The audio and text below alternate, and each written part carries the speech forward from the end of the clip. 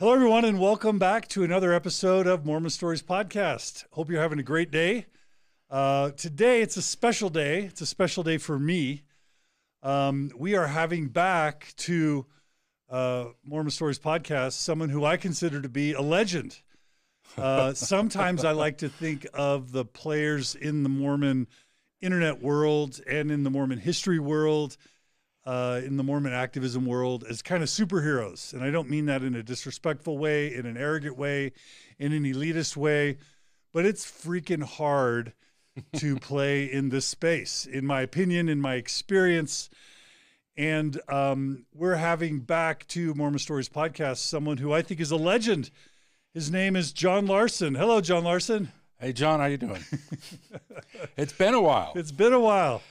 And for those who don't know, I'm just going to do a quick introduction because, as impossible as as uh, as absurd as it is to think that I have listeners who don't know who John Larsen is, I'm guessing that most of you don't know who John Larsen is because, as you know, John, there's this kind of there's this pipeline of listeners who come in and then go, and it's healthy that they go, but then I'm always having new people discover and a lot of my listeners aren't going to know who you are. Isn't that crazy? It is, and I mean, we stood on the backs of others, you know, like Bob McCue and Tal Bachman and um, uh, Steve Benson. Richard you know, the, Packham. These guys who, yeah, who their name. It's just, it's just one generation after the other after the other. And before them, Michael Quinn and Maxine Hanks and and E.B. Howe, all going all the way back to the beginning. Yeah, Yeah, yeah B.H. Roberts. And, Yep, yep. Yeah, Leonard Arrington and Lowell Bennion.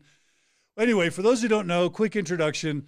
Uh, long, long time ago in the Mormon internet world, after Mormon Stories had actually been retired, which was around, retired probably for the second or third time around 2008 ish, uh, John Larsen uh, decided to start uh, a Mormon podcast. Filling in, you know, from my weird vantage point, filling the vacuum that had been left when Mormon Stories went silent as I was trying to get into a PhD program in Utah which was challenging to do if you were going to try and do a Mormon themed podcast, especially if you're applying to BYU. And so during that time, John Larsen uh, emerged and uh, started a podcast called Mormon Expression. Uh, he did it with uh, his wife at the time, Zilpha, and he had a panel of uh, participants that were really fascinating and interesting. And Mormon Expression became a force uh, in Mormonism and on the Mormon internet for many, many years. And uh, to this day, whenever there's a, a thread on Reddit, on Ex Mormon Reddit, or anywhere else saying, what are the most influential, you know, uh, Mormon podcasts of all time or Mormon podcast episodes of all time, even if the question is, what are your favorite Mormon stories podcast episodes of all time? What you will always get is, you know, John Larsen, a Mormon Expression podcast, is my favorite Mormon theme podcast. And reliably, you'll get the How to Build a Transoceanic Vessel episode of Mormon Expression podcast as a top three of all time uh, Mormon themed podcast episodes, along with maybe, you know, Tom Phillips and and, uh, and maybe Michael Coe. So it's like for sure top three, if not number one, most influential episodes of all time. And even though John Larsen retired from podcasting, how many years ago, John? It's been um, six, going on seven years. That's hard to believe. Yeah, And and you were you were kind enough, or uh, I was lucky enough to be able to kind of interview you as you were retiring, and we had had this beautiful event at one of the Unitarian churches here in Salt Lake City Mhm. that um, kind of announcing your retirement. Uh, you can check out that interview on YouTube to kind of get the story prior to uh, John's retirement. But uh, John, you were kind enough to reach out to me and say, "Hey, let's do a where are they now kind of thing." And and I loved it because I I said, "Well, am I interviewing you or are you interviewing me?" And and tell me what your response was. Uh, what uh, did, did I say? Uh, two old guys sitting on the porch. Yeah, it's it's two Johns. It's the the shit house talks, right? Yep. So that's what you're in for. It's just going to be me and John for a few hours, catching up, catching each other up, and uh, catching you up, and most importantly, just shooting the shit. Can I say that word on Mormon Stories Hey, podcast? it's it's it's your it's your place. All right, I- John Larsen. So so how's it going? It's good. Yeah, it was it was over the Christmas break. I was looking up I was watching a, a band that I like on YouTube and I was on my YouTube channel, which I don't hit that often, and it had saved podcasts and there you were interviewing me the we we we shut down Mormon Expression at the end of 2014 and then I think we did that about February March. So it was right after it had finished. And um, so I popped in, I was listening, and then I went back to the to the beginning, and I started texting you in the middle of it. And and so you know I was saying, hey, we need to catch up. And then what really caught my eye is at the end of the podcast, you had asked me to predict what was going to happen in, in Mormonism, and did you went back and I listened, right? did. I did. And and it was funny because you were you were seeing at the time, this is 2015, all these progressive elements coming in, and you were kind of optimistic about the the new phase of the church. And um, um, I was a little bit floored by what I said. Do you remember? Tell us. I said we were one pandemic away from the rise of a new religion, and I'll, I'll call that I'll call that a win, right? uh, with the rise of QAnon and and and and MAGA and some of these uh, some of these um, well, frankly, scary elements with us today. You know, it, it's uh, um, yeah, I called it. you did. You're a prophet. You look you look like a prophet. I, I look I look like I just escaped from Azkaban. Um, if it was a fat camp. You got the long hair and the beard. I I got it. the long hair. I cut my hair the last day on, on Black Friday on, on March 13th, right before we went into lockdown, and I haven't cut it since. So now it's just kind of a, a, a thing. I don't know. I don't know when I'll go it's cut it it's like John the Baptist, man. It's like a secular prophet. right, right. Yeah, I look like I'm about to move to a compound. Well, well, John Larsen, what's been going on? Tell, catch us up. Where do you want? Where should we begin? Oh, do we want to talk about uh, uh, me or the? Well, I'm, I'm not that interesting. I've I've um, I had I've had a I've had some ups and downs in the last couple of years, and but they've they've ended well. You know, I oftentimes the Mormon Expression podcast was um, because it was so integrated into my life. Of course, I famously got divorced in the middle of it to to the lovely Zilpha. Um, Shout out to Zilpha. um, and so um, and I think she's she's been married now to her husband uh, James, who's a great guy, about ten years.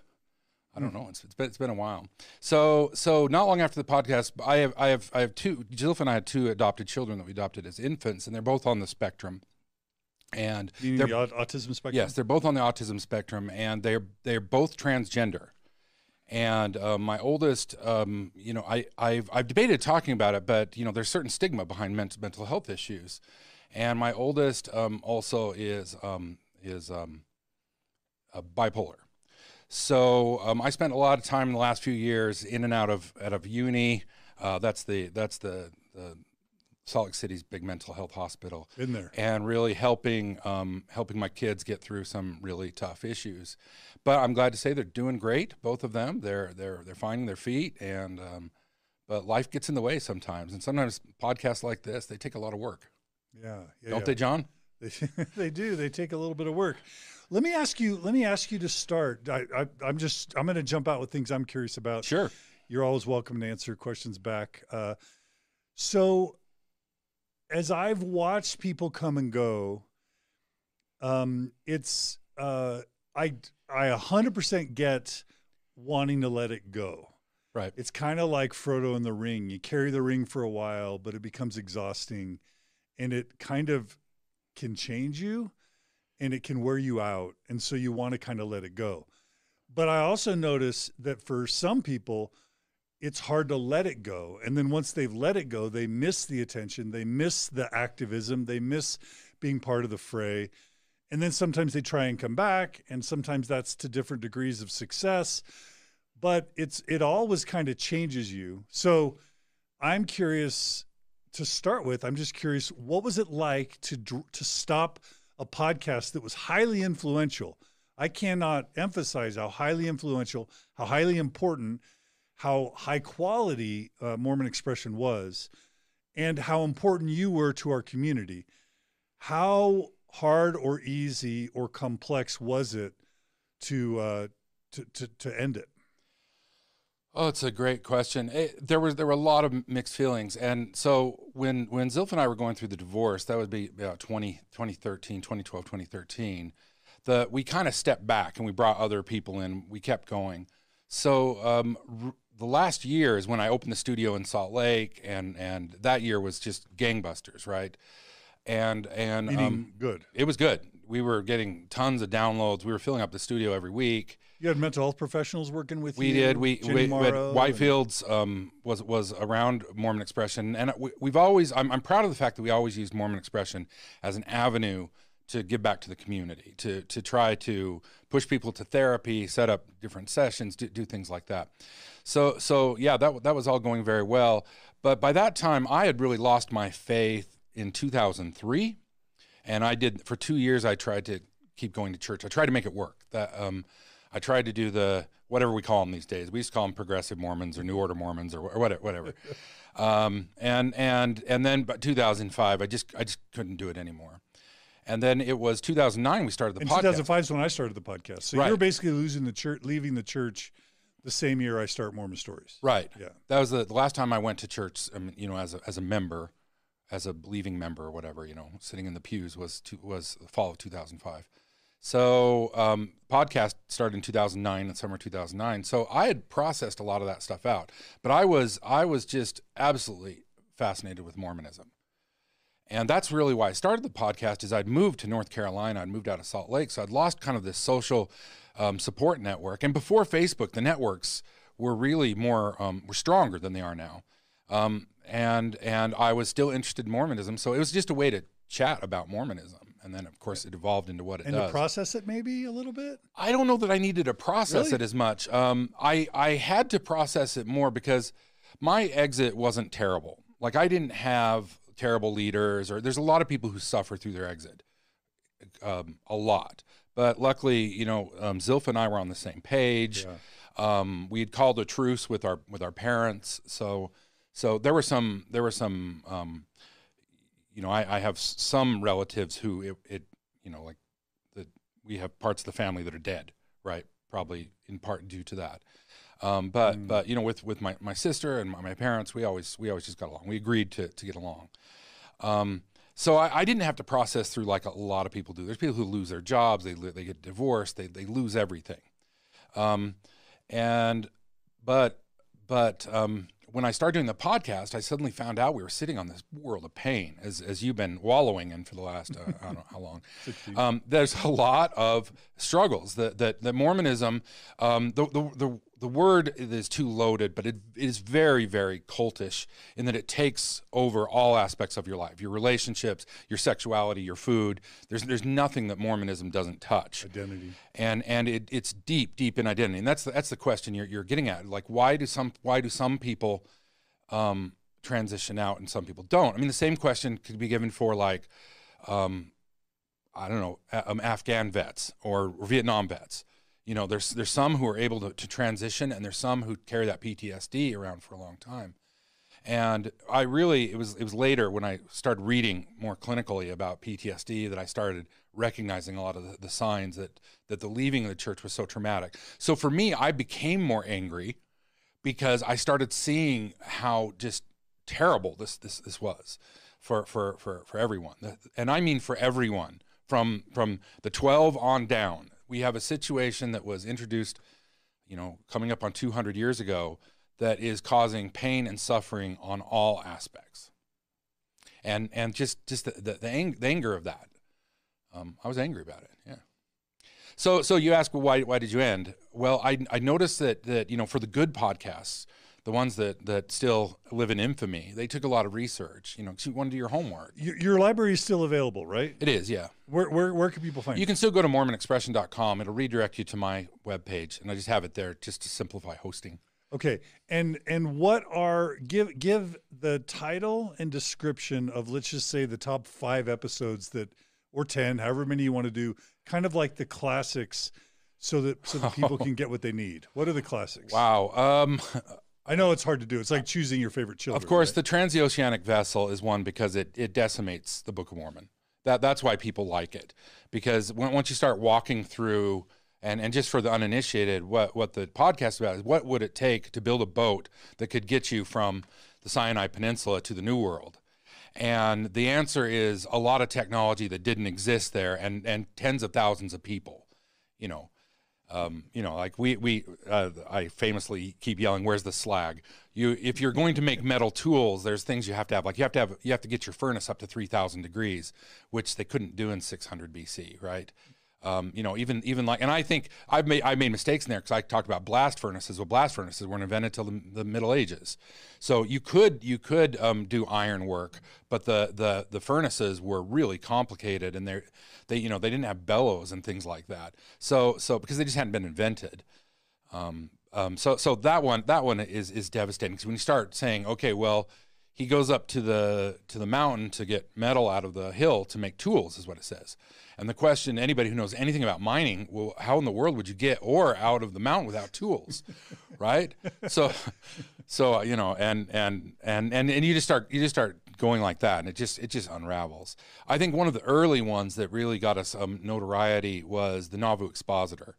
Of course, um, you know when things were going south in Nauvoo, um, the the loyal opposition put together a newspaper, the Nauvoo Expositor. William Law uh, William Law and folks, um, and you know they had a printing press and they did it, and and in the in the coda to um, to Joseph Smith Mormonism, you know, it started in 1830, you know, base or in 18 1832 1833 when um, they were in independence, and of course the the mobs or the, the you know we, we we throw that word around, but it's loaded. The the people who didn't like what Mormons were doing and what they were printing, and if you look at the printing from from that period, it was in, in Jackson County, it was pretty caustic stuff. I mean, Mormons were not ecumenical at all during the time. So, you know, they were talking about coming in and taking over this county and destroying all the wicked and all the Gentiles. So those guys went and and and, and upset their their printing press, right? And I know this is old history for everybody. And then, of course, in Nauvoo in 44, then it happened the same thing again. The, the under Joseph Smith's direction, they went and stormed the Capitol um, and did their insurrection. Uh, I, I, might, I might my, my, my stories crossed here, but but but so so we went through the Nauvoo Expositor, the actual newspaper that and printed out, and what you see is that everything that they had put in there, all of the um, claims against the church, were true. Yeah. Uh, uh ostensibly, you know, some of them, of course, it's it's it's media, it's it's writ, written language, so some of them are exaggerated, but and and I think we did multi part on that and went through it line by line by line by line. Um, you did. Uh, what what what other? And, and, honestly, as I'm as I'm thinking about not only reading it for the first time, but then listening to your episode, in, in, today's world, you kind of have this Jeffrey Epstein kind of sex trafficking thing, and I think reading the Nauvoo Expositor and maybe listening to your podcast for the first time, it sort of dawned on me that that when you think about the missionaries going to Europe, lying that the polygamy wasn't being practiced and then shipping these young women back to you know back to Illinois and mm-hmm. you know uh, ultimately in poverty, uneducated to become plural wives. It it kind of felt it kind of started to seem like sex trafficking a little bit, right? Yeah, yeah. The the the story of the rise of the of the church is very uh, the the when when QAnon came on the scene in 2017 um, I have been fascinated by them and watching them very closely. And uh, you'll have friends of mine who will tell you, you know, we'd be having dinner like in 2018 talking about things, and I'd say, but QAnon, yeah, exactly. QAnon's yeah. coming, like yeah. because what I recognized is the beginning of Mormonism, and so I, mm. I think there's a PhD paper out there for somebody in parallel when you see how quickly QAnon changes from one prediction to the other prediction to the other, and from an outside perspective, you look in it and say geez, what's going on there? Can't they see? Well, Mormonism between 1830 and 1844 is the same way. They're, they're abandoning doctrines and principles and philosophies. And the Mormonism that was really solidified by the Smiths, um, you know, Joseph F. Smith and his father, and those those guys, Joseph Fielding Smith, I mean, and Joseph F. Smith, that that they that Mormonism is very very unrecognizable to somebody in Nauvoo in, in 1842. And so we see the exact same thing with, with, with QAnon and that, that, that doubling down. And um, it's, it's, it's spooky. And it's spooky because, and we'll talk about this more, because QAnon is infected the church and it is all over, and they are panicking right now. The church is in bad shape today. We'll, we'll talk about it in a minute. Yeah, yeah, yeah. Okay, so we'll get back to that. But I, I totally agree. I just did an episode recently on how Mormonism prepared us for Trumpism and fascism, and I got a lot of heat because a lot of my listeners love Trump and voted for him and Of course get they really mad. And I and I just say, yeah, we were groomed by Mormonism for conspiracy theories and mm. for fascist kind of leaders, right? But that's why that, I'm just emphasizing the point that that what's going on with Trump and Trumpism and QAnon and, and the Proud Boys and Three Percenters and all, all these all these um, um, fascist organizations is, is a story of poverty and fascism. Yeah, I'll, I'll leave that, and then we can go back to the question. You know what? What I get upset about, I don't see anybody making a connection between the um, the insurrection riots and the Black Lives Matter riots. The the connection is poverty, and and to me, who's not really a partisan, that's obvious. You get you get riots when people when people are despondent and they're lost and they're they're they're hungry. Now we're still at a point where there's not a lot of people going hungry yet, but it's getting there. We're getting that we're getting awful close. But but you're talking about the people at the at the bottom. You you you drive when when Trump was was was campaigning, he talked about how decimated middle America is. It's absolutely true. And a lot of these liberals need to get out of their cities and just drive across the country and go through small town after small town after small town where the theater is closed and the grocery store is closed and there's a Dollar General there and there's a Walmart 10 miles away.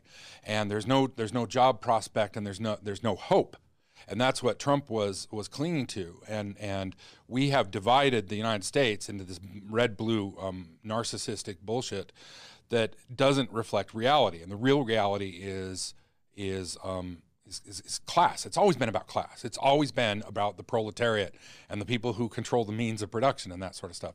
Not that I'm not. I'm, I'm using communist words. I'm not a communist, but but but you get the point. So to I want to put the question you asked me was about the podcast. I think I think there's a lot where we went through like sections of the Doctrine and Covenants, sections of, of the Book of Mormon, went through them carefully and thoroughly. Um, you know, Section D&C 132 was a really important right? D&C for me. 132. Yeah. D&C 89. Mm-hmm. You, you did Word of Wisdom and you did word of wisdom because when you when you go and, and this this uh, again are the remnants of QAnon like what what the word of wisdom is the way um, I would say 92% of Mormons um, um, by the way John future tip if you're going to make up stats don't have a zero in the second number. Always put always put a whole you know and it's better with a decimal you know 93.4% of Mormons what don't understand what the what the actual section 89 says. And there's not really a line that you can draw between one and the other. It's just become this cultural this cultural thing the reason Doctrine and Covenants is successful is so poorly written. It's a terrible, terrible book. It's the the prose is off. It's it's it's it's full of nonsense. And and and what, this is pointing out. To, I'm stealing somebody else's idea. That that the problem is people read it because they're supposed to read the scriptures every day, right? And they read the scriptures and it's nonsense. So their mind wanders and they you know and it becomes this meditative experience. It's it's the, I mean it's the same thing that other cultures do by chanting. Um, so it doesn't really matter what it says in there. It, it it's a conduit to a spiritual experience. I love it. I also had no idea that they that beer was okay according to D&C 89. Right. But but mild drinks of barley literally meant beer, and I don't think it was till I heard your episode that I realized that that that the word of wisdom's okay with beer.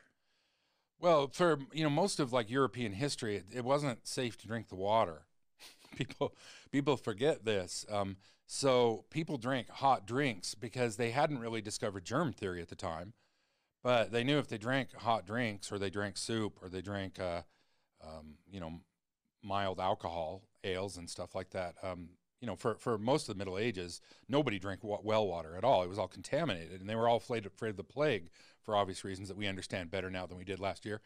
Um, so, so um, yeah, that that was just normal. But if you read the early writings, they they condemn soup. Um, of, and of course, they were they were um, riffing. Joe Smith was riffing off of Dr. Graham, who he stole a lot of that stuff from. The guy who created graham crackers, who believed spicy food less, led to masturbation. Right. Yeah, I remember that. All right. Any other classic Mormon expression episodes that people should uh, should check out? Uh, I always like the 10 ways John Larsen disagrees with John Larsen. Because I thought the podcast had a little bit of strength because I was willing to change my mind, you know, when I encountered new data. Um, and there's probably a lot that I don't. I was when I was. I, did- I should have taken notes when I was watching our interview. There were a couple things I said. I'm like, oh, I don't want to believe that anymore. so I, I, I don't know. The, I think the last the last ten I was kind of saving up. If if you're going to start anywhere, start with the last ten. Okay. And I and I felt like your one of your final episodes, if not your final episode, you talk about being an ex ex Mormon. Right. That blew my mind as well. Just this idea of like uh, leaving behind Mormonism for good Right. and leaving behind ex Mormonism. That's hard. I'm I, part of me wants to ask you how that's going. Well, I think I. It's almost like Can you a- do that? Can you ever really leave it behind? Well, yeah, yes and no. I, I, I think that it, it, it wouldn't be psychologically help, healthy to try to leave it behind. Now, now for me, what, what has it been? Tw- 18 years now. Um, seven, 15 year. I don't know how, how it's, it's really hard because it's not, there's no, there is, Yeah. for some people, there's an epiphany and there wasn't an epiphany moment for me, but, but, um, it, it stops marking your thinking like like um the, there I was I was with some friends just a little while ago and somebody made a joke about like just something with a word of wisdom or whatever and I didn't get it. They had to explain it to me. Because because after a while you just stop processing the world through a Mormon filter. And I think I think becoming an XX Mormon when I talked about that, is more where where where when you leave the church um, you have a certain amount of your headspace dedicated to this this world construction about where we came from, what's true, what's not true. And and and then somebody rejects the truth claim of the church, but they still have all of that psychological construction in their head. That that you can't you you cannot pull that out like weeding a garden. And and becoming an XX Mormon to me is really the stage in which Mormonism is no longer a hobby for you at all. Now, you still might react like you still will probably have body shame issues that were put in the church, um, bad eating habits that were put in the church, sometimes good habits. You, you, you know, like the, it's not all terrible, um, but but it, it takes a long time. And and I think that that that if I was going to add more phases, there's there's the time you're a Mormon, and then, and I'm oversimplifying here because a lot of paths. And there's a time where you're ex-Mormon, but you're processing Mormonism still. You're still obsessed with more with Mormonism. And the further I am away, John, the the more ex-Mormons and Mormons become indistinguishable to me, because they're all obsessed Ooh, about the same things. They're talking about the same things. They're thinking about the same things. If you want to find out what's going on in the church, you go to the ex-Mormon subreddits first because they'll have everything posted there in minutes, right? Faster than Mormons process it. So, so ex-Mormons are really, and and and you can send the hate mail to John Dehlin. Ex-Mormons are really more Mormon than Mormons often because they're just obsessed with it. But that's part of the that's part of the deconversion process. So then an XX Mormon is when people fill that space with something else. Now there's a third phase after that, and then there's another phase after that, and, and maybe I'm just channeling Fowler at this point. the, the the phase that comes out. So so I, what I see is ex Mormons who just go and read all this stuff, and then they become rock climbers, right? And they they they or or whatever it is, they ride their bike or they they they become the same sort of obsessive, weird way that Mormons engage their their um, their religious philosophy. They'll usually transfer to something else it's after that transference phase, in my opinion, that people become healthy psychologically. Uh, and but but I mean, I'm not saying those stages aren't healthy. They're they're part of this this process. You see the exact same thing with div- with divorced people, especially if there was a if there was a messy divorce. Um, they they um they're they're obsessed with with the other person for a while. They're they're they're they're looking at their their posts and whatever, and then they kind of maybe find another romantic relationship and they think about it less and less. And then there comes a phase when they just don't care, right? And then then the the, the transcendental phase that not everyone hits is that they become friends with their with their ex, or for whatever that means. For for Mormonism, that means to become friends with your Mormon past. So I think now I'm I'm at a, a point where I don't. I, I, I can see that, that some of the, the bad choices I made were, were, were part of my, my, my culture and and that made me who I am. And I there's no energy spent on being angry about that anymore. I, I, I was a Mormon. I went on a mission. I practiced some cultural imperialism that I feel guilty about. Well, I just need to go out in the world and, and pay it forward and make it right somewhere else, right? And that's that's where I think the, these these these these phases. But I mean, let's be let's be really clear. Mormonism is absolutely, undeniably a big heaping pile of bullshit. there is nothing about Mormonism that is a, a redeemable sort of something. Now, now you're going to say, hold on, you're throwing a whole culture, and I'm throwing my culture. Yes, because we're part of American culture, and we're part of Western culture, and we're part of Anglo Anglo um, speaking culture, and there's all of these these elements, and everything that you can find good in Mormonism, you can find in other places, right? So Mormonism might be a conduit for some people to do well, right? Some people join CrossFit, and they get their whole life in order. And their, and their marriage goes back to, to a good place. and become a better parent but to say that CrossFit um, rescues marriages would would not be a, a, the right thing to say. But but all of the innovations that have come about in Mormonism from Joseph Smith on, they're all being discarded one by one by one. And I think it's it's time we we acknowledge that and and and be unapologetic about it. It's in the human genome to to um, seek group identity and we don't, and the world is too complicated for our little minds. So we need these structures that help us understand. And these came with mythology. You know, they tell they told kids that there's the big bad wolf is in the forest because there actually are wild boar and other things in the forest that can kill the kid, right? So it's easier to have them scared of monsters, right? The, these things have utility. Mormonism is past the point of utility, but it's going to be really hard to extract uh, ourselves away from it. And from the other bullshit out there, Mormonism the only one. I think it was on your podcast. Correct me if I'm wrong. Where I first heard this idea that um, everything good about Mormonism isn't unique, and everything unique about Mormonism isn't good. Was yeah. that is that from you? I said that one time. Yeah. that's that's good. That's good. Yeah, it's it's true. It's true. Uh, but but you know, we we we were a people. You know, I, I come from the pioneer stock or, or whatever, and, and we were a, a people. We're we're rebel route, and Americans are that way in general. I've been watching these um, historic shows on BBC because BBC is a lot calmer than everything in America is a competition all the time about kind of historical farm practices. That, that's where I'm at these days. and and it, it's interesting because most of the machinery, you know, in the 19th century and 20th century, uh, the um, of farms was coming from America. It's because in America we have a culture of competition, where where if you go to traditional cultures that have been around a long time anywhere in the world, they'll have an identity, a group identity, a cooperation. You know, we're all Bavarians. We're all you know from this particular village. You know, eh, uh, um, where, wherever, and and and people aren't necessarily trying to one up one another. Well, all the people who came to America. I once saw a British historian who basically said America was all the assholes from every country. But we, we're, we're in constant competition. That's why we have this religious notion of the one true church, where of the 7 billion people on this planet, most of them would not know what you're talking about when you say, like, what you, a true church? Church, true. What what are you even talking about? And we Mormons walk around saying we're going to convert everybody to the true church, and it's a concept that doesn't even make make sense to anybody. It's kind of like saying this is the one true ice cream, and everyone else is like, "What? They're all they're all ice or cream." Or ham sandwich.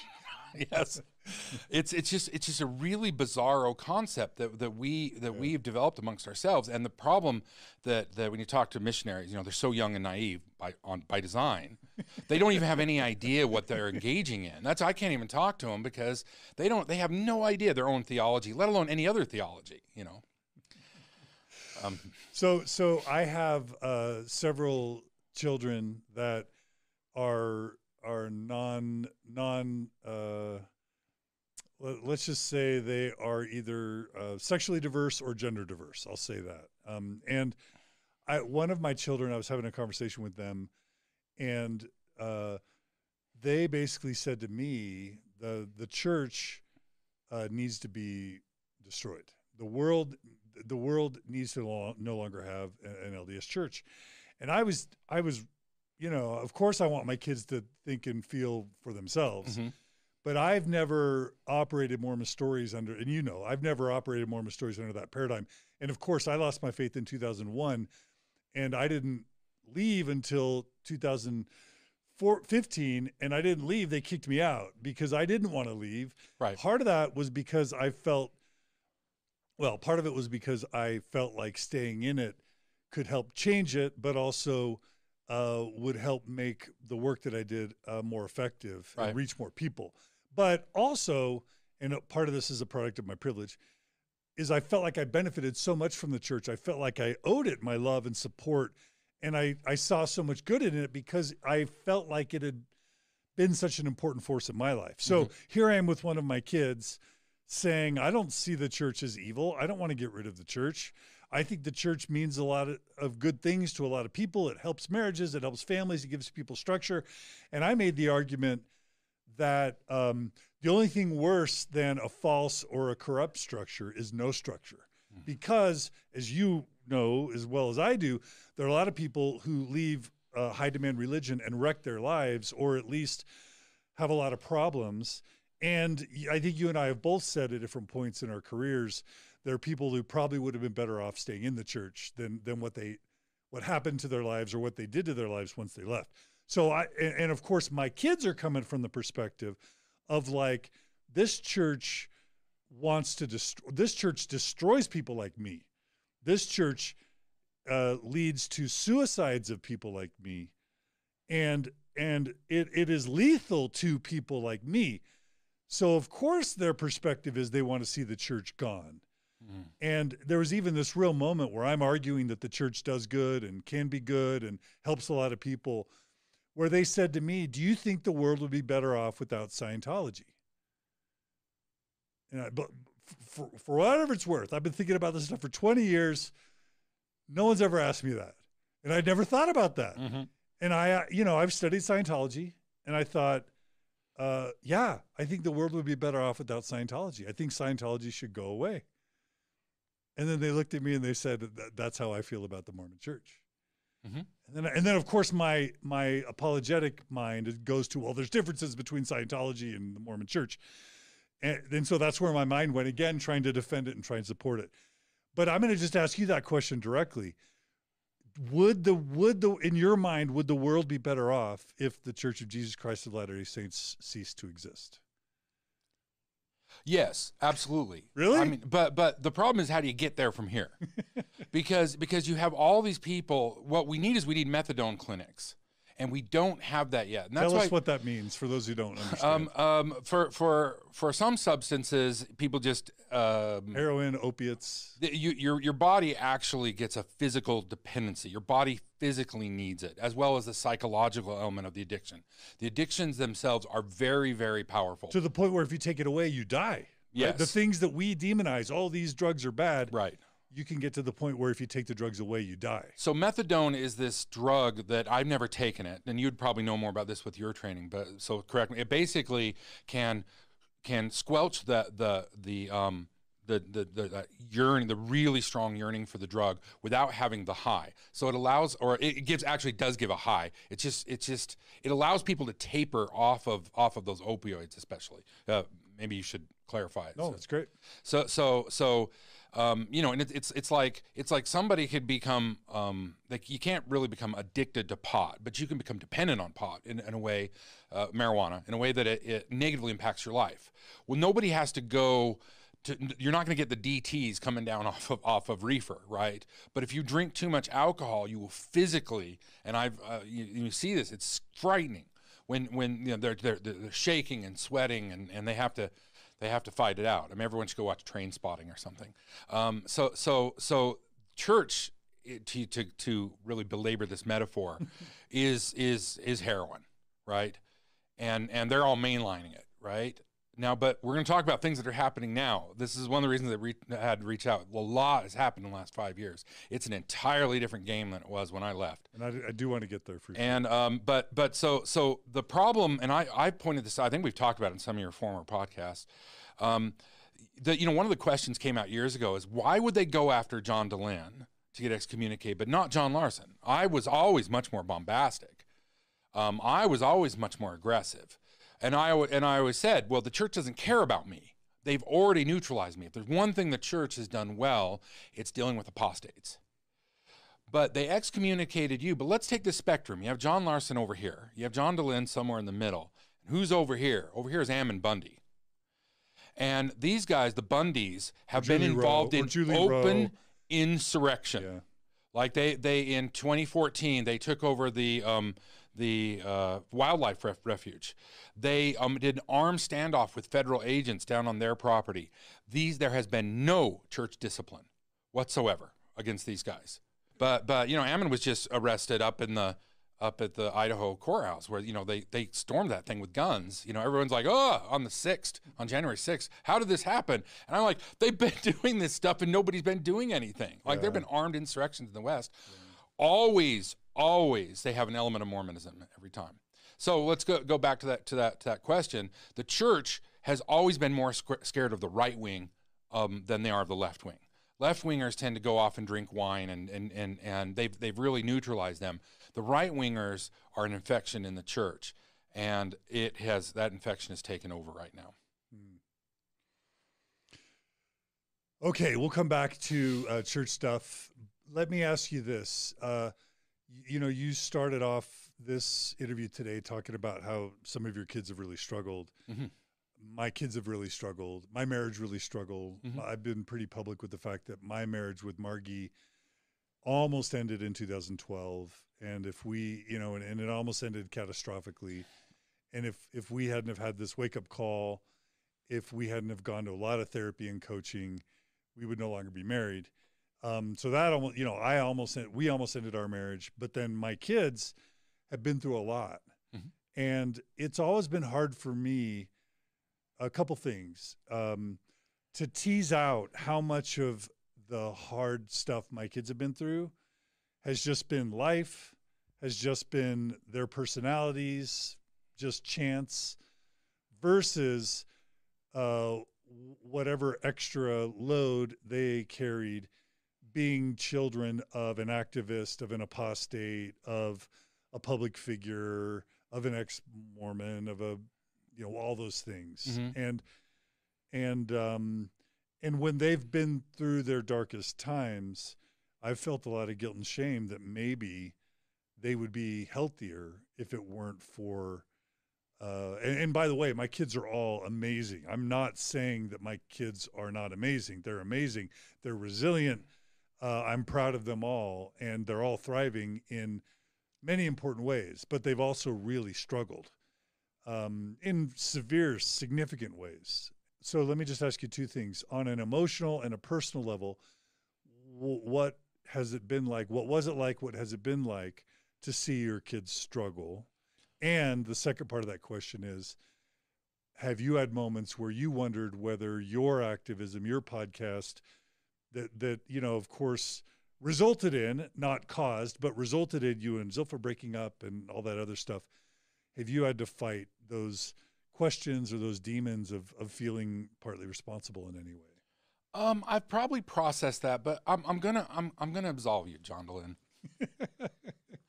the world in two, in 2021 is a quickly changing world, and we introduced in the last 25, 20, 30 years some very very toxic things into our culture, namely social media and and the social. We always leave it there, but the conduit of these giant corporations with more money than most nation states that are trying to manipulate you psychologically. I dare anybody to take a little notebook and just put a little tick every time you see an advertisement. And my guess is you, if you try it earnestly, you'll give up after about two hours when you hit uh, item number 1000. We're constantly, all these systems, and they're being run by AIs that are simply looking for, like, like the advertisements you see when you go online, wherever you're going online, are there because the AI is showing you whatever it thinks you're going to spend money on, and it's blind, it's dumb, it has no idea. That's why these these um, these networks um, power so fast. It was like 20, it was back when I was doing the podcast, it was like 2013, 2014, where I think it was Google turned on an AI that was a learning thing and, and released it on the internet, and within four hours, it was spewing hate speech. Um, so they had to turn the thing off. This, the, our kids are growing up in this toxic environment, and we all say, we all sit in our rocking chairs and say, "Oh, can you imagine if we were in high school if they filmed everything?" And and I've I've gone into parties in my house and had to yell at kids to put away their phones. They're filming everything. The pressure that puts on kids, but also there's been a big cultural change, and I know this because I've dealt with transgender issues. And my my house, I have four teenagers. I, it's like I live in the dorms. Um, they're and they're you know my kids are like from 20 to 17. So we have Mormon kids, Mormon refugee kids in my house all the time. I've I have bought binders for uh, like at least five different kids out there, you know, because their parents are are are What pushing binders? like for for trans Oh, trans right, males. right, right, right, right. Oh, yes. Um, so so there, but but but if we take like sexuality for for for our generation, John, um, we're we're gen, we're Gen Xers, right? Um, and it was it's still taxon uh, taxonomy. There's there's men and there's gay men and there's women and there's lesbians and there's there's bisexual and we're, we like we're like okay, we just keep adding cubby holes. For for Gen Z, for these kids that, that are that age, they do not view sexuality in a taxonomy at all, and it's and and our parents, they they, they it's blowing their mind. They or can't gender, understand or gender, sexuality or gender. sexuality, gender, the whole thing is fluid, right? And and and in a way that makes the people in our generation say, "You damn kids," blah blah blah. But but have to understand they have a different worldview. It's not. It's you know we we talked about coming out in in ways in the '90s where it was still illegal. Um, that's not the way this generation sees things. So so we have a world that they're butting up against.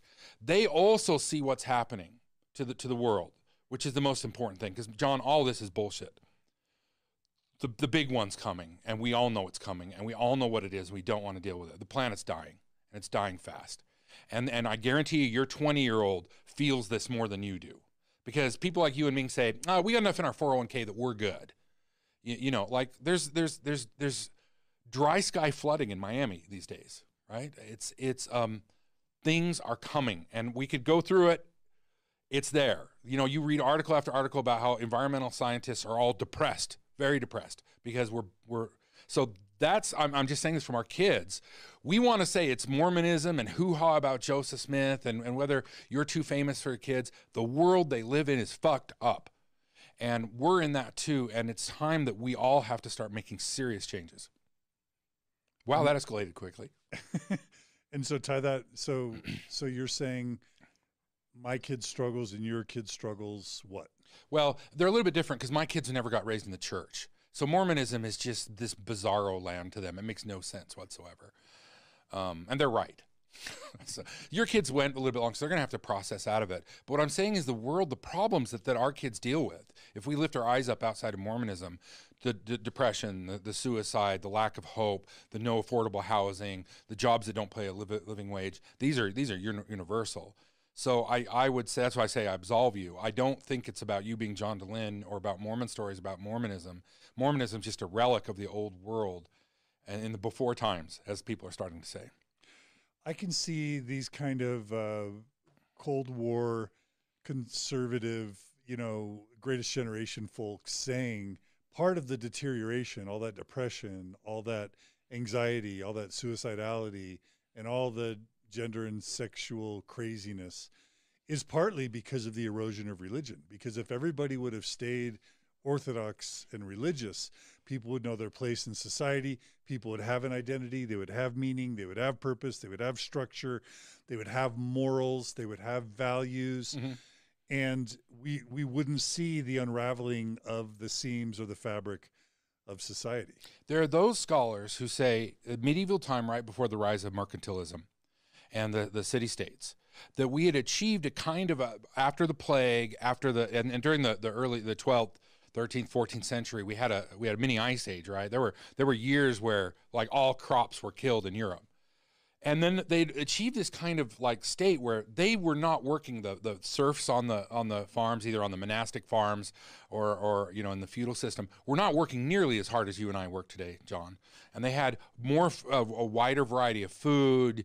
They were out in the sunshine. You know, there were diseases that we've so so their lifespan was oftentimes cut short, but it's cut short by things like malaria and cholera and and, and cowpox. You know, and and and and things things like that. But but then then we we we changed, and the world suddenly became a lot harder, right? And and we're we're dealing with some of the same kind of changes. What but what I'm saying is that old feudal structure gave people a place. The, the the lords were over here, the church was over here, and I'm here, and we all have this relationship. You know that that although if I'm a monastic tenant farmer, the church is gathering half of my crops, but when I get sick, the monasteries will take me in, and that's where the that's where the hospital. So there was this symbiotic relationship that, that, that fell apart, and some of it was good and some of it was bad. you're right that religion, especially in the United States, where we didn't have a, a, a state church, we didn't have a collective mythology, we didn't have a collective sense of meaning. What the church did, especially the so called greatest generation, what they did is they came out of the war, in my opinion, and they wanted to create a paradise. And they had this paradigm of church. But that paradigm of church was about keeping former slaves, brown people, women, everybody in their place. Women. This generation was a bigoted generation. Not, not, of course, not everybody was a bigot, but you had relatives who who were in that time. I did. Casual racism and all that marked their worldview. But they really sought, I think, after the end of the war, they saw such devastation and such horror. And of course, their parents had lived through the Great War, which was even worse.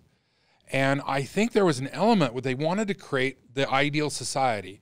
And the ideal society for them was embracing this American nationalism, this American dream, this Protestant religious worldview. And they were, they were anti Catholic.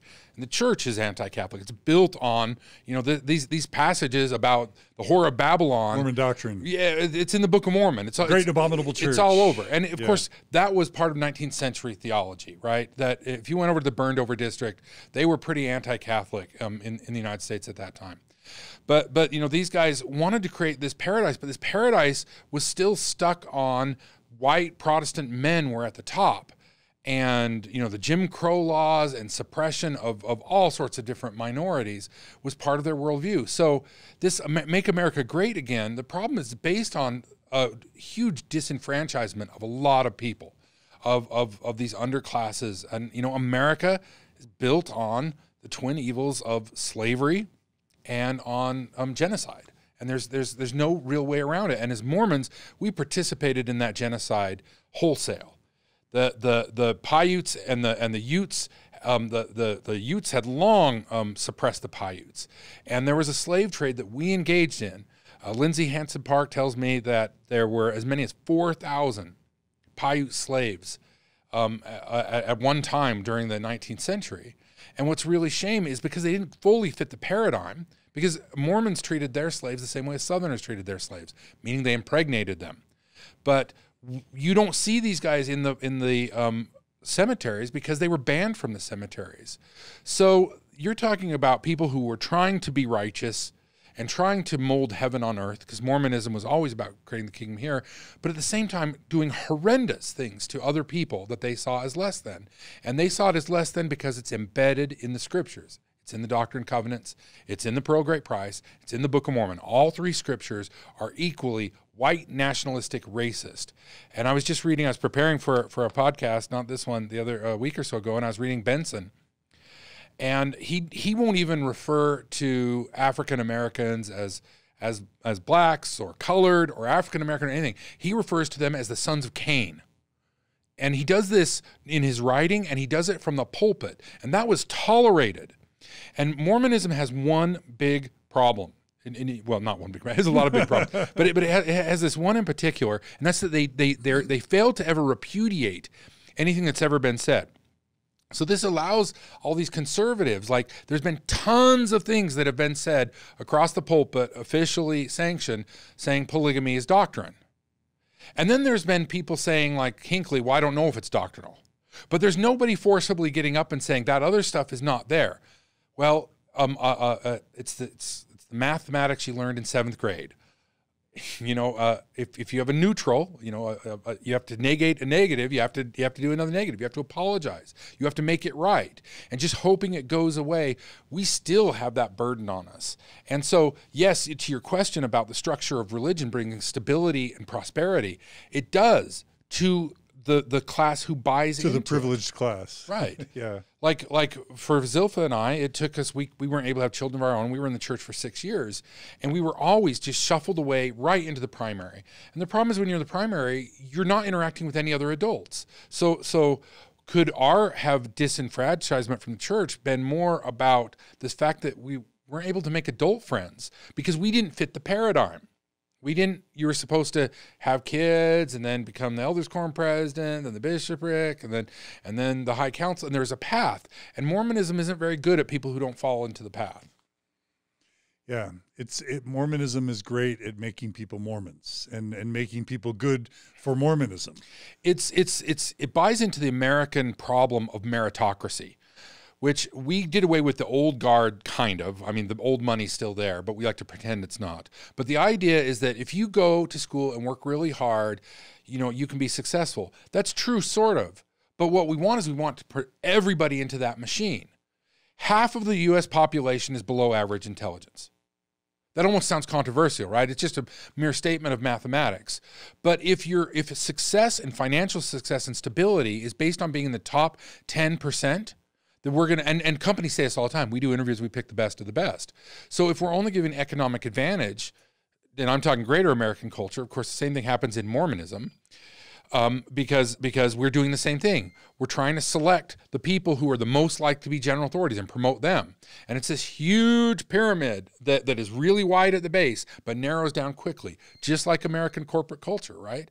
So yes, Mormonism can give stability if you fit the mold, and if not, it has a attention to a slave class. It puts you in the it puts you in the nursery. It puts you in the primary. You're going to teach the children of of of the plantation owners, as it were. So it's uh, it's super hard to not just uh, keep coming back to Mormonism today and mm. and kind of the geopolitical context of today. But let me let me at least uh, ask you one more kind of line of questioning uh, along the personal line, and then we'll we'll jump right into the to the fireworks. Sure. Um, and I'm sure we'll keep coming back to it, but so uh, one of the, you know, of course, and I think we've talked about this before. You know, Orthodox Mormons are waiting for ex-Mormons to fail. They, they, right. in fact, they've they've all been conditioned, or some would say brainwashed, to, you know, to believe that you can't be happy and healthy without the church. And then, of course, with their confirmation bias, they're they're just waiting for us to have our, you know, to to struggle as individuals. Mm-hmm to become alcoholics or drug addicts or whatever, to have our marriages end, you know, divorce or whatever, right. and then to see our kids struggle. And it's all going to be just, it's all going to flow to their confirmation bias. See what, that's what happens when you leave the church. You've been through a divorce. Um, there, there are other, I just saw Carson Calderwood uh, announce that he and Marisa are, are getting divorced. Mm-hmm. Love to Carson and Marisa. No, no judgment. Congratulations, guys. What'd you say? I said congratulations. no, I mean like, like on the one hand, many of us who are who are ex-Mormon have wanted to keep our marriage marriages alive, if for no other reason than to not fulfill the stereotypes, right? Um, to not have our parents or family members, believing parents or family members say, see, that's what happens when you leave the church, you get divorced. You've been through a divorce and a semi slightly public divorce.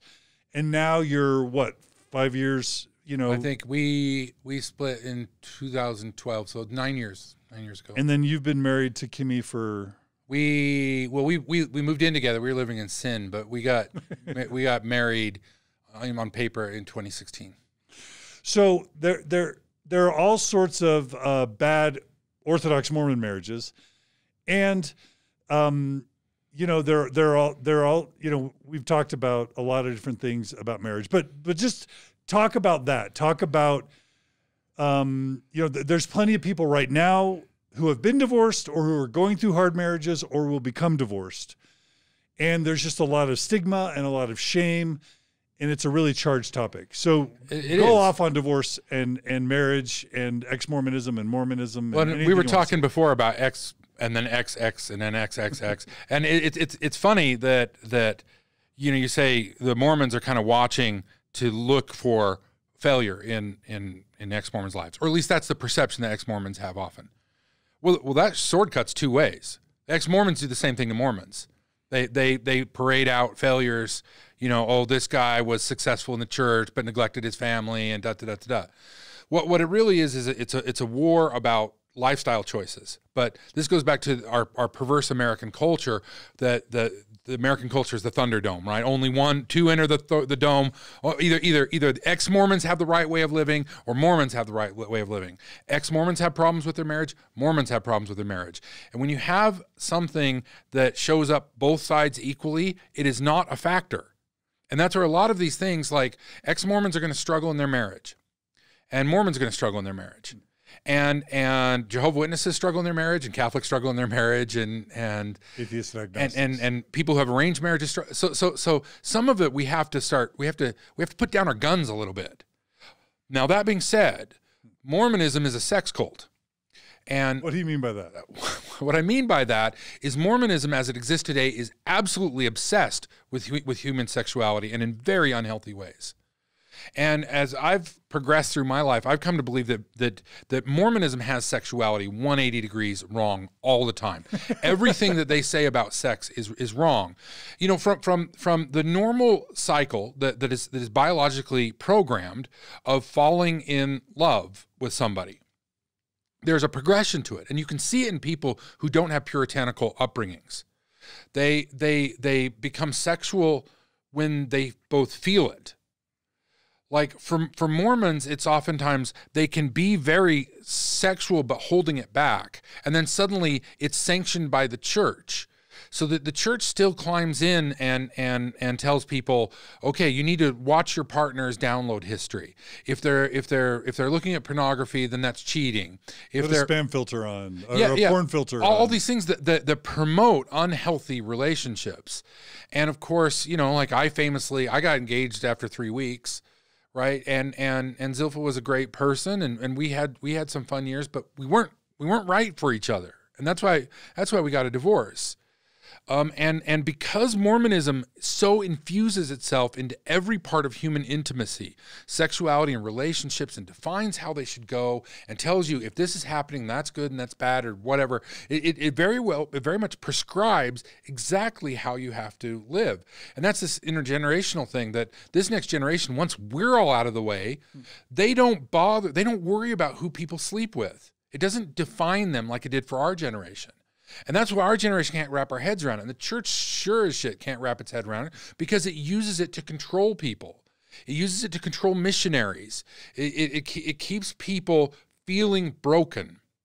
Because what the church tells you is that normal sexuality, both solo, what you think, I mean, there's, there's you can find whole Sunday school lessons that tell you if you think um sexual feelings, that you're somehow create, committing a sin. That is not how sex works. like it is not a product of, of one's imagination. Like like as for most of us when we went through puberty, if we weren't screwed up by by, by these puritanical churches, you'd realize that sexual urges are a natural part of, of, of human growth as they are a part of the propagation of the species, right? You can learn a lot about human sexuality by watching animals because you see that the things that we all like condemn oftentimes are very prevalent. It's part it's part of what we are. It's part of our DNA. And and so this this divorce thing is because the church infuses itself into these relationships and puts itself in between in between partners and says this is okay and this is not okay and this is who you can love and this is who you can't love. It sets people up. For me and for many like us, um, for Zilpha and I, our marriage was propped up and pushed and propagated and scheduled by the church. I will admit, I have some residual anger uh, to my parents and the people around me because not one person, not one adult in my life said to me when I got engaged after three weeks, You might want to slow your roll there, Johnny. Not one person in the church said that. They were all overjoyed and they should have known better and they did know better. And that's why religions need to go away because they train smart people to act stupid. So, but but divorce. Divorce is hard. But for many people it's absolutely the right choice. And for others it's not. Relationships they wave in and out, you know, and and if you put energy into a relationship, but if two people are fundamentally, if you're married to somebody who believes that you are a son of perdition and you're going to spend all of eternity like roasting in outer darkness, run away from that person as fast as you can. but take care of your kids, right? Because you cannot have a loving, giving relationship with somebody who thinks you're an eternal criminal or you, even just a disappointment. or just a disappointment. Yeah, that's bad too. That's absolutely bad. But some people struggle with marriages, others don't. Brigham Young was divorced what 14 times? I can't remember the number. A whole bunch of times, right? Um, and and divorce is is a, is a symptom. It's like surgery. Like, oh, is it bad to cut into somebody's body? Well, it depends on the circumstance, you know. if you're walking out of the 7-Eleven, then by all means. But you know, if you're getting if you're getting your pancreatic cancer taken out, then yes, surgery's good. Same with divorce. So I have no, I will not tell anybody they should get divorced or they shouldn't. They, that's what they've got to figure out themselves. So stipulating that Zilpha is great and we love you, Zilpha, and not, not asking for you in any way to disparage the, the what you guys had together. Mhm. Can you talk about how uh, your relationship with Kimmy has been a, a good thing for you? Yeah, maybe yeah. even for others. Yeah, Kim, Kimmy, my wife, she, um, we, we are really, I don't believe in anything like soulmates, but we really are aligned in what we want out of life, how we um, treat one another. We're both very um, um, empathetic people, um, and we're both very um, deferential. We we give a lot, so I oftentimes get hurt in my relationships in the bigger world because I'll give a lot more than I kind of get back in return. Which after a while you kind of shed those those relationships. Like Hopefully. like when I left Facebook, you know, I had I would have said, "Oh, I have 400 fa- friends," and even though my phone number didn't change, I would say of those 400 friends, 360 never never contacted me again. Even though we might have been interacting day by day, it's just that that relationship was mitigated by Facebook, and the relationship didn't have enough roots. It, it hurt me at the time. Now I just see that's that that's what that's what happens. So Kimmy and I are we're on the same page. We care about each other. We love one another. There's not there's not friction in the relationship. And the difference between a good relationship that I had with Zilpha, but we would have never gotten together if it wasn't the church. And when the church went away, then we had less reason to stay together.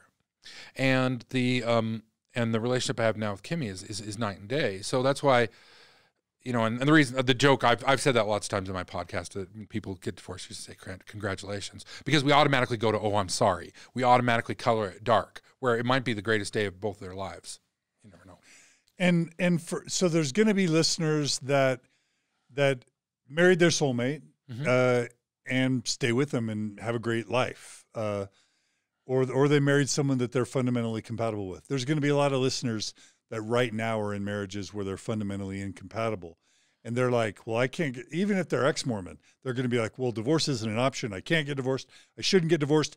They'll think it'll hurt the kids. I can't get divorced because it'll hurt the kids or it's selfish to get divorced or or they'll be thinking um, well i'll take my problems with me no matter what if i'm not getting along here i'll find a new partner and there'll be some initial excitement but then that'll peter out and then i'll be you know wherever you go there you are and i'll i'll have problems there too can you talk about how things are different at, at a slightly deeper level when you're with someone with whom you are fundamentally compatible what are the differences and and what's that like what's that been like for you And it doesn't feel like work.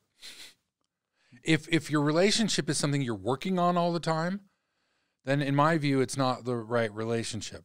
But look, John, if I train for a marathon, even if I train my hardest, I'm not going to break the three hour mark. Like it's not in my genetic code. I've met a lot of people, and I've only met two that I wanted to be married to. Right? There are a lot of people out there who are just bad at relationships, and I, I think we we never we don't talk about this. Like there's a lot of people who they're they're closed off, or they they're, they're that we should encourage more people to be single. We should encourage more people to have serial relationships that are not high stakes, because not everybody is is of the mindset and Eastern religions, Hinduism and Buddhism deals with this a lot more. When we talk about householders versus other people and say, if that's the way you want to live, then go live that way. But it's not required for, for everybody. So I, I think we're chasing that American dream, kind of like I was bagging on before. For some of you, it's you. And you're only going to get a 60% relationship because it's you. right? And and if, if if if somebody really understands that about themselves, they're going to be much happier because marriage is not for everybody. And it's not like if you just find the right person that you'll you'll you'll be happy. So, but I think culturally, where the advantage that the younger generations have is they're willing to experiment around with that a little bit more to fi- figure out who they are and who they want to be in terms of a marriage, right? But I think I think all forms of marriage can be the right form for the right people. Open marriages, uh, polygamous marriages, monogamous marriages. It depends on you. non-marriage non-marriage, single life. It depends on you and your partner. And and if everyone could get honest and just say, you know what, I really don't want to be married because I like limerence, I like falling in love, and after two or three years, I want to do that again. Okay, just as long as you're upfront with everybody, as long as everybody's honest, you're going to be much happier. So I don't. I'm not giving you any any good answers. I've just No, these are very good answers. Um, let's just go ahead and do it. I don't know that we've ever. I had you talk about this at Thrive a little bit when you came to speak at Thrive that Uh-huh. one time, but let's go ahead and do it here. Lots of. Uh, it's very common for uh, ex Mormons and people all over the world to exper- experiment with ethical non-monogamy or unethical non-monogamy or swinging or polyamory or whatever you want to call it right.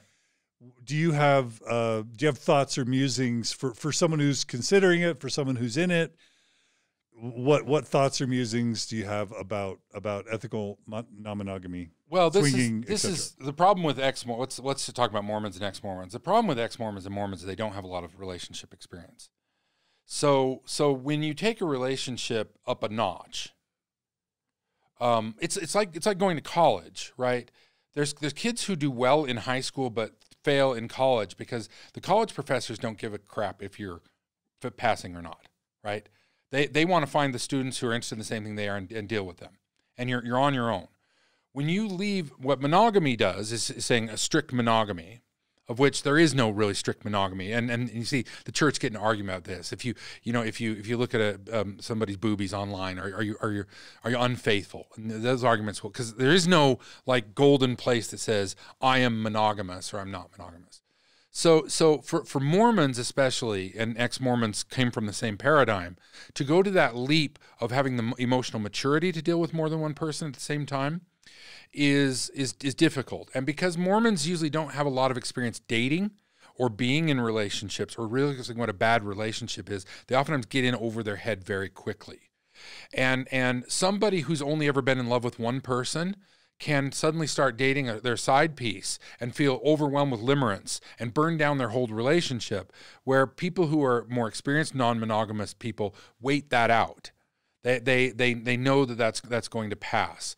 So and because it's still taboo you know like when we started mormon expression masturbation was still taboo which is why i joked about it all the time. It's not taboo really anymore.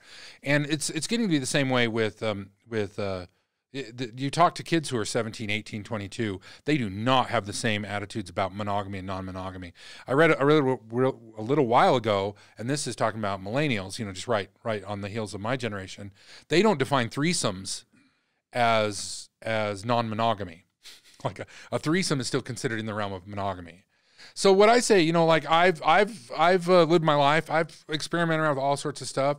I would say that um, that my, my wife and I are monogamish. I use I'm taking uh, I'm taking um, uh, Dan Savage's term, um, which is um, you know uh, if if if everybody's on board, everybody's on board, but we don't spend a lot of time like chasing that that that down, right? and and we're perfectly happy and we always have been and i can tell you uh, after meeting hundreds and thousands of people through um, through mormon expression days. I wrote an essay kind of cloaked that basically you only ever see the failures you don't see the successes. Non-monogamy is way way way way more prevalent than than people pretend it is. Even in orthodox mormonism right? Even especially in orthodox mormonism. Yes. Yeah and and and it's okay. There's no stigma. As long as you're not hurting people as long as you're being honest and truthful as long as you're being upfront right and and and people aren't getting hurt then your sexuality is your own. Your body is your own. Nobody owns it. And anybody who says that they own it or you have to mitigate your sexuality through them run away from those people. They are not healthy people. And that's why one of the big reasons the church is not healthy and its sexuality is all, all screwed up. What are the and by the way i, I want to you know I, I have talked to enough people uh, who have been involved in ethical mon- non-monogamy swinging whatever to know that there are active mormon bishops who are swingers there are active mormon stake presidents who are swingers i'm not saying it's common but you're not kidding when you say especially orthodox mormons Oh yeah? I mean, that- well, I, I would say it's no different, right?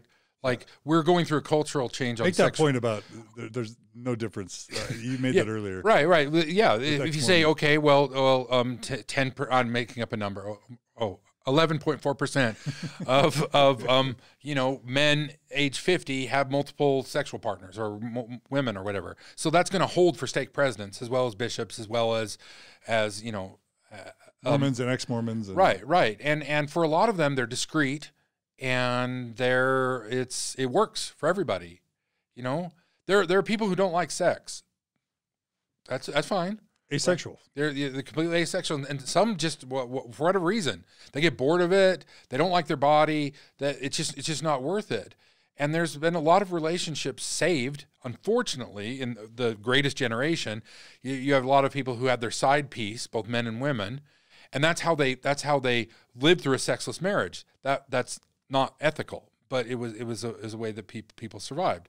Yes, um, the and when we say swinging, we should probably say recreational sex. I mean, because that's really the differentiation. Differentiation. People have recreational sex versus people who have some kind of relationship. So when we talk about swingers, we're usually talking about people who have sex without having um, a relationship. But even then, there's a big continuum about how friendly you need to be, how monogamous you are inside that that group. You know, um, even what people will do and won't do. They all have their own rules. So that, so nobody can be painted with with a, with a big brush.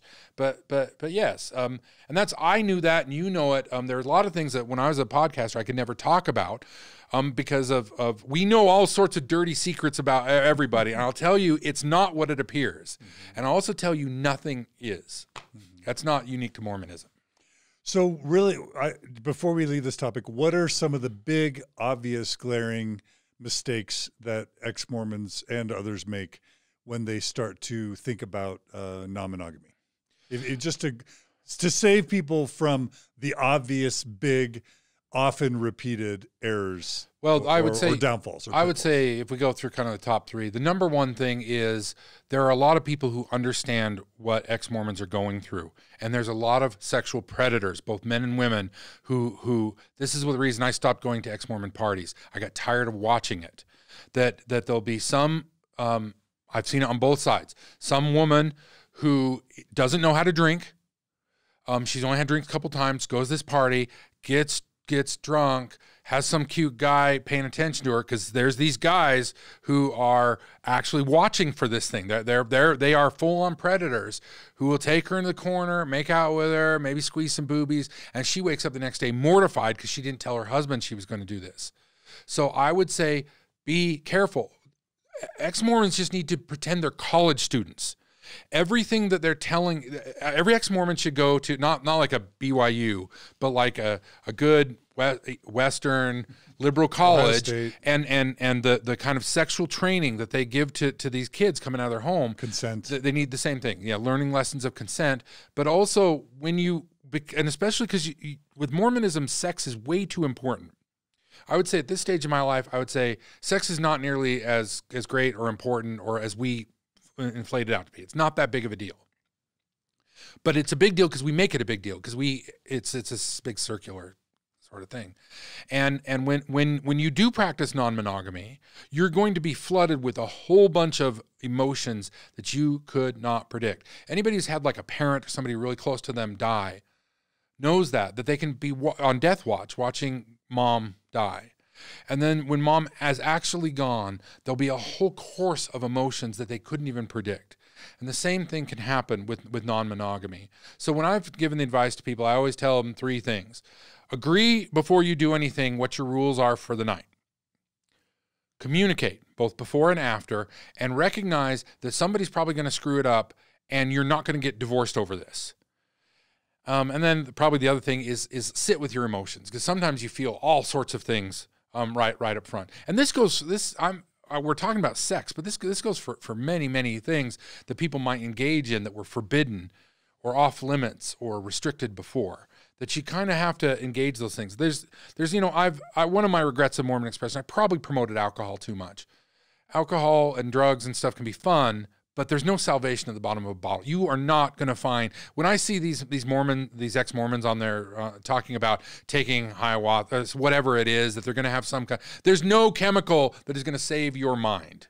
Like you're not going to find happiness by anything you put in your mouth, and and that doesn't mean you shouldn't do them or that you shouldn't, but just eyes open, understand what you're doing, understand what the risks you're taking. But life is risk. You know, every time you get on an airplane, every time you get in a car, you're taking risk. Um, but we're so our minds are so perverted by the church that we don't understand real risk. You know. So I want to come to psychedelics in just a 2nd Mhm. but just to close the the non-monogamy discussion. By the way, Margie and I are monogamous. Uh, that's just what we've chosen. Um, uh, but but I just see it so much that I think it's important that we talk about it and, and are educated. So I heard you say watch out for sexual predators. I, th- I I can endorse that. I think also I heard you say you're going to get a lot of flood of emotions, so have a lot of consent.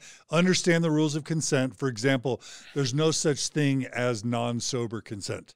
So once somebody is past the point of sobriety, they can't consent. And and you got to understand things like that. And then like you said communicate before and after. Um, any other rules about or, or any other pitfalls about polyamory, swinging, non-monogamy, whatever we want to call it before we move on to psychedelics.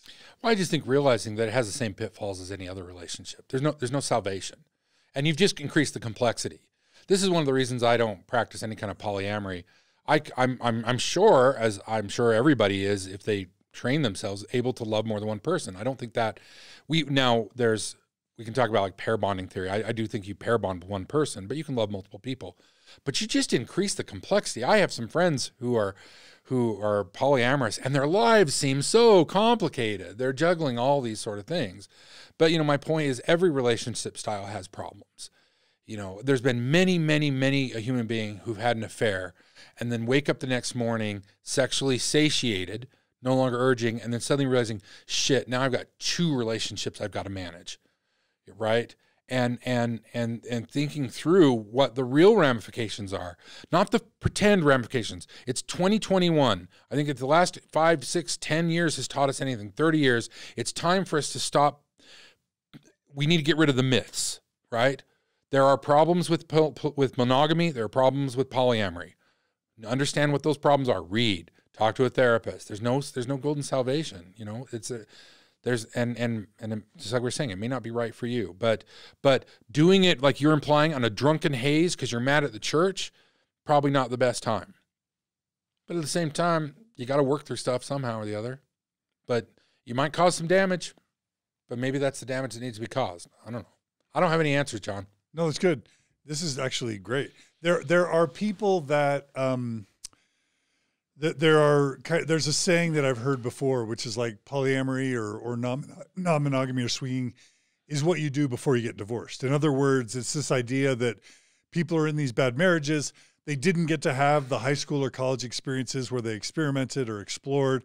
They've only had one sexual partner their whole life, basically. Um, and they're in a sad, bad marriage.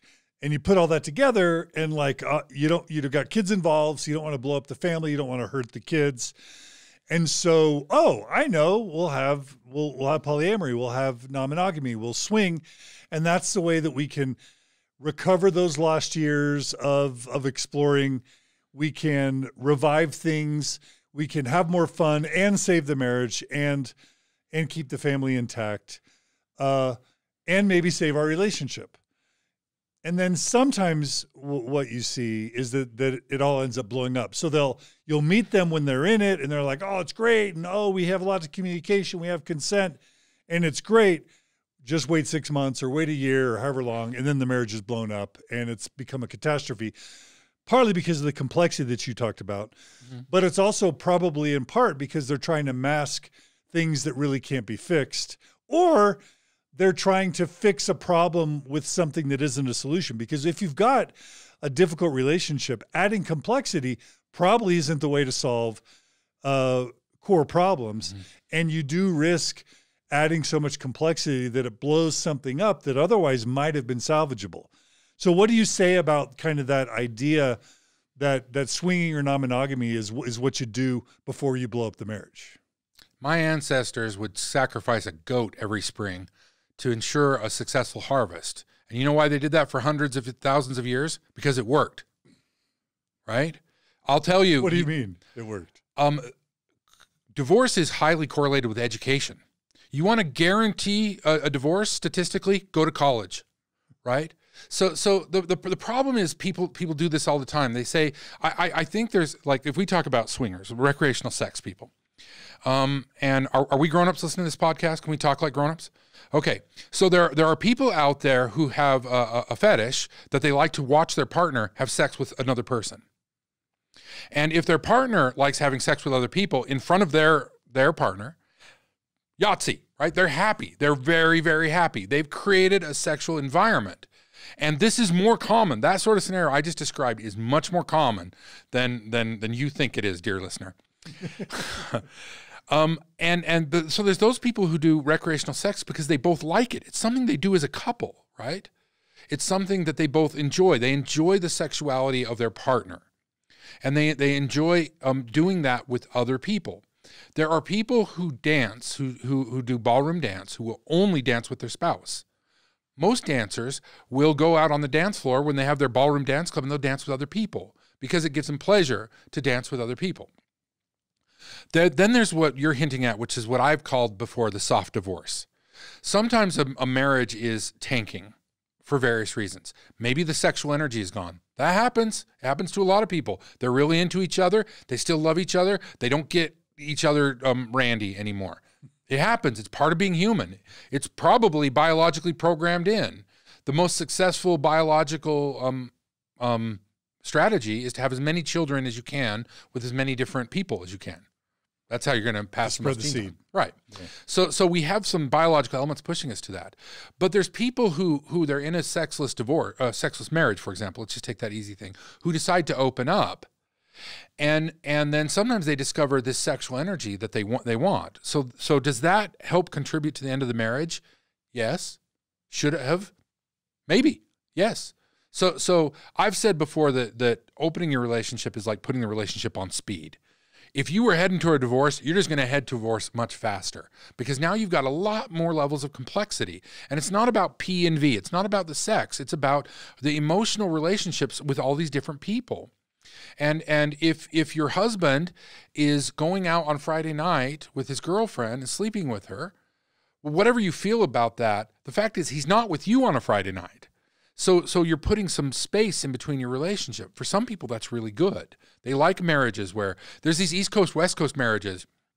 I met some of these people where the one lives in New York and one lives in Los Angeles and they see each other they usually go on a big vacation in, in the summer for a month and a half and you know these are moneyed people and then they'll see each other every other month and they're perfectly happy with that you know and that's their that's their paradise so yes can can um can um swinging cause divorce I would say absolutely, but I would say the NFL has caused more divorces than swinging has because anything that interrupts whatever it is that you need to have a, a, bond. You mean watching it or playing in it? Watching it. Okay. Like like spending all day Sunday and all day Saturday. Like there's there can be a lot of if, if one person is a big sports fan yeah. and one person's not, that takes up a lot of time. It takes up a lot of emotional energy. It can drive a wedge.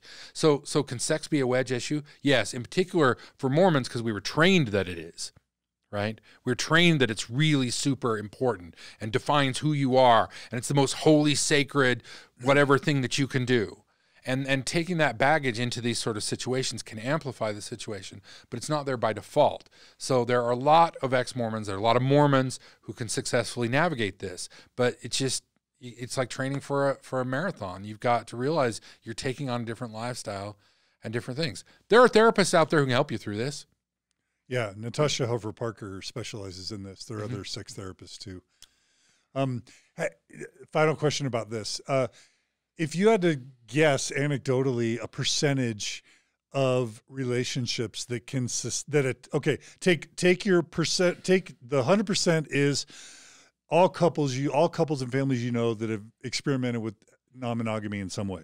Mm-hmm what percentage settle into long-term non-monogamy versus they try for a couple years and then they just realize too hard, too complex, too fraught, and then they settle back into either monogamy or monogamish. I, I hear say. what you're asking, but it's still rather binary. I mean, I know people who would say, you know, if they were in a safe environment, saying, yeah, kind of like I did. If the situation arises, okay, and everyone's happy with it, all right. The, the our rule in our relationship is we do whatever we want to do. Right? That we as a couple, that we talk about it and we do whatever we want to do, which most of the time is, or the vast majority of the time, is just us, right? And so, so if somebody, if if if somebody is in Vegas and has a wild threesome in 2003, and then in 2017, you know, they're they're traveling in in, in Europe and meet this fascinating couple, and they play around with them for a while, and then two, are, are are they swingers? Are they are they monogamy? Is it monogamy? Is it that's where it's it's for most people who settle into it, they settle into doing whatever they are as a couple are, are comfortable with. So it's a really hard question to ask because I know people who I know have done things in the past and I know they haven't done anything for years. And and they don't they don't they don't want to because these it's it's it's hard to hit on your friends, right? So, so, these situations don't actually arise as often as as as, as you, you think they do. And frankly, most of your friends, do you really want to sleep with them? Probably not. so so you know you could even be like, we are fully on board, but that doesn't mean you're going to find that right couple or that right person or that right right soccer club or you know whatever whatever it is. I'm not here to judge. So so so it, it's it's kind of it's I, my, I keep going back to it's really complicated and it's much more complicated than we want we want to, to, to make it out to be so so yes, there's a lot of people who are very successful with it. Very successful. Over long term. Over long term, yeah. Yeah. Yeah. Yeah, I've known a lot of a lot of the people I I, I know who've been doing these things. They, it's decades, right? Mm-hmm. And if somebody were to just say, you know what, monogamy is easier, don't complicate your life. What's your answer? If if if that's if that's the right answer for them, that's the right answer for them. But for other people, that's not always the right answer. There is no this. The, I, I, hate to break the news to the world. There is no one size fits all to sexuality. Human sexuality is much more complicated. Yeah, yeah. And again, the rising generation recognizes this more than we do. Yeah, it's a very important question because, as you and I know, that that's one of the big questions that people people get married young. They have very little sexual experience. We live in a sex soaked culture oftentimes in very unhealthy ways. And the message that you are getting, dear listener, I don't care who you are, is you're not getting as much sex as everyone else. You're missing out. There's all these grand parties and all this uh, stuff that, and, and, and you're giving that up for whatever you have. There's always people who have more sex than you do. There are always people who have more money than you do. They're always like then, and I don't mean to go back to Buddhism again, but the the the the first noble truth is we always define it as suffering. It's not suffering, dukkha. It's it's this constant yearning. It's this un, inability to be satiated. And if you think that that if you get a girlfriend on the side, now suddenly you're going to be satiated, you know, or you have three girlfriends or five girlfriends or seven girlfriends, sex is something that never gets fulfilled. So if you're if you think you're going to switch your paradigm up and suddenly be in nirvana, you're crazy, mm-hmm. right? Cuz you're going to have to settle on a level of monogamy of whatever that means that unless unless you want to go to wild crazy ragers every night every you know like there's got to be limits. But even those people burn out. Like so so so uh, a dear friend out there listening you're going to have to confront your own sexuality and your own self. And there's nothing you can do or not do to avoid that. You're well i guess you can't avoid it but but there's there's no there's no panacea because it's about you and it's about whatever people or person that you're engaged with. Is that? Yep. Sorry, I don't mean to be no, so preachy. Thank you. Okay, so uh, let's talk about psychedelics really quick because another huge trend right mm-hmm. now mm-hmm. it's it's psilocybin, magical mushrooms, it's ayahuasca, it's um, uh, DMA, MDMA, MDMA, Molly. Molly, but also isn't it DMA? Uh, oh, there's I don't a ten minute thing. I can't keep. I can't track. Like uh, uh, and then the cactus. Um, oh gosh, peyote. Peyote. You know, there's it's it's a thing, and the thing that I always every single person. And by the way, I still haven't tried beer, so I haven't tried uh, psychedelics. But every person that I talk to who's tried psychedelics um, says that it's changed their life uh, that it's helped them heal from trauma, that it has filled some hole that has been there for a long, long time. And I don't mean to mock it. Mm-hmm. Uh, these are smart people. These are people I care about. This is Steve Jobs, Sam Harris. Like this is way bigger than just poster ex Mormonism, and it's happening in Mormonism too. Yep. And um, I I'm these Mormons and pot.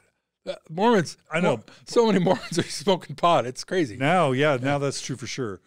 But I always like, on the one hand, there's a bunch of people where I'm just like, yeah, it sounds like it's really helped you and it's had long term results. Then there's others where I just think, I don't know, I don't know that I see a lot of big changes in how you actually behave. And and that's maybe to sometimes feel like what if what if for some psychedelics just makes you feel like you've experienced some significant change makes you feel like you've had a change in your life, but it hasn't actually changed your life. All it's done is make you think you've had a change in your life because it knows which chemicals to push to make you feel like you've had a big change in your life. And whether or not that's good or bad, I don't even know. I think it's all about the results of of whether you know in the end you and the people around you are healthier and happier or not. But that's my just sort of like those are my sets of questions what do you want to say to people who want to experiment with psychedelics? Well, I remember a few years ago there was a survey that came out that said Mormons were happier on or religious people, you know, like Pew thing, uh, religious people are on on the whole happier than um, than non-religious people, and Mormons were happier than ex-Mormons, and the ex-Mormons were kind of like, man, they just think they're happy, and then and then you know the, the which which which leads to this quandary is if you think you're happy, yeah, how is that different than being happy? You know, but the, so it's it's a complicated question. It, yeah. it really is, because you know we all have those friends who are always doing one thing after the other you know, and they're always talking about what an improvement is. Then then you meet them a year later and they're doing something else and what an improvement is. But if they hadn't told you about that stuff, you would never know. So I don't doubt that there's many people telling you they've taken psychedelics and it's changed their mind. The question is, how many of those people, John, would you have said something's different about you? I don't know what's happened, but you're way different. Not very many, right? I think I think um, mind altering drugs can be beneficial, but you need a guide and and it's just it's the same as any drug. Like you know, if you move down to Tijuana or or Mexico City, you can just walk into the pharmacy and buy anything you want. Um, now I'm I'm not a libertarian or whatever we're going to want to talk about, but I would rather talk to my physician to have them guide me through what medications I should take because it's not something I want to take on my own. Psychedelics can be much the same way. If you have your shaman or a friend or a doctor or somebody who can help you through processing that, um, I think it can be beneficial. Absolutely. The research is showing that. But we're not always as good at self medicating as we think we are. And that's why I say use caution. Um, one of the things I tell people all the time is don't take anything that doesn't grow from the earth. And the reason why is um, it's one thing if, if somebody's muling um, pot across the border because it's illegal. There's a moral thing. There's another thing if it's if it's in um, being manufactured in a factory under slave-like conditions in Colombia. So whatever you're about to put in your body, I want you all, dear friends, to always pause and ask yourself, where did this come from? And that and that goes for food too, because there's a lot of things that you can walk to Smith's right now and buy and eat that you shouldn't be buying because they are decimating the local economy where they they they come across. They're being shipped with lots of oil and gas. You know, like like if you're going to leave the church, you need to take on moral responsibility for your own decisions. And and taking mind altering drugs is is is one of those. Um, it's it's not nearly as bad as everyone thinks it is. I I once I once read that if you add up every if you add up every overdose, every death, or or you know from, from all the drugs combined, you still don't reach the number of alcohol related problems we have. Like, oh no, alcohol is by far and away the oh, most yeah. terrible thing. If yeah. you know, if if somebody was saying, you know, I, I, would say stay away from opioids and stay away from alcohol if you're scared if you're scared of addiction. The rest of the stuff, it's like, eh, you know, and meth, and you know, yeah. Well, meth is just a synthetic opioid. So yeah, you're right. You're right. Um, so so yeah. Um, if you're if you're gonna do them, I'm not gonna tell you they're good or bad. They you can have both experiences. But get get yourself a guide. Get yourself somebody who knows what they're doing to help walk you through, to help dose you correctly.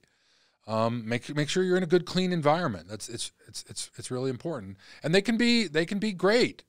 Um, they can be the, the and I, I don't have I don't have tons of experience with a lot of. Um, I'm I'm I'm I'm a little bit more cautious on what, what I take, you know. But you can have great experiences on them. I'm not I'm not going to tell you that's not true. Yeah. And sometimes drugs can be laced with with harmful chemicals, not not not quality grade stuff that can actually like there's uh, wasn't there some marijuana or some vaping pens that had some type of residual well, in it. That yeah, like what- when, when that was happening, what what they were what they were doing is that on the street they were taking um, vape pens that had been um, they had used up the cartridge and they were re-injecting them with street THC. If you go to the dispensary, you know the Utah dispensary out in um, out in Wendover, um, you know you see, you see more Salt Lake license plates there you do at the Salt Lake Temple. But if if, if you go out there, you know you you're, you're buying stuff that's regulated and and controlled, and and you're not going to have those kind of problems. But when you're buying things off the street, you know, um, was it fentanyl that they they um, put in all sorts of things. It's been in it's been in Molly. It's in it's in um, heroin. It's in um, it's in meth, and that's that's a more dangerous drug. So so that's why you got to be really careful when you, when you're buying stuff because if you don't know its provenance, then um, be, cautious. Yeah. But let's be honest, that ain't a big problem. There's more people like Yeah. dying every day driving the highways than they, they get they get a lot of press Sure.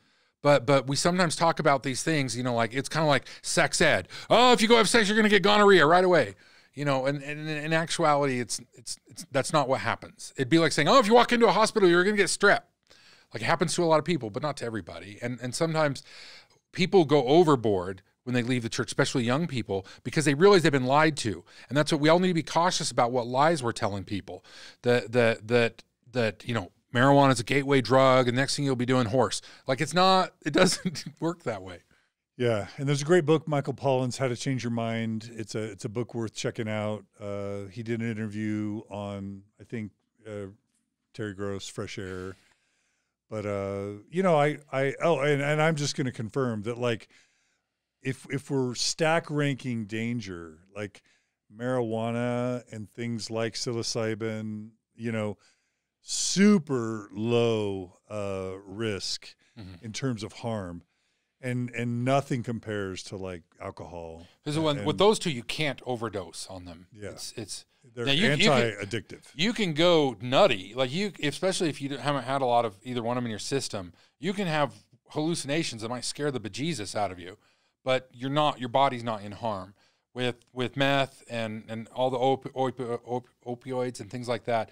you can be at risk of actually killing yourself But but alcohol is by far the most dangerous thing, by far right? Yeah, yeah. And of course, cigarettes can be. cigarettes are the most addictive thing by, by you know but um it's it'll impact your health and your finances but it's probably not going to blow up your life you know Yeah. Okay, so uh, let's see.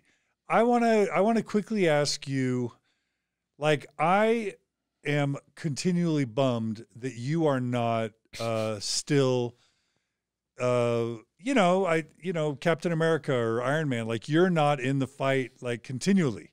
Like that bums me out. Like when we lose a superhero, it'd be like the Avengers losing Hulk, or the Avengers losing Thor, and so.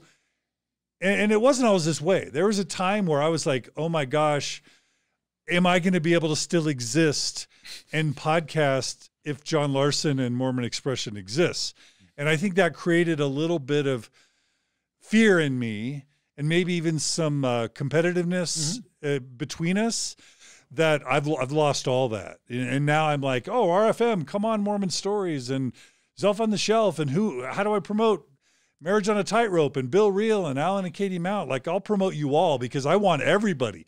I want every talented person in this sphere, partly because there's so much need.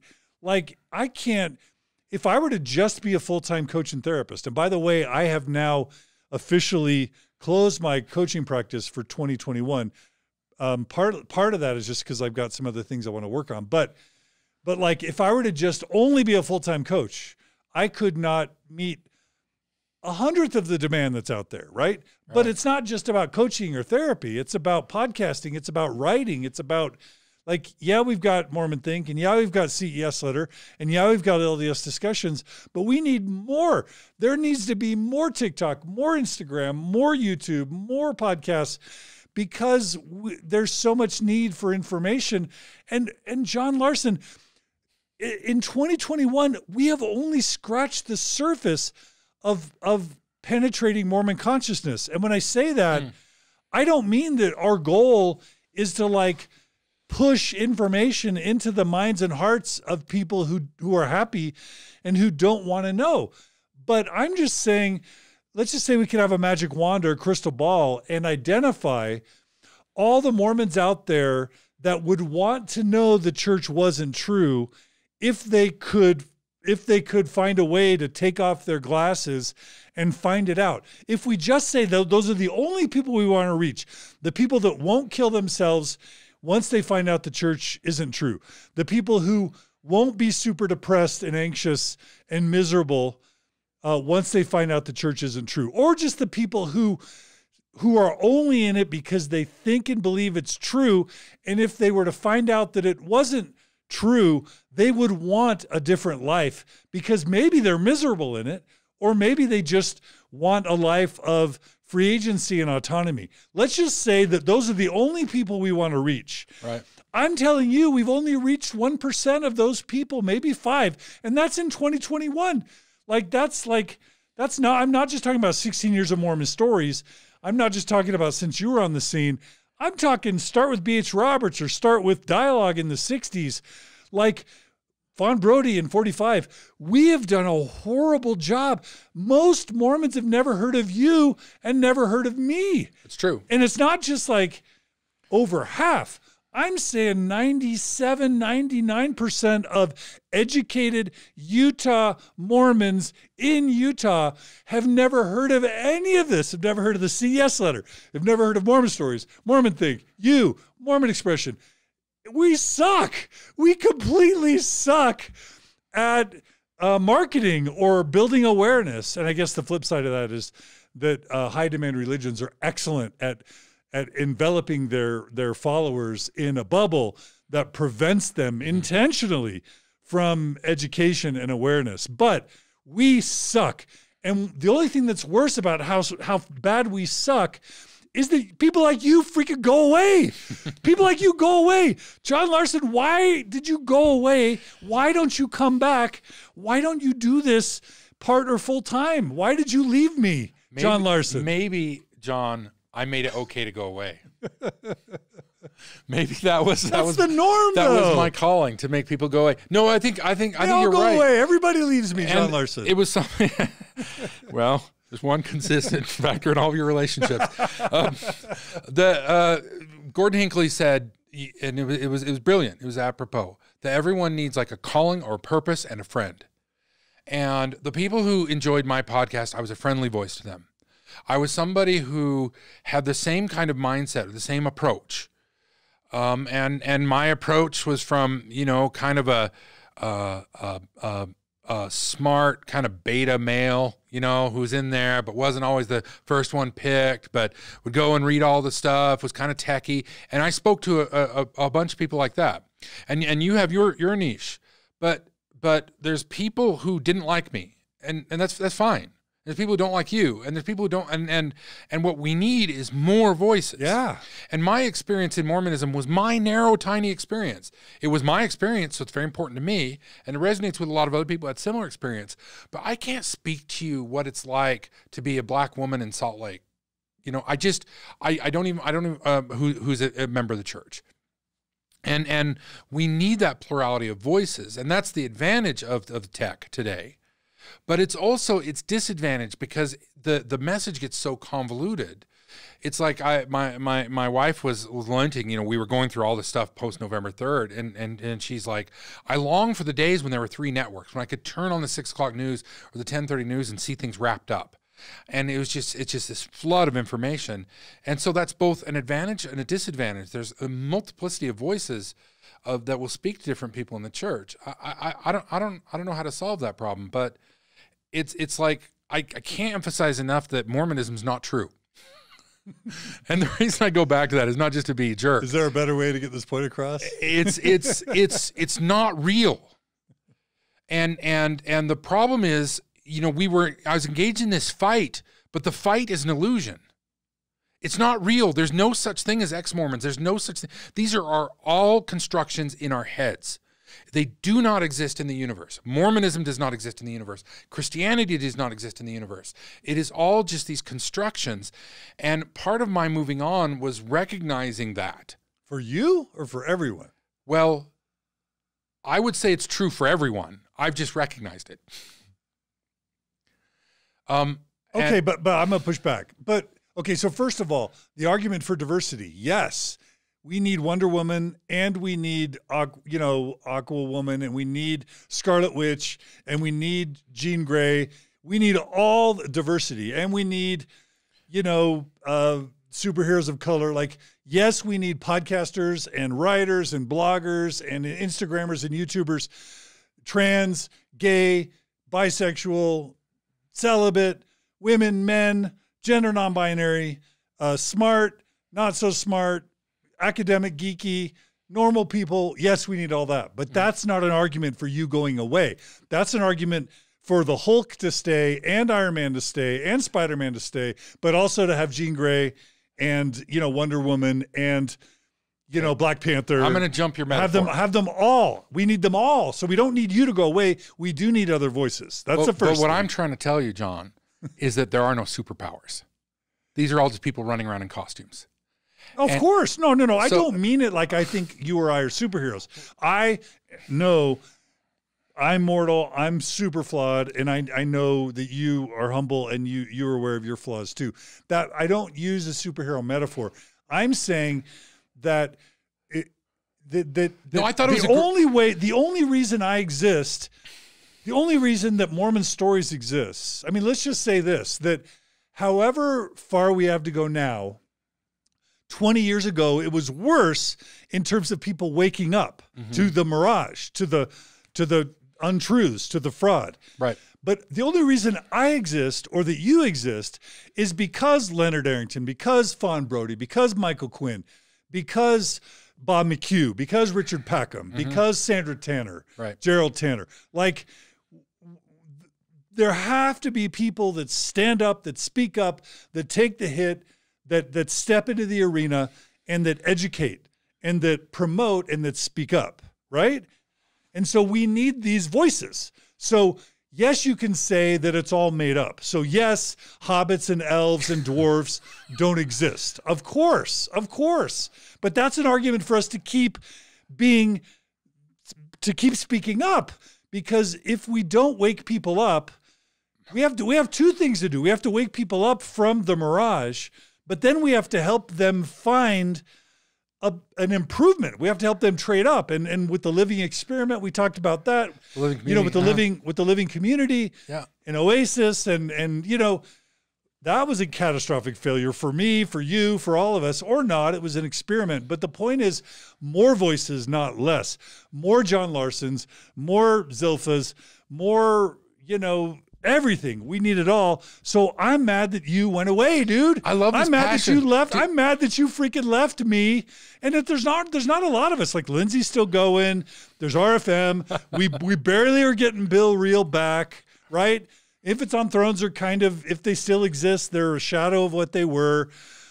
Dude, don't freaking abandon you. We need more John Larsons, not less, dude. Well, I, I, I love this new passionate Not John new. Dehlin. How, how long have you been, been- going on rants? This is fantastic. Maybe I should start listening to your podcast. Um, no, you're you're you're right, and I, I need to when I say that it's all imaginary, I need to I need to clarify.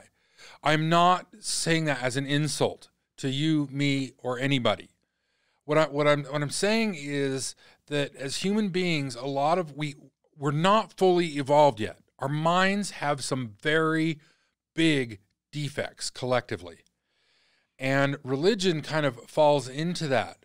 But the pro- one of the problems I ran into, well, I mean, look, the m- biggest reason I, I, I went away from it is it's it's a lot of work, and I just I had other interests than reading about more. I, I lost realized interest? when I when I knew I needed to close down the podcast is when I I was looking down my list. I always had a punch list of podcasts that I really didn't want to do the research. Like like it it didn't it didn't call to me anymore. It didn't sound fun anymore. When those early days, it was fun. You know, like doing those podcasts was was a form of entertainment, and then that kind of made the the work possible. But there comes a point, and it's a healthy Because it wasn't for the money. You didn't do it for the money. that you won't care anymore. That you'll that you'll look and say Yeah, that that when I look at ex Mormons and I look at Mormons, to me, where I'm standing right now, they're more similar than they're dissimilar. They're obsessed about these religious things, either proving or disproving something that is not only not, not true, it's an absolute false paradigm. That's what we were hinting at. Like, is the church true? Um, is Book of Mormon scripture? You know, like all the all, every predicate in that sentence is is is is illusionary. It's false. There's no such thing as scripture. There's no, and that that's where for for and it's part frustration. I I recognize that no one has figured out how to get anybody out of the church yet. And I, I always said in Mormon expression, and I know we've had a lot of conversations, that we're more concerned about once people have made the break, how to get them support and how to help them straighten their mind out and not the guilt and the shame and the suicide and the and and the broken relationships. That that's more the concern than getting anybody out of the church. I getting anybody out of the church never was a motivation to me because I knew it was traumatic. I knew it was hard, right? So so I would always when when when the church is a bully, that that sparks my energy, and then when people need community, that sparks my energy. But I, I it's it's it's like there's a bigger thing here, and and and just engaging the church and just proving that it's false over and over and over and over again. it, it's it, there comes a point then you know like could I be doing better Mormon expressions and ones that are more interesting? And I, I try as I have time to engage. Um, uh, Sunstone. I've got two or three that are lined up that I need to record and, and get out the door. So I, I, I, occasionally go. I've never really fully gone away. Like I've always been at Sunstone, or I've always been, you know, like. But but that's the model the Mormonism is in my life. It, where at one point it was something that I did all day, you know, like I did all day Sunday and on Tuesdays and Wednesdays. And there came a point I did the podcast weekly, and now I now I do it once every couple months and and that that that that's about where I'm. I and I get I get frustrated. I, I get I get angry, but I but I recognize that we have bigger problems. Like I said in the first half, the bigger problem in the world right now is ignorance, and and we we we have carved out big swaths for people to believe all sorts of cockamamie crazy things, and we have to start calling people out. We have to stop allowing decision makers and politicians to reject basic science. Right? We we have to we uh, we we've had a we have an experiment with free speech and freedom of religion in America that just like all things it has an, an an end. There's hardly anybody who really believes in complete unfettered unrestricted free speech to say whatever you want. And the problem is now in 2021 we don't know where that line is.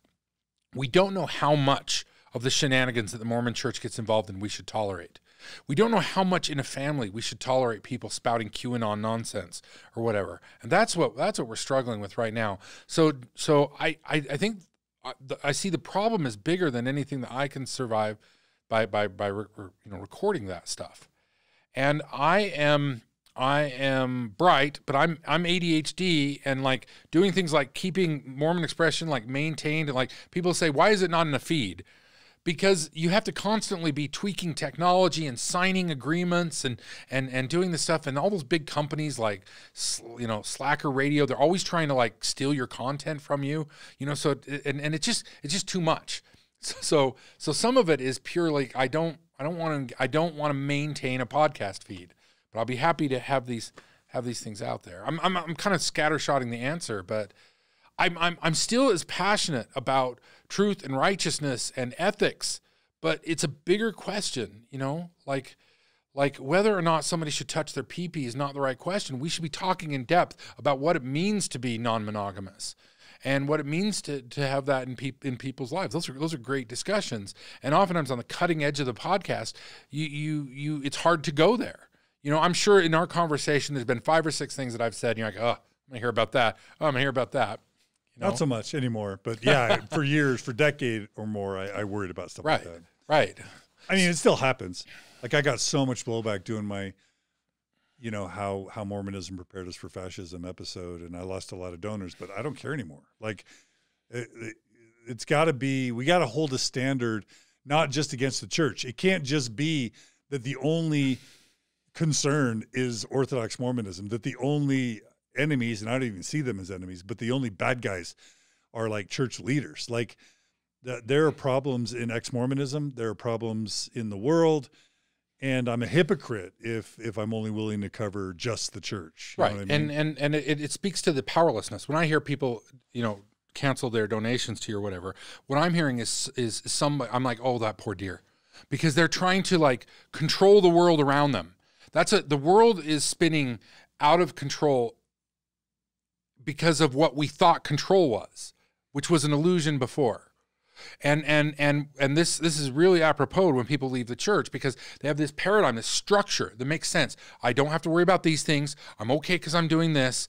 This is out of balance this is what i do. This is what i don't do. You know i've got the pence rule. I don't have lunch with any females who are my, you know and and and and the world's so complicated that it takes us down. And then this thing starts shaking. And it's like oh my god john dehlin is talking about fascism. I need to cancel my the, the, you're talking about somebody who yes i'm talking to you because you're still listening because all of the bad comments I ever got from people are people who are obsessed with the podcast. So you're still listening and you're broken. You're broken because you think it matters that your pennies that you're not giving to John Dehlin will somehow change this dialogue of fascism. And and I was there and we're all there and we're all the same people. We're all one, right? Humanity. And we need to stop realizing that, oh, these people over here, these people over here. Like, like we have to become honest with ourselves.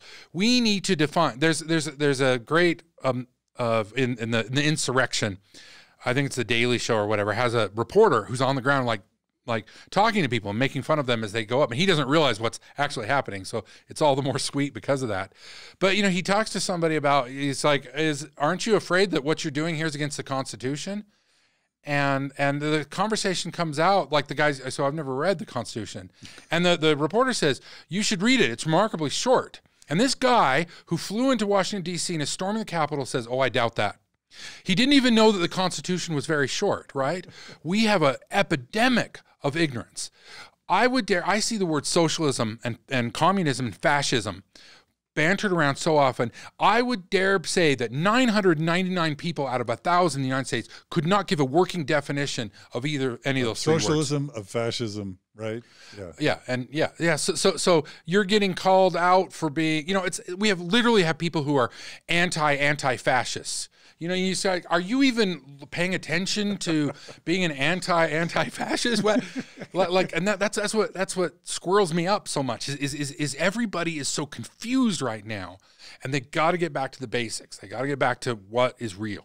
But you're making my argument because that's why we need more John Larsen. If we need more reason, more thought, more wisdom, more uh, education, uh, then we need more John Larsen. So I'll ask you this: uh, What would it, you know?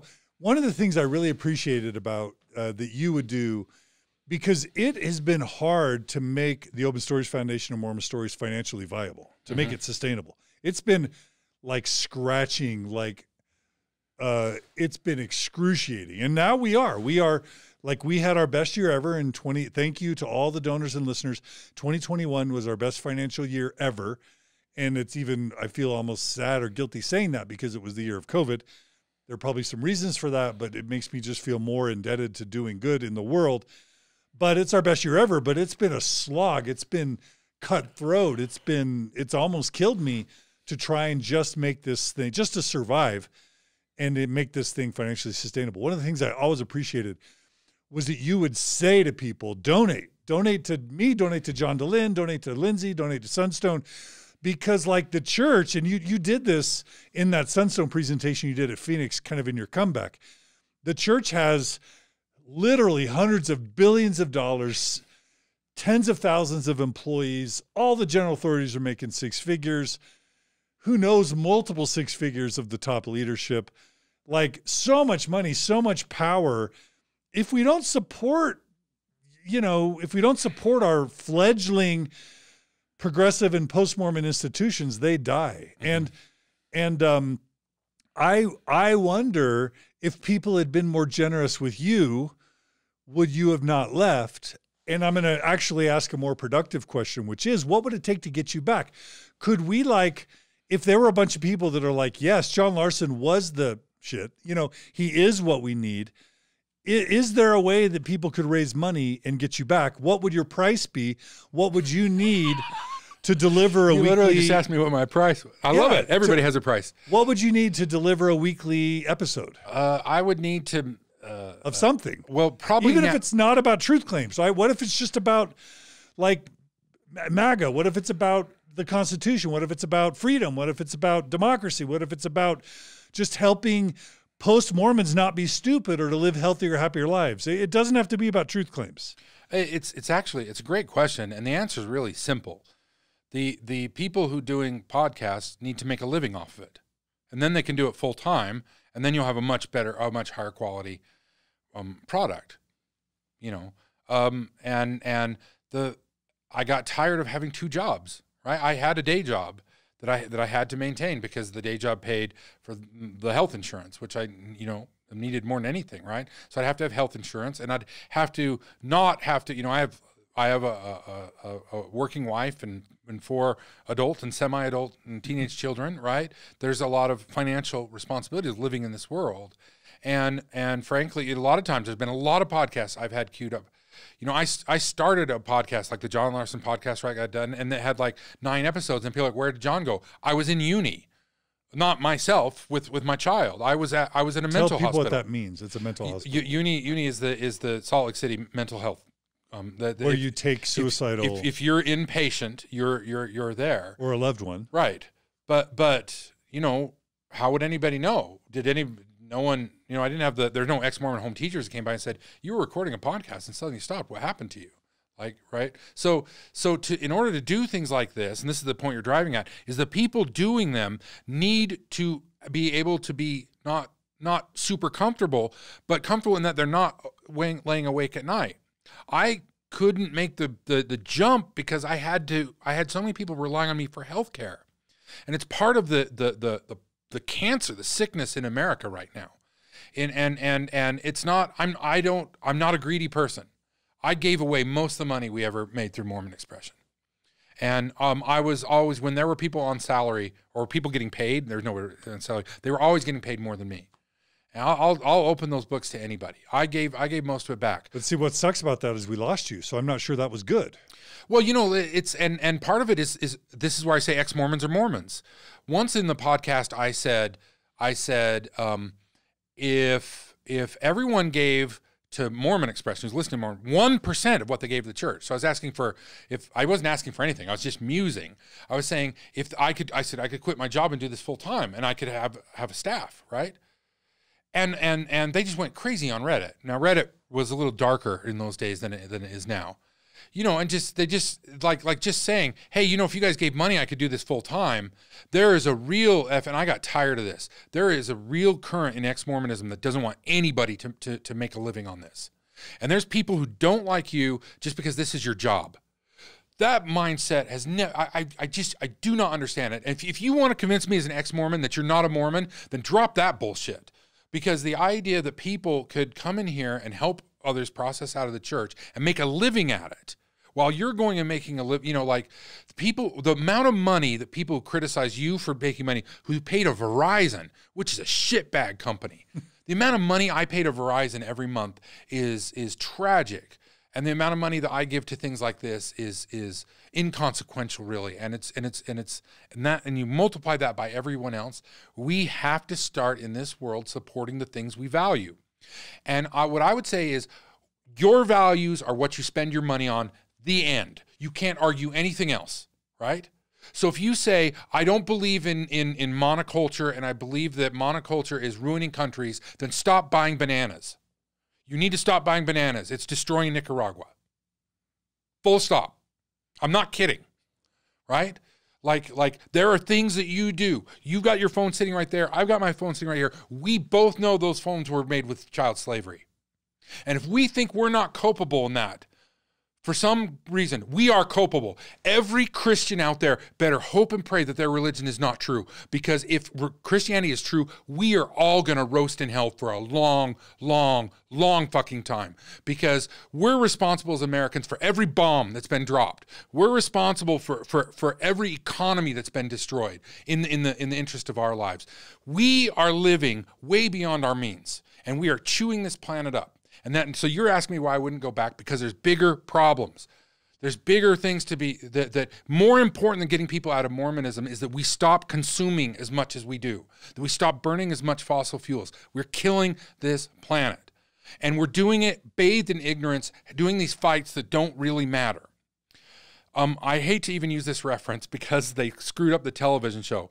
But in, if we go to the books, the the the the um, oh now my mind just went blank. Um, the the tale of song of fire and ice. Um, the what was that? What was that with the big show with the, the the White Walkers? The winter is coming. Oh yeah, The point of the book Game of Thrones. was always they were playing this Game of Thrones, and the real threat was at the borders, right? The real threat was coming down on us. And that's what I mean when I say this is all imaginary. The psychological problems of living in the society we have now, the the social unrest, the the the lack of, of, of hope for, for, for, for of, of getting an education, of getting a decent job, of being able to afford a house. These are the big issues. And we're arguing about like charlatans from the 19th century. Like Mormonism just needs to be shuffled into a big dumpster, right? It's it's it's it's nuts and, and it's it's taking us away from the bigger problem. That being said, for people in it going out, it is the big problem. And and that's why you are so valuable. And I, I don't know that my voice would be any stronger than if I had done more than five years. I think I made my point, right? the sad thing is is that um, people don't it's not it's not digest it's not downloaded or or people haven't heard of it. But you know, Tal Bachman was brilliant, and it's sad that that's all gone.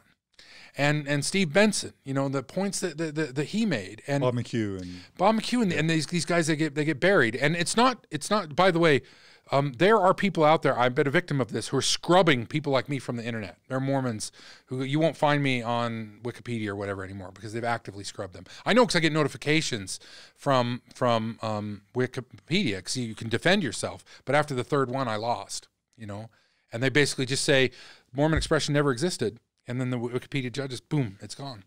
So so, but who cares? Like like there, there's there's bigger problems, and and and Mormonism is just it's a symptom, it's a manifestation of, of a bigger problem. yeah, yeah. I'm sorry, I'm taking it in directions that you may not want to go, but No, no, no. That's I.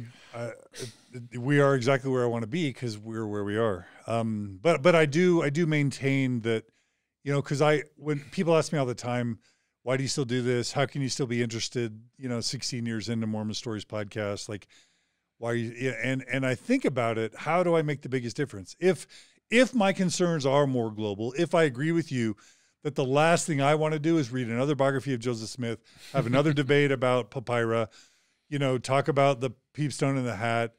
Yes, shoot me now. The last thing I would ever to ch- choose to do with my spare time is read some book about some apologetic book, of, you know, a new spin on how the church might be salvageable. Yeah, shoot me now. It's the last thing I'd rather do. However, if I look at the binding force to sexism, homophobia, racism, uh, you know, anti, you know, anti-environment, there seems to be a strong religious strain. So I don't know how we recover and survive as a species without striking at the root, which I'm not going to say is religion. I'm going to say it's unhealthy religion uh, because I don't want to be a bigot and just lump everyone together and say it's all bad. So I'm just going to say bad religion.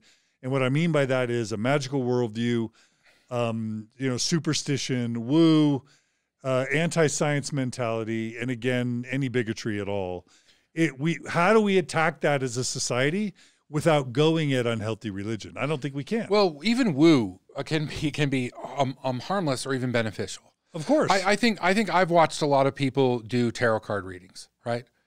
And I think that it can be helpful because what it does, it just gives you another paradigm to look at things going on. But you can be manipulated by it. And and that's why I was talking about like we all have a collective mental illness in that we evolved in, in social structures that, that were reliant upon one another. And then we would have a mythology, storytelling that helped us understand the, the, the rules of, of, you know, that you don't eat tigers because eating there it's not good healthy meat, right? So so you the problem is these can be mani- manipulated. And almost always when you're talking about a religion, especially from Western paradigm, you're talking about something that's become incorporated, something that's become a hierarchy, something that certain people are using to extract wealth and and and and manipulate other people into doing what they want. Like the Mormon sexual code was valuable to society because if somebody gets pregnant and has a baby, that the, the, the mother can't um, take care of, society has to take care of it, or you have to have a, you get a choice of either taking care of the child, or you have to live in a society that has street urchins. Both those are unattractive, so we try to we try to um, cut it off at the core. This is what religion does, at the expense of the individual, right? So Mormonism, if everybody's obeying it, can be very it can be very um, enriching, like wealth. It can it can it can produce extreme amounts of wealth at the expense of the individual. And I think that's where your passion is. You're seeing all this collateral damage. And and what I'm saying now is this is systemic, and we got to figure out bigger yeah. ways because I think spirituality has been hijacked. I would say one of the big differences between John now and John like at the height of Mormon expression is I'm much more of a spiritual person. Mm. Um, but like any kind of anthrop- anthropomorphic gods, man, like what? That's just you know. So what's spirituality for you? Well, I, I've, as I've hinted, I'm, I, I, I've, I've become more and more and more and more Buddhist as, as I become. I, I would say at one point I, you know, like flirted with Buddhism, and ironically, I encountered Buddhism on my mission. So, I would say I'm probably full, full, full game, full stop. Secular Buddhism. What What does that mean? So there's an entire podcast by uh, one of us. And I'm, no, I'm being facetious. I, okay, I kind of, okay, okay. Um, but meaning it is it is a Western construction. I, I don't know that there is secular Buddhism. I, I think I think I think it's more complicated than that. I mean, and, and when you talk about Buddhism, we tried it. We put it in like there's no church of, of Buddhism, right? And the Buddha himself said, you know, like these the truth is truth our religion is truth the dalai lama said that you know and they asked him what would happen if found out the science and they said well we change because we believe in truth. So we'll pursue truth wherever it is. And um, and the the woo elements of Buddhism that we're most familiar with are really not there in that they've there there've been religions that have been built up around these philosophies. And these philosophies are very old. I mean they stretch back into hinduism and and and you see them surface over again um, the stoics um, saint francis you know the the franciscans. It's not like like like the the the what the things that we we know about what's what's what's right are dominated by that but but they show up all over and over again. And it goes back to human selfishness ignorance and greed. And we have to overcome those problems I think when people, and you know this, when when ex Mormons or uh, former members of high demand religions hear the term spirituality, mm-hmm.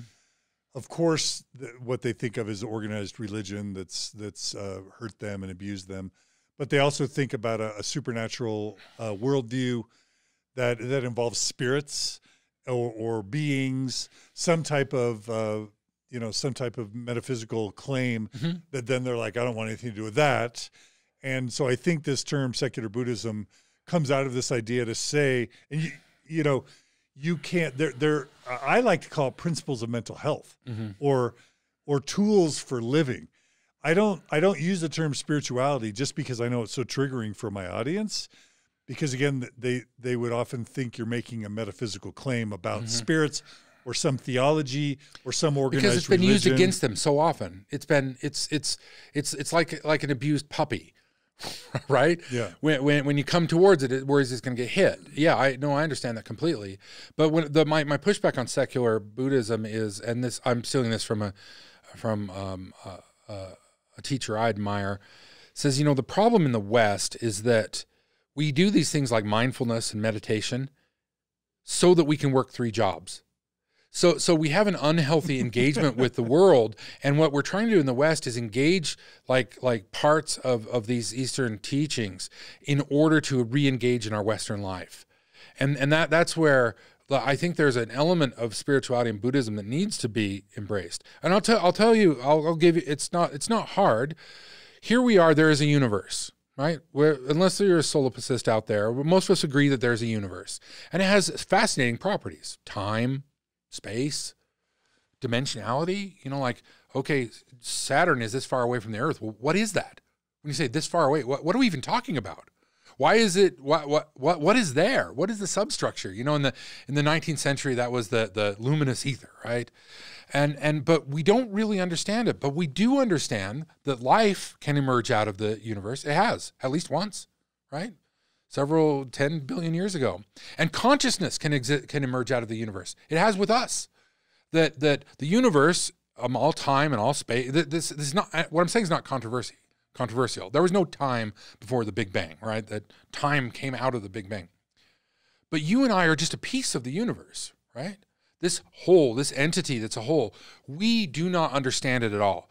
And the problem, this is your woo argument. This is where everybody, rightfully so, says, okay, hold on there, cowboy, because immediately somebody will try to sell you something.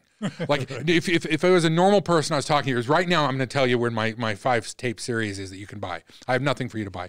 Um, but, but, but the, the life, the fact that we are conscious is much more awe inspiring than any story I've ever heard made up in, in religion. The fact that we're part of this, we, we, you are a piece of the universe that became self aware. And and when when I start getting mad at, at, at, MAGA and QAnon people, I have to remind myself that that person is this is this beyond miracle. Miracle is the wrong word. It's this thing that why does it even exist at all? Why are we walking around conscious? And we take our consciousness, this gift that we live right now, you and I, and we spend this time like fighting with the, with each other, you know, like the the, the, the families and the everybody, right? It's, it's, it's nonsense. It's crazy. Why are we fighting about this at all? We all want the same things. We want love. We want to belong. We want to feel like we matter. We want to feel like we're something more than just a garbage heap consuming things. We all want that. And we manifest it in these ways that hurt one another. That's where religion is. We take what, what, what should be, we should just be laying back in awe every single morning because you've got about 80 years if you're lucky. And most people don't get that. And we spend it worrying about things that do not matter rather than just saying, God, what does it mean to be alive? And and even even like what does it mean to hurt? You know, that the, what a beautiful gift that is so rare in the universe. It is so precious. Even of things that have been alive, to be able to understand the existence the way we do, which is probably insignificant. So I would say I am full on spiritual because something is going on here. The universe exists and I'm part of the universe. And I'm not separate from the universe. And I need to drop that. I'm not separate from the trees. And when I say the earth is dying, we're all dying, right?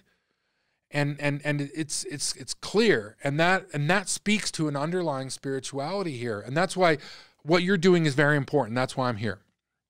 And this fight, the people, and you're calling for these people, it's very important. But this is just the first step on a journey where we have to realize that we are all miracles and it's time to drop the weapons. It's time to say there is no Palestine, there is no Israel. There's just this land. And we're just all here trying to trying to do the best we can and have the best life we can. And once we realize that we do not have to take from others to have a good life, what we'll realize is what we need and what we want is much smaller. What we need is very little. But but we're all addicted, and I'm I'm there too. We're all addicted to to to so much and and and and we're all hurting one another and we're hurting the the life that exists on this planet. We're you know we're anticipating this year the monarch butterflies are going to go extinct. And when i was a child in the 70s the, the the skies were full of butterflies. And and and and i remember going out and collecting bugs you know like the the the the the the, the, the, the world is hurting. And and and covid is part of that and this whole this whole MAGA this this this battle between conservatives saying, you know, aren't there things in the past we should hold on to versus progressivism? Like change. It's a it's a, it's a false dichotomy. They're both right. right. They're both right, and we have to stop killing one another. I'm I'm, I'm sorry. I'm I'm ranting. That was beautiful. Don't apologize for that.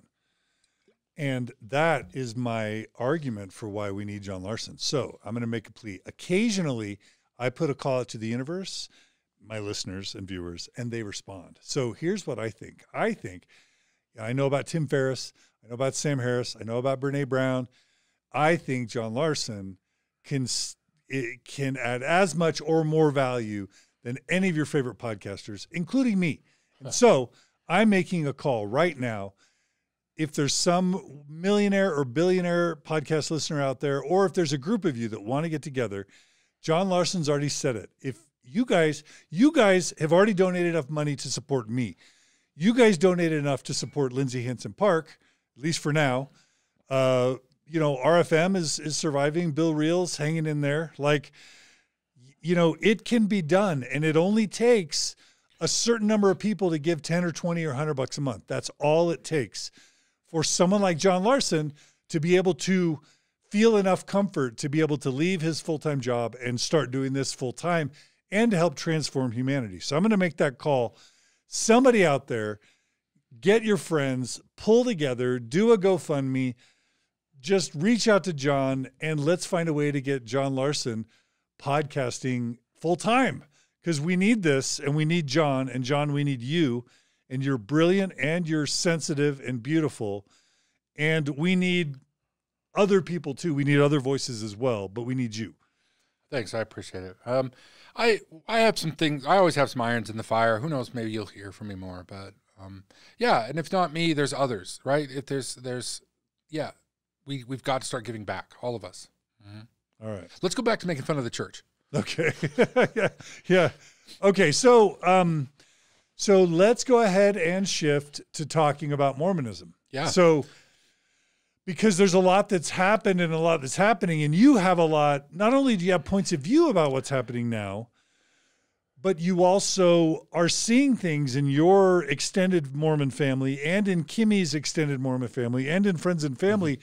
Like Mormonism's in a different place and it's potentially in a perilous place. And you started when you came into this room today before we you you were like saying there's a there's a problem. All is not well in Zion. Like the church It- it is in a rough. world of hurt. It is the church is struggling right now. Okay, and that's what all my listeners, unfortunately or fortunately, that's what they want to hear. They want to hear and the the you know. There's a couple questions I get all the time, and one of them is, is this the tipping point? Is the church really hemorrhaging, or is it just always like it was before? You know, it's that, and do the brethren really believe? Those are the two questions you always get. Is is are the brethren conscious frauds, and is the church a couple steps away from from unraveling and imploding? So let's rewind you know, five, six, seven, eight years ago, whenever it was that you stopped. And I don't know if Thomas S. Monson was still a prophet. I don't know if Gordon, if Russell and Nelson had become It was, prophet it was it was Monson still. Yeah, when we go and Okay. and I invite people to go back and listen to the end of that podcast with you and I from 20, 2015. It, it was Monson, and um, you know, you Had were the November policy happened yet? Like, no, okay, I don't think so. okay, Uh, so so it was on the you know like things things were looking good, things were looking progressive. Yeah. thing- So let me. I'll set the stage. So we've got like Mormon Expression, CES letter, Mormon stories. The Gospel Topics essays come out. Richard Bushman selling Rough Stone Rolling. You know the the church. You know Terryl Givens is now starting to be embraced by the church. Patrick the Mason essays, and the essays you know, are coming out. The church is trying to embrace its its its weird past. becoming more open with its history. It's it's starting to nurture a progressive form of Mormonism from within. It's becoming a little bit more gay friendly. It's becoming a little bit more female friendly. Like it seemed like we might be experiencing this kind of renaissance of like uh glasnost or whatever, like openness, uh, a, a blossoming. Yes. So where are we? What what happened? Take take us from then to now. Where are where where were we, and where are we? So Mormonism believes that they have a prophet, seer, and revelator, right? And they, they have they have 15 of them. But that that if you talk to a, a true believing Mormon, they believe that the person who makes it to the top of the 15 is the one put there by God, right? For to speak to a modern prophet for our times. You know, one of the one of the differentiating um, factors, if you compare Mormonism to evangelicalism, they'll you know they'll say God gave us the Bible, and the Bible is our is our guide. Mormons um, like the Bible, but they believe we have a prophet who speaks literally, speaks to God, and tells us exactly what we need to hear. Well, let me tell you about this miracle of Mormonism. In the 1970s, um, like Spencer Kimball, beloved prophet Spencer Kimball, had some health problems, um, and and one of them was he needed open heart surgery. Older man, very scary, and this young, talented surgeon came in, and and and at the time, this is probably like '81 or something like that. I'm, I'm I was a little kid at the time, so I'm not sure, but but this articulate surgeon came in, um, Russell Nelson. Just so happens he's also connected into the Mormon hierarchy families, but we'll put that aside for a minute. Comes in, he's articulate. People, people are really, you know, like the prophet is going to be operated on, and he makes a showing. He's impressive. God takes the prophet, his selected mouthpiece, and has him meet this surgeon, not just a doctor, a surgeon, a surgeon who understands the last, well, at that time, 120 years of, of like germ theory and science things that we'd progressed on. You're trying to keep a straight face. Good. things that we'd progressed on. You know, you can watch episodes of MASH where they're they're they're scrubbing up and they're washing their hands and they're wearing masks because they're going to perform surgery. If anybody understands the transmission of viruses and bacteria, it is surgeons. And the Lord picks this man to enter into the quorum. Of course, he enters like they all do at the bottom of the heap. He sits. He's the last to get. What, what is it they're supposed The to chocolate. eat? He gets, he gets The seniority. He's the last one to get the chocolates, right? And and the Lord calls home fourteen men in front of him, and he rises through the ranks to be. Get this: the worst global pandemic in a hundred years hits when the prophet of the church, the spokesman for God, who was hand selected and had to go through this crucible of God actually engineering when people would die, at least 14 of them. So he would be at the helm of the church when this pandemic, and it turns out that we can greatly, and science is showing this more and more and more, we can greatly stem the transmission of disease, of virus, with masks, which actually is not that scientifically clever. We figured out in the mid 19th century. And of course, Asians who've had more struggles with some of these outbreaks do on a regular basis. They've been wearing masks for They've been years. wearing masks for years. And, and you Americans We thought they were weird. yeah, come back from Tokyo and it goes on the train and the right guys wearing masks. so so God puts in place the man who knows science, Not just that, but who wore a mask for half his life. who wore a mask for half his life. And what happens is as this is rolling out, we're all watching things January, February of 2020. There gets to be a little bit of controversy. And of course, the, the- it gets stemmed by the fact that, that America quickly realizes we don't have enough stores. But it starts saying, well, make make make a cloth mask. We are this is this man's jam. It's as if the universe aligned to put Russell Nelson in charge of the Mormon church during this phase. And what happens? He screws the pooch. He says nothing. The church the church bumbled out some statements late but they were, and everyone knows the church is a hierarchy. And those statements did not come from the 12, which was code to everybody in Utah County that it wasn't actual church policy. Russell Nelson could have got up in January and said, I testify you by the power of God that this pandemic needs all of our attention and everyone needs to wash their hands and wear a mask. And I'm telling you that not just as a servant of the Lord, I'm telling you that as a surgeon. And I can tell you that it's important for us to stem the spread of this. Not only that, we actually had a prophet of the church who died in the last pandemic in 20 in, in 1919, and we don't want that to happen. You, you, knew that, right? That um, what the, the whoever was the president at the time died from the Spanish flu in, in, in 1918, 1919. So so so we have direct experience with that. And in the church, I always knew about the flu pandemic because it was devastating. The 1918 pandemic was devastating to, to our rural our rural economy and our, our rural church. Why is it the church screws up every major thing, right? Why is it that during the civil rights movement, you've got Benson getting up and, and talking about the sons of Cain, referring to black people? Why is it that, that, that we were we decided to be a slave state? What is it that every global thing we supported the Vietnam War, right? And and and when kill the ERA. Yes, when when when when George Bush was lying about yellow cake, um, in and then then everyone looks to everyone looks to Gordon Hinckley and he says we should just do whatever our leaders tell us to do. You know, like why is it they fail every major thing? It goes beyond that. Like in this winter, we were looking for activities to do outside because it slows the transmission. 2020 is the one year they shut down Temple Square. It's almost as if they have Revelation, but in reverse. am, am, uh, you know, am, am, am I wrong here? Can I just say it? You, you alluded to this, but it, it didn't start with COVID nineteen. No. Like, and, and it goes beyond. But but we had recently Matt Harris on, a, a wonderful historian, talk about Ezra Taft Benson, talk about the John Birch Society, uh, and that leads into uh, the New World Order conspiracies, right? Uh, of of the the 60s and 70s, and all the conspiracy thinking that went on then, and then that just morphs. And then what you have in the early 80s, and I, I feel like I was a tiny bit of a prophet because I made the connection. I was studying satanic ritual abuse. Yep. Um, uh, because you can't do a podcast in Mormonism and not hear weekly about how, you know, the first presidency of the Quorum of the Twelve all have chambers underneath Salt Temple Square where they imprison women, mm-hmm. impregnate them, and then kill the babies on the altars and eat the babies. Like you guys are all thinking I'm crazy.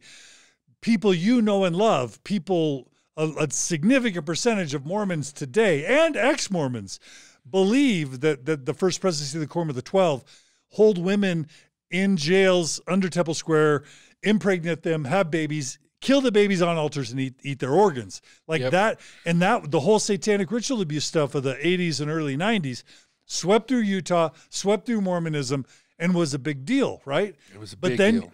but then you've also got um, you know preppers and and you had the militia people you had um, when I was at BYU there was the dude um, the you know the whole stuff about the Bundys in Idaho and the the the Tim McVeigh kind of people, mm-hmm. or or the David Koresh people, like the end of times millennialistic people, right? Bo Gritz was a big Bo Gritz, Bo Gritz, right? And you, you've got the militia, and, they're coming along, and then that leads to Julie Rowe, that leads to Denver Snuffer, that leads to freaking Lori Lori Vallow and and what, what's his name? Uh, Lori Vallow and Chad Daybell, right? Like this was all pre-COVID. Like this, this isn't Rome wasn't built in a day. Like the church has always been worried about the intellectuals and the liberals and the progressives and the activists, the gays, feminists, intellectuals, historians, but they've also been worried about the fundamentalists and the preppers and the and the conspiratorialists. And, and so this has always been with us.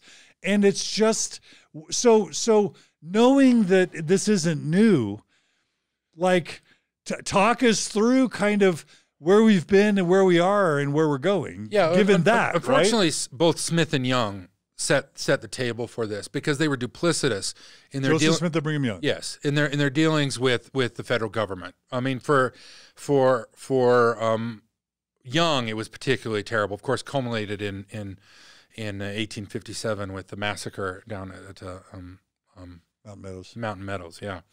So so um but but that violent western um element anti-government has anti-government element has been both passively and actively fostered by the church. The church has long embraced prepping. Um and not just like prepping but but like prepping for violent insurrection sort of thing. Not I'm not drawing a direct line, but but that sort of not you know like government's going to come take your guns. And everyone who grew up in in in Utah, especially or in Idaho or Wyoming or rural places, knows that it was just absolutely common. You, starting, you know, you, so so you have those undercurrents of of you know like the second um, manifesto where we we were saying, hey, we're not practicing polygamy, but we were.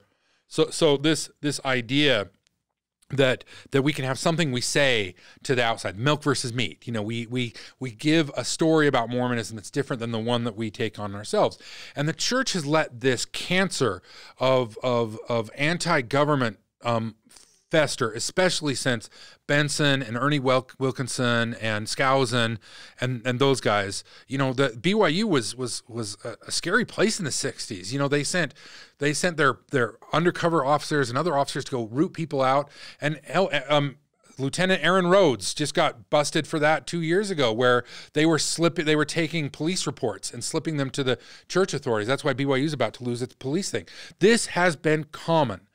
And when I was uh, not to mention just millennialism, right? We were called the Church of Jesus Christ of Latter-day Saints for a reason. Right. It's this idea that the world is going to end at any moment. And so we don't have to invest in the environment. We don't have to invest in mm-hmm. infrastructure, in governments, in in communities because Jesus is always right around the corner. And that makes you paranoid, it makes you afraid, and it makes you think again I'll worry about the afterlife because this life is about to end any minute. Well, literally, right? I've right? heard it in church back in back in the '90s that that that you were foolish to invest in a 401k if you didn't have a year's worth of food storage in your basement. Now, the reason I picked the 90s is every lick of food that was put down in that basement serves no value right right now. It is all expired.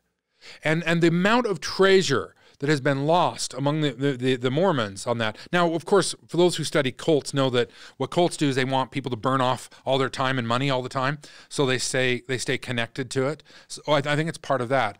But what if, if we look at what's going on right now, is when Bill Clinton was elected in 1992, like the Mormon Church on in the fast and testimonies hemorrhaged because because you would go to every fast and testimony meeting and hear some yahoo get up and talk about how morally corrupt the Democrats were.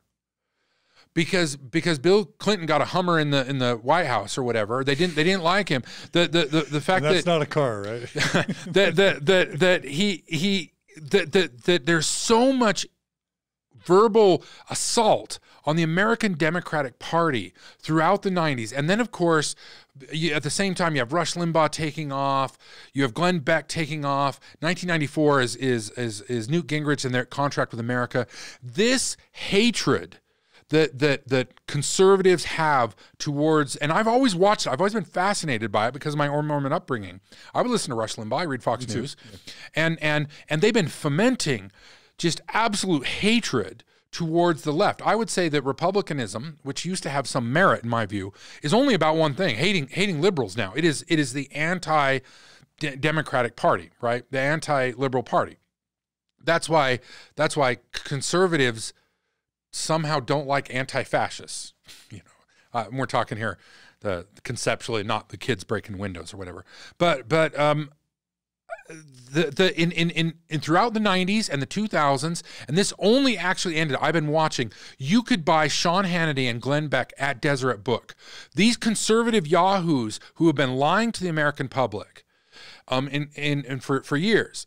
But this is built on the big lie and this is where I keep going back to ignorance. The big lie is that religion is truth. It is not. It is a lie. We evolved. There's no afterlife there's no pre existence. We've proven that again and again and again. The earth is not flat, it's round, right? There are germs. We know these things. And the, the conservative party embraced that big lie to allow religions to say whatever they wanted. And what Mormonism did is it prepped everybody. QAnon is gone nuts in Mormonism. Wait, for our listeners, there are some who actually, believe it or not, probably the majority don't even know really what QAnon is. So give give give them a primer. Okay, so right after um, right after Trump was elected, there was a, a group of we we pretty well know who the three of them were. They on on like the underbelly, like 4chan, 8chan, uh, Reddit, these these sort of open things. Um, there there was somebody who was called Q um, because they supposedly had Q level security clearance, and they were high in the government and they they would post these posts and if you've read them they read like the doctrine and covenants. They're just nonsense. Um, but but there's all these predictions that that that that um, this this thing is about to happen. Storm is coming. The storm is coming. And what the storm is is that trump is this hero who's playing this three-dimensional um, game of chess. And whenever you see him behave badly or lie or whatever, that's to throw everybody off their, the scent. And what the scent is is that Hollywood elites and Democratic leaders, Oprah, Tom Hanks, are all part of this satanic, cannibalistic Kabbalah that has been operating in the deep state of, of, of U.S. government for years and that Trump is this hero that's playing this game to out them all. And when the storm was going to come, they were all going to be arrested, and Trump was going to reveal that he was playing this game, and, and truth and righteousness was to be restored. Problem is, it kept it kept the, the they would predict something, and and and the man the man who took a, um, a, his car loaded with explosives on top of Hoover Dam that was QAnon. Um, there was a man who murdered a a um, crime boss, actually. QAnon, the PizzaGate thing. QAnon. Like there has been increasingly violent um, actions, and and I think I read recently that of, of the arrests, whatever we're at to 160 or 170 of the insurrection of the of the insurrectionists, yeah. the majority of them were QAnon adherents.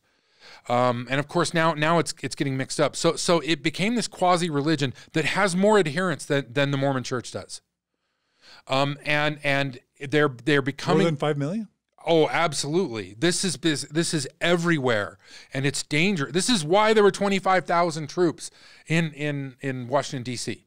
It is everywhere. Um, and um, in my neighborhood, I live in Cottonwood Heights, um, and this summer, you know, we had we had an individual who was who was um, well, it was last year, who who had committed a burglary or, or, or a robbery, and um, the, the, the cops um, gunned him down, shot him in the back um, when he was running away.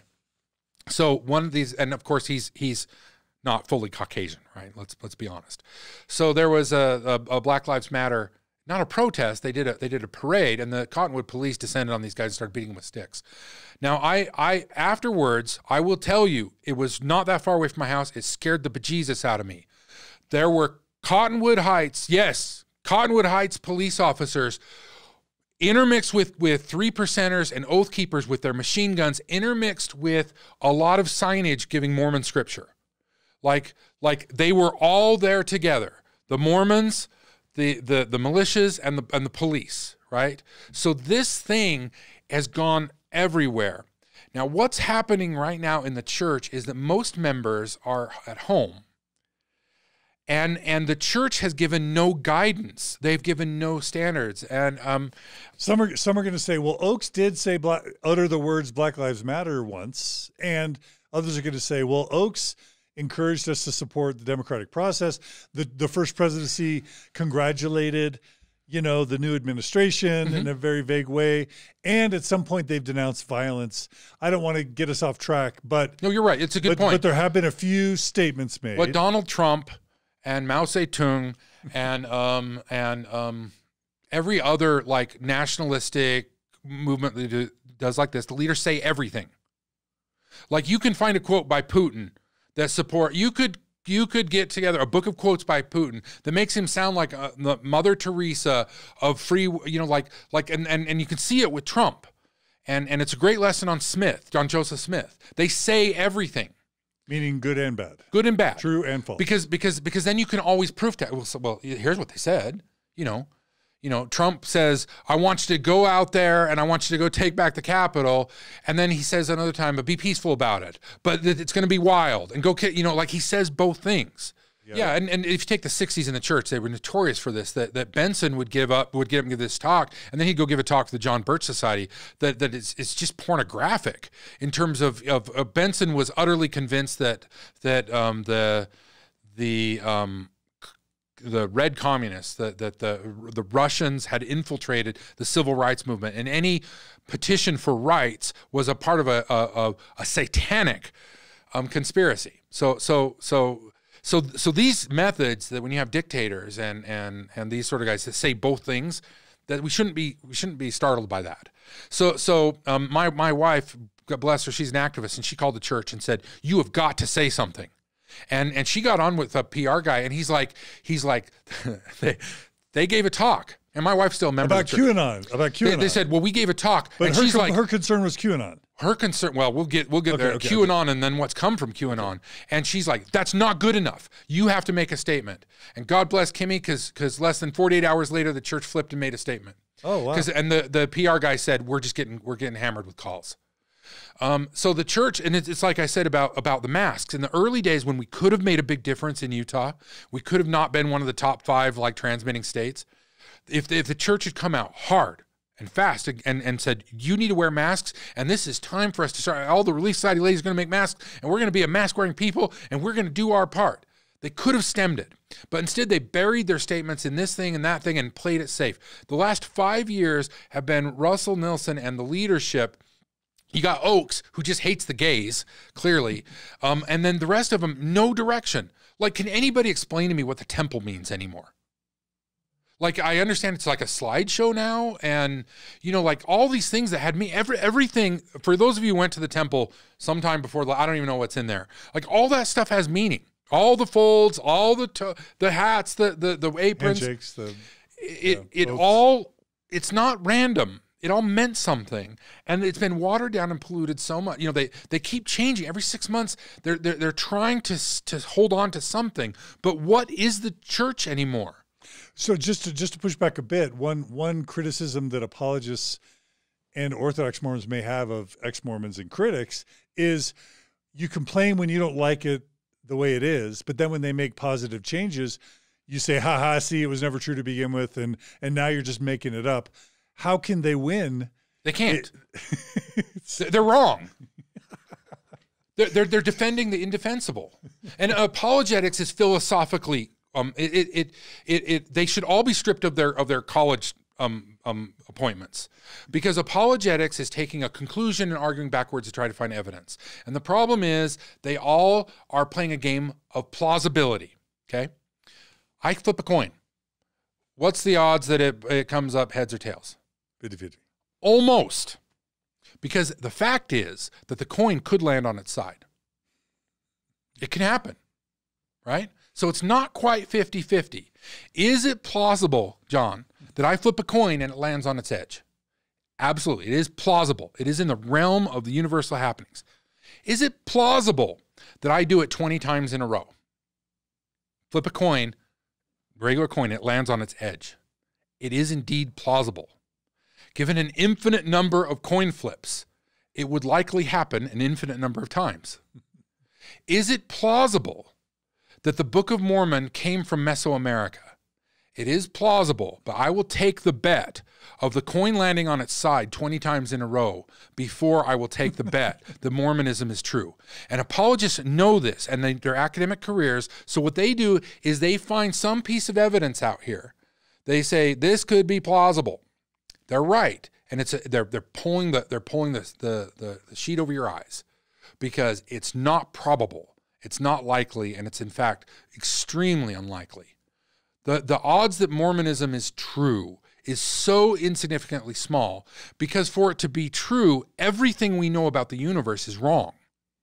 That's a pretty big bet right? So let's go back to this this leadership and what's going on in the church right now. They allowed this violent insurrectionist insurrectionism to fester in the church, and they did it by never taking, never punishing. They went after you, John Dehlin, for what? What did they actually say they were excommunicating you for? Uh, well, originally it was because I supported ordained women and because I came out in favor of same sex marriage and because the podcast. Ammon Bundy trouble. pointed a gun at a federal officer. And at the end of conference, they say, keep and sustain the law. They have not taken any disciplinary action against Ammon Bundy, right? They opened an open insurrection, again, in Idaho, 2014. There have been violent acts. I know of no action the church has taken to disown any of these guys. Burgess Owens, Mike Lee. Mike Lee was there celebrating. He was in Trump's inner circle like like uh, Sean Reyes. These guys are are are are, are Mormon nutballs who are pushing insurrection and lies, and the church takes no action. Everyone hears what the church says loud and clear. The books that they decided to put in Deseret Book, I can tell you from knowing um, academics who had their books pulled for crazy reasons. Like the church reads everything. And when they put Sean Hannity in their bookstores, that is not by mistake. The church has been tongue kissing this movement for at least 30 years, and they own it. The church is part, they're not majority, they are in part culpable for the insurrection, and they have done nothing to quell it. And right now, the, the wards are pulling themselves apart. I can tell you, I was hinting at the problems the ex Mormons are facing because they, they got kind of disowned and put out from the family. Now, almost everybody close to me, to a person, is having problem with their families who have embraced utter insurrectionist nonsense that they talk about the storm. And this is happening openly in church meetings. The, the, the people are in spouting QAnon stuff and this mask stuff. And where's the church leadership? I gave you an example before, I'll give it again. Let's say there's two sisters right now, and one lives in West Jordan, one lives in Sandy. Well, right now, the one who lives in Sandy, her bishop has allowed them to have the sacrament in their home every Sunday. And she gets on Facebook and says, It's so wonderful in the Sandy 20, 124th Ward because, because we get to we get the blessing of having the sacrament in our, in our meanwhile, her sister, who lives five miles away on the other side of the valley, they haven't been to church in eight, eight weeks, and their bishop's not allowing that. The wards are completely on their own. Nobody knows how to deal with the masks. And and I was talking to my my folks true believers, wonderful people. They haven't been to church in nine months. They have no intention of going back to church anytime soon. They're both in their 70s, they're getting their shot. They're not going back because they know the, the, the anti mask um, bigots are, are, up there. And and there's been wards where the anti-mask faction has has has taken. There's been wards where the, the factions on Facebook. These guys are in open open rebellion. The number of people who are technically inactive right now is enormous. Um, because because the, the church screwed this whole thing up. They didn't take any real powerful stand. And they could have. They could have helped get through this, and they didn't. And now the church has a big fucking mess on their hand because QAnon is loud and proud and alive inside Mormon culture. Mormons are toting guns and talking about killing Democrats. They're there. I know. I, I know who some of these people are. We're in a dangerous situation right now in the United States, and the church has blood on its hands. Whoa. And that's really what I wanted to come here to say. Wow. And and and and they've got to deal with it. We have a big problem. Like families are getting torn apart. And this is where I'm getting passionate. Families that got torn apart 10 years ago and found some kind of new peace are getting torn apart again because be- people believe crazy things about about people like I'm I'm I'm fairly liberal and people believe crazy things about me about what I'm willing to do, about what I'm what babies I'm eating and what sauce I put on them. I, I don't know. It's just this this whole thing was a game that the church let, let run amok for years and years and years with their food storage and their conservative radio and their conservative politicians and and they let it go they let it go crazy so how bad is it and how bad is it going to get if you have to put on your your crystal ball you made some correct predictions five six seven years ago how bad is it right now and how bad is it going to get the church has lost control and i don't know how they get control back because people are openly on social media and other places, active members, criticizing the church for their decisions. Yeah, when the brethren come out and finally do say wear a mask, mm-hmm. Then there's a ton of Mormons who are saying these guys aren't inspired anymore. Or when, you know, Russell and Nelson shows that he got a vaccine, you've got thousands of, of internet connected Mormons that are saying he's lost his way. Right. He's betraying us, right? Yes, yes. And how do they put this genie back in the bottle? That's going to be a really tough thing. So what I'm what I'm saying is Mormonism is not the religion for 2021. We've talked about youth and young people, and the real problem is not people like you and I leave the church. It's that people under 25 they're just they're just walking out wholesale, and, that, and it was that way five or six years ago. It's getting worse and the people in the church are, are, are, miserable. Um, they, they, they did such a big campaign. And do you remember what was the big campaign when right before 2016? The new drug. That was all over everywhere. Pornography. It was it was a church ba- based, you know, the the funders and, and they they really wanted to get in the Republican platform, um, this big anti pornography push. But it shows, and this is how Mormonism broke my heart. Mormonism and, and its backers, and I, I by the way, I think their anti pornography thing was they're barking up the wrong tree. They, but the, I'm not for it. But but when Trump got in and became the first president to actually be in pornography, as well as his, as as as his wife, the first for the first first lady who we've all seen her cooter, right? Like like these people were not were the antithesis of what Mormons. And I was waiting for I was waiting for the election on November 3rd. And Salt Lake County went for went for um, Biden by about like 53%. Salt Lake County accounts for 30% or so, about a third of the state. And of course, and Summit County, um, where where Park City is, went for went for went for um, Biden. Biden also, but the state went for Trump by sixty seven percent. Which means? Which means that Mormons observing everything that Trump said, everything he did, everything he did that is the antithesis of what they told me. When I voted for Bill Clinton, I was told that I was morally corrupt. What I found is that I always, and if you listen to my old podcast, I give the church deference that they're good people. There are people in the church that are good, but the church does not create good people. And it's evident by what has happened. The insurrection of the United States was done under the banner of liberty.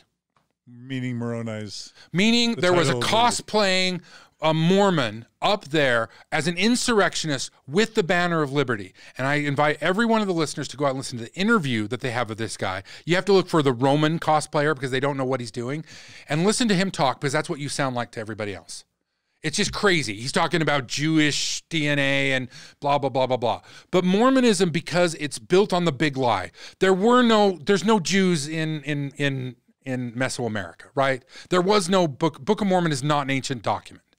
Like there's lie after lie after lie after lie after lie the church is built on that we want to go away. But it primed the pump for people to buy the big lie that the election was stolen that led to violence and insurrection.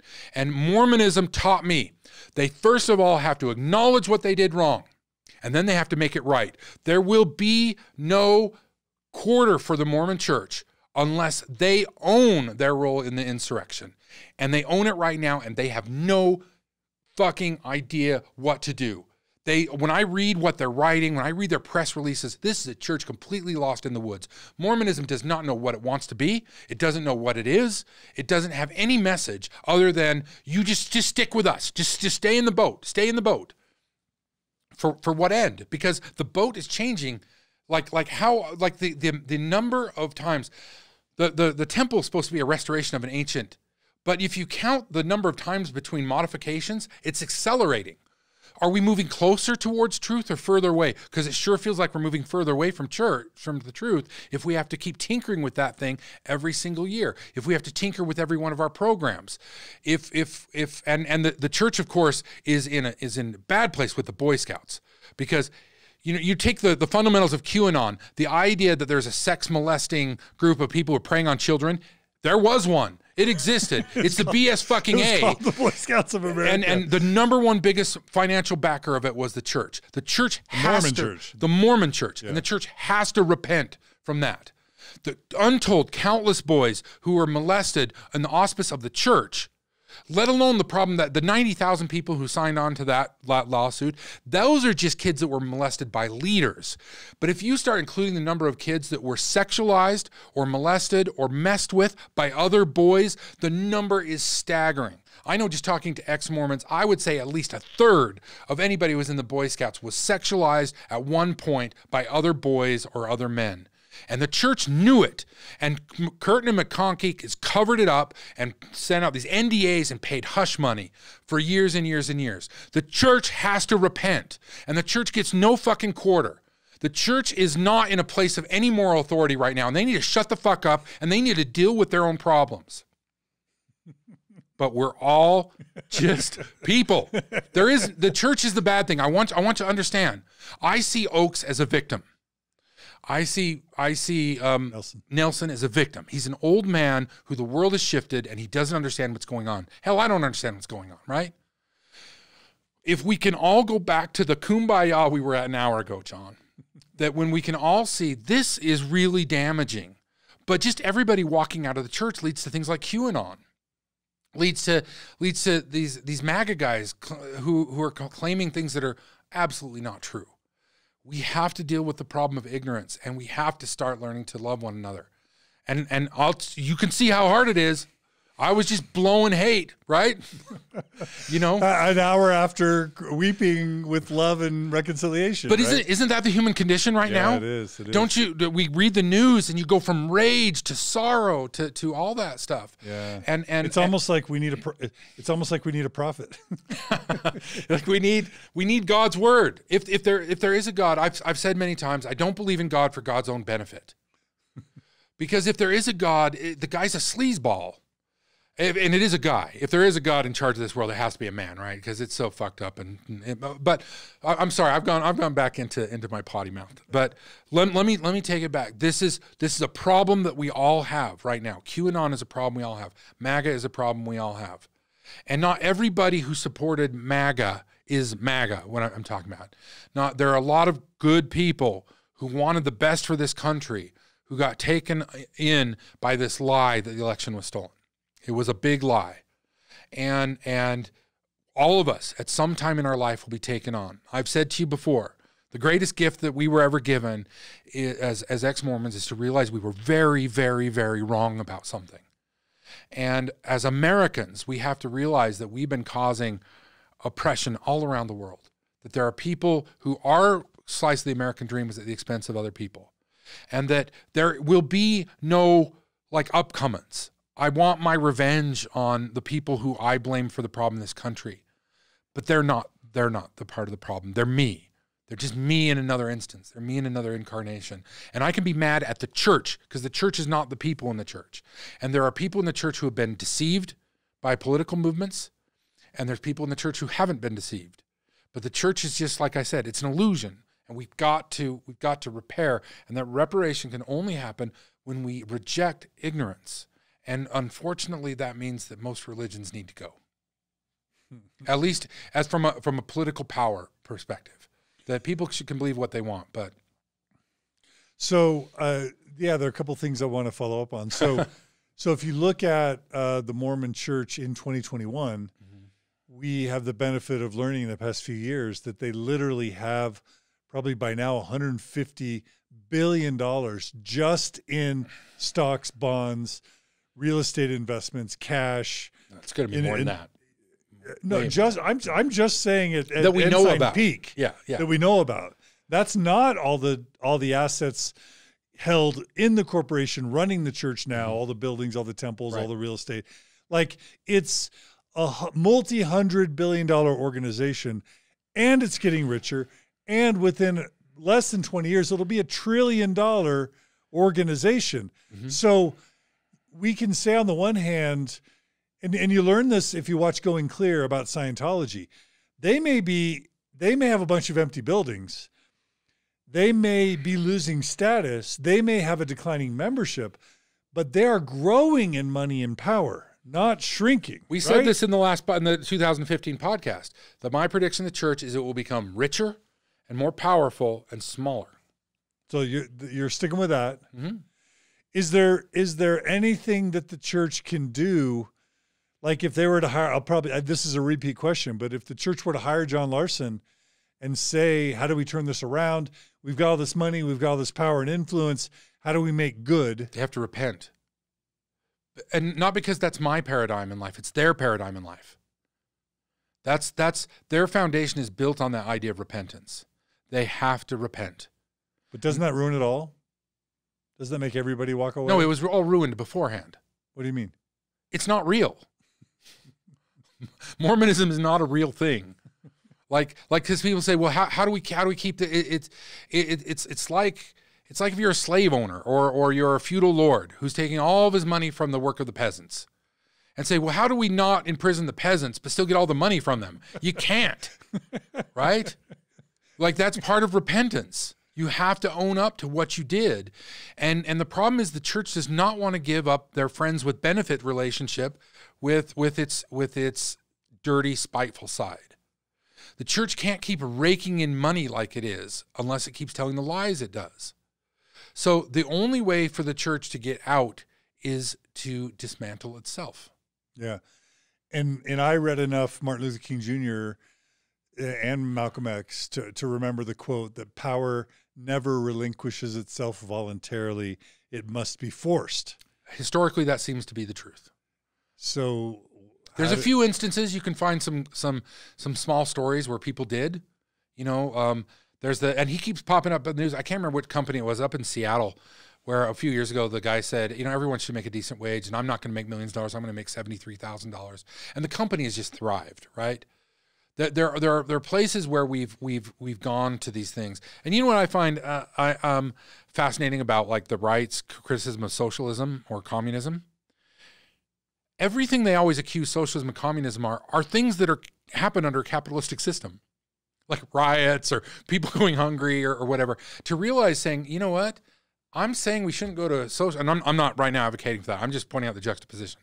We can't go to socialism because socialism has all the ills that we're facing right now and that's where i'd say well there's something imaginary going on here because you clearly don't solve poverty through capitalism that, that should be clear does the church have a way out no they have no way out because what will happen is if they come, if they, if they, if they come and say, all right, we can't, you know, we can't administer the grace of Jesus Christ. That's that's God, and that's between you and God. But let's come, let's have fellowship, let's take care of one another. What'll happen is they'll stop paying enough money to keep the 27 story building down and the, the temples that they're building. But, but boy, that's the thing. They now have enough money and assets that they can fund the current annual budget of the church just on the interest of the investments with money left over. So they don't need that's part of the craziness of 2021. The Mormon church doesn't need the members tithing anymore to maintain its current budget. But but it would be insanity to believe that the, the, the organization that put the policies in place that allowed them to accumulate hundreds of billions of dollars would have the ability to change that. Right? Yeah. It's you know, it's it's like it's like the the, the man who who is the seventh husband of a woman who's cheated on her previous six husbands. That's the kind of faith you need to run a religion. Be, because because they they they won't they can't. They don't know how. I was reading something, I can't remember if it's Jana Riess or whatever, they were writing about how part of it is just a corporate snafu. Like the church knows how to gather money, but they actually don't know how to spend it. They don't know what to do with it. They don't know what to do with it. Yeah. And and and they've created all these mechanisms to hide money from one another and all that kind of stuff. But that but I, it's my my point for the church to change to have this Ebenezer Scrooge wake up would mean that the church could no longer be the church like the temple building and the the and the the forcing you know you know everybody who's ever had who's ever gone to the church everybody i've known who's ever gone to the church um, warehouse to get food first of all they make you do it every week. You have to fill out this form. And then the relief society president who probably doesn't know diddly shit looks at it and says do you really need do you really need two two roasts this week it's emasculating. It's humiliating. It's it's it's it's it's. Um, I shouldn't say things like emasculating. It's it, it's it it takes away from what it means to be fundamentally human. The ch- the organization that does that, that makes people grovel for food. And and you know they, they they brag about what a humanitarian they are. I don't care how starving my family would be. The church would never give me food because they would ask me to read the Book of Mormon or, or get baptized or whatever.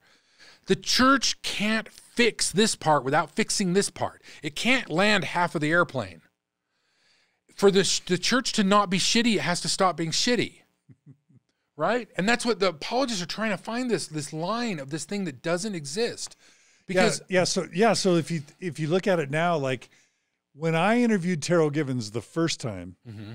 he was kind of persona non grata within Orthodox Mormonism to the point where he told me himself that several of his books were not allowed to be sold at Deseret Book. Mm-hmm. Now he's running the Maxwell Institute along with Spencer Fluhman, right? Patrick Mason's just coming out with the book called Restoration, and he's making the argument that was made in StayLDS, you know, whatever years ago, which right. is like, oh, the church is, you know, we're one of many true churches, and what is authority really? And we're like the salt but other churches have truth too and we're all learning and growing and you know one big happy family. So like the church is making a lot of changes. They're coming becoming more clean about its history. They're becoming more lgbt friendly. Some would say they're treating women better. Like what what what if people to say what if people were to say to you john? No the church is getting better in material. They're improving the temple ceremony.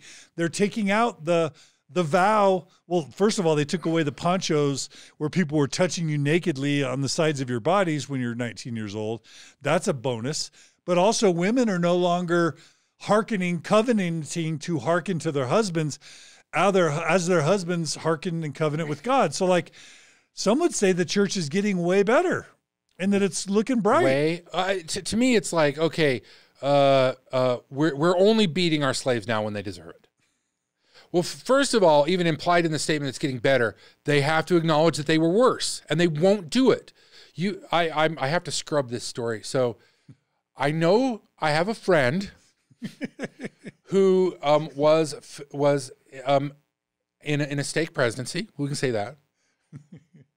whose father was connected enough that when he left the church, he got a call from one of the current members of the Twelve this individual was knowledgeable about church history. And what this individual the reported to me, no, the, the quite the opposite. The person who left. The person who left. Okay. Quite the opposite. The member of the 12 knew hardly anything and uh, and and and was doing this, "Oh man, it's all we're all just trying to get to Jesus." And he said the, the member of the 12 could not answer the question, then why Mormonism? Why don't I just read my Bible and pray to God? And he had no answer. The apostle had the no apostle answer. had no answer. Yeah, because that's also a move the church is making. It's all about Jesus. It's all about love. We're just to help to get you to Christ. Right. You know, And- that- and, and that's- it's, that's it's like saying, move. okay, okay, there, there's this, this, this, the God. It's really great. About two thousand years ago, God came down to the earth and He saw the sorrow and suffering of humankind, and God sacrificed Himself for this, and and now He wants to give that grace to everyone, that everyone can be free from sin and from the, the struggles of sin, and it's freely available to everybody. But join our group, and you need to give us 10% of everything you make, you do everything we say, and you need to be obedient, even though it doesn't make sense, because obedience is like Mormonism doesn't make any sense whatsoever. And then you're like, uh, so why why did why were black women not allowed? I always hate when they say black men in the priesthood. Why were black women not allowed to pray in the churches in 1975? Oh, God's mysterious. Like, but but like there were black churches that you're saying you're ecumenical with now. What it- like like Mormonism doesn't make any sense. And the people joining are people who are usually looking for something in a troubled world, and we have a troubled world. And Christianity is. Mormonism is dying because Christianity is dying. And and the myths I keep going back to this that united us together have, have fallen apart. Patriotism they were literally beating police officers nigh unto death with the American flag. If that doesn't speak during the insurrection. during the insurrection, if that doesn't speak to a, a, a people that has completely lost their way, that's us, Americans. And Mormonism is just a segment of that. The church, if it wants to survive and be something more than just another like militant militia, weirdo Western freedom movement, it has to repent and it won't. That's my prediction. Yeah, because repentance means self destruction. So, how over the next 10 to 20 to 30, 40 years, we know that, that almost all the US membership and maybe globally, they haven't been going to the temple because Mhm. the temples have been closed. They haven't been going to church because COVID. We don't know how many still believe. We don't know. I know that my podcast is doing really well. I know that all the other progressive and post Mormon podcasts are having a great year, right? So a lot more of them are listening to the podcast now. A lot more of them are reading CES letter, and then a whole crap ton of them are just realizing how happy and joyful life can be without, you know, spending half your Sundays sitting in a pew being bored. Right. But the church has all this money and all this power, but the church has MAGA and the church has QAnon and the church, as you said, that the, Russell, the church doesn't stand for anything anymore, according to you, and they're becoming mamby-pamby Christians. lightweight, and uh, I, sh- I shouldn't say they don't stand for anything. I mean, there's still there's still morality and and and that. Uh, but again, I'm questioning it because these people voted for Trump in, in in massive numbers. So color me skeptical about your sexuality, about how you did you Bill Clinton wasn't fit for office when you've got the you know the pornographer in chief. Like so that's what I, I my problem now, John, after November 3rd is I don't I'm I'm being I'm not being facetious. I don't know what Mormons believe anymore. I don't know what they stand for. I don't know what their morality is. I don't know where they are. And I'm not kidding. And and and and because there's been so much change over the last few years. Sliding to what? What is it? Why do you need to go to the temple? Why, why is any of it? You know? They, they're going to say uh, Mormons believe in a loving Heavenly Father who is all powerful and all loving. They believe in Jesus Christ as a son who uh, taught love and kindness, who died for you, who suffered for your sins, who uh, rose on the third day. We're all going to live again because of Jesus. And Hades captured Persephone and took her down across the river Styx, and she comes up once a year in the spring. I know, yes, yes. Like, but all of that doesn't mean anything. Like everything you said, it's just it's just blah blah blah. There is a God who's all powerful, but but but this world has been full of of, of the most terrible. Go look up cowpox. This is my second reference to cowpox. like like where was God during that?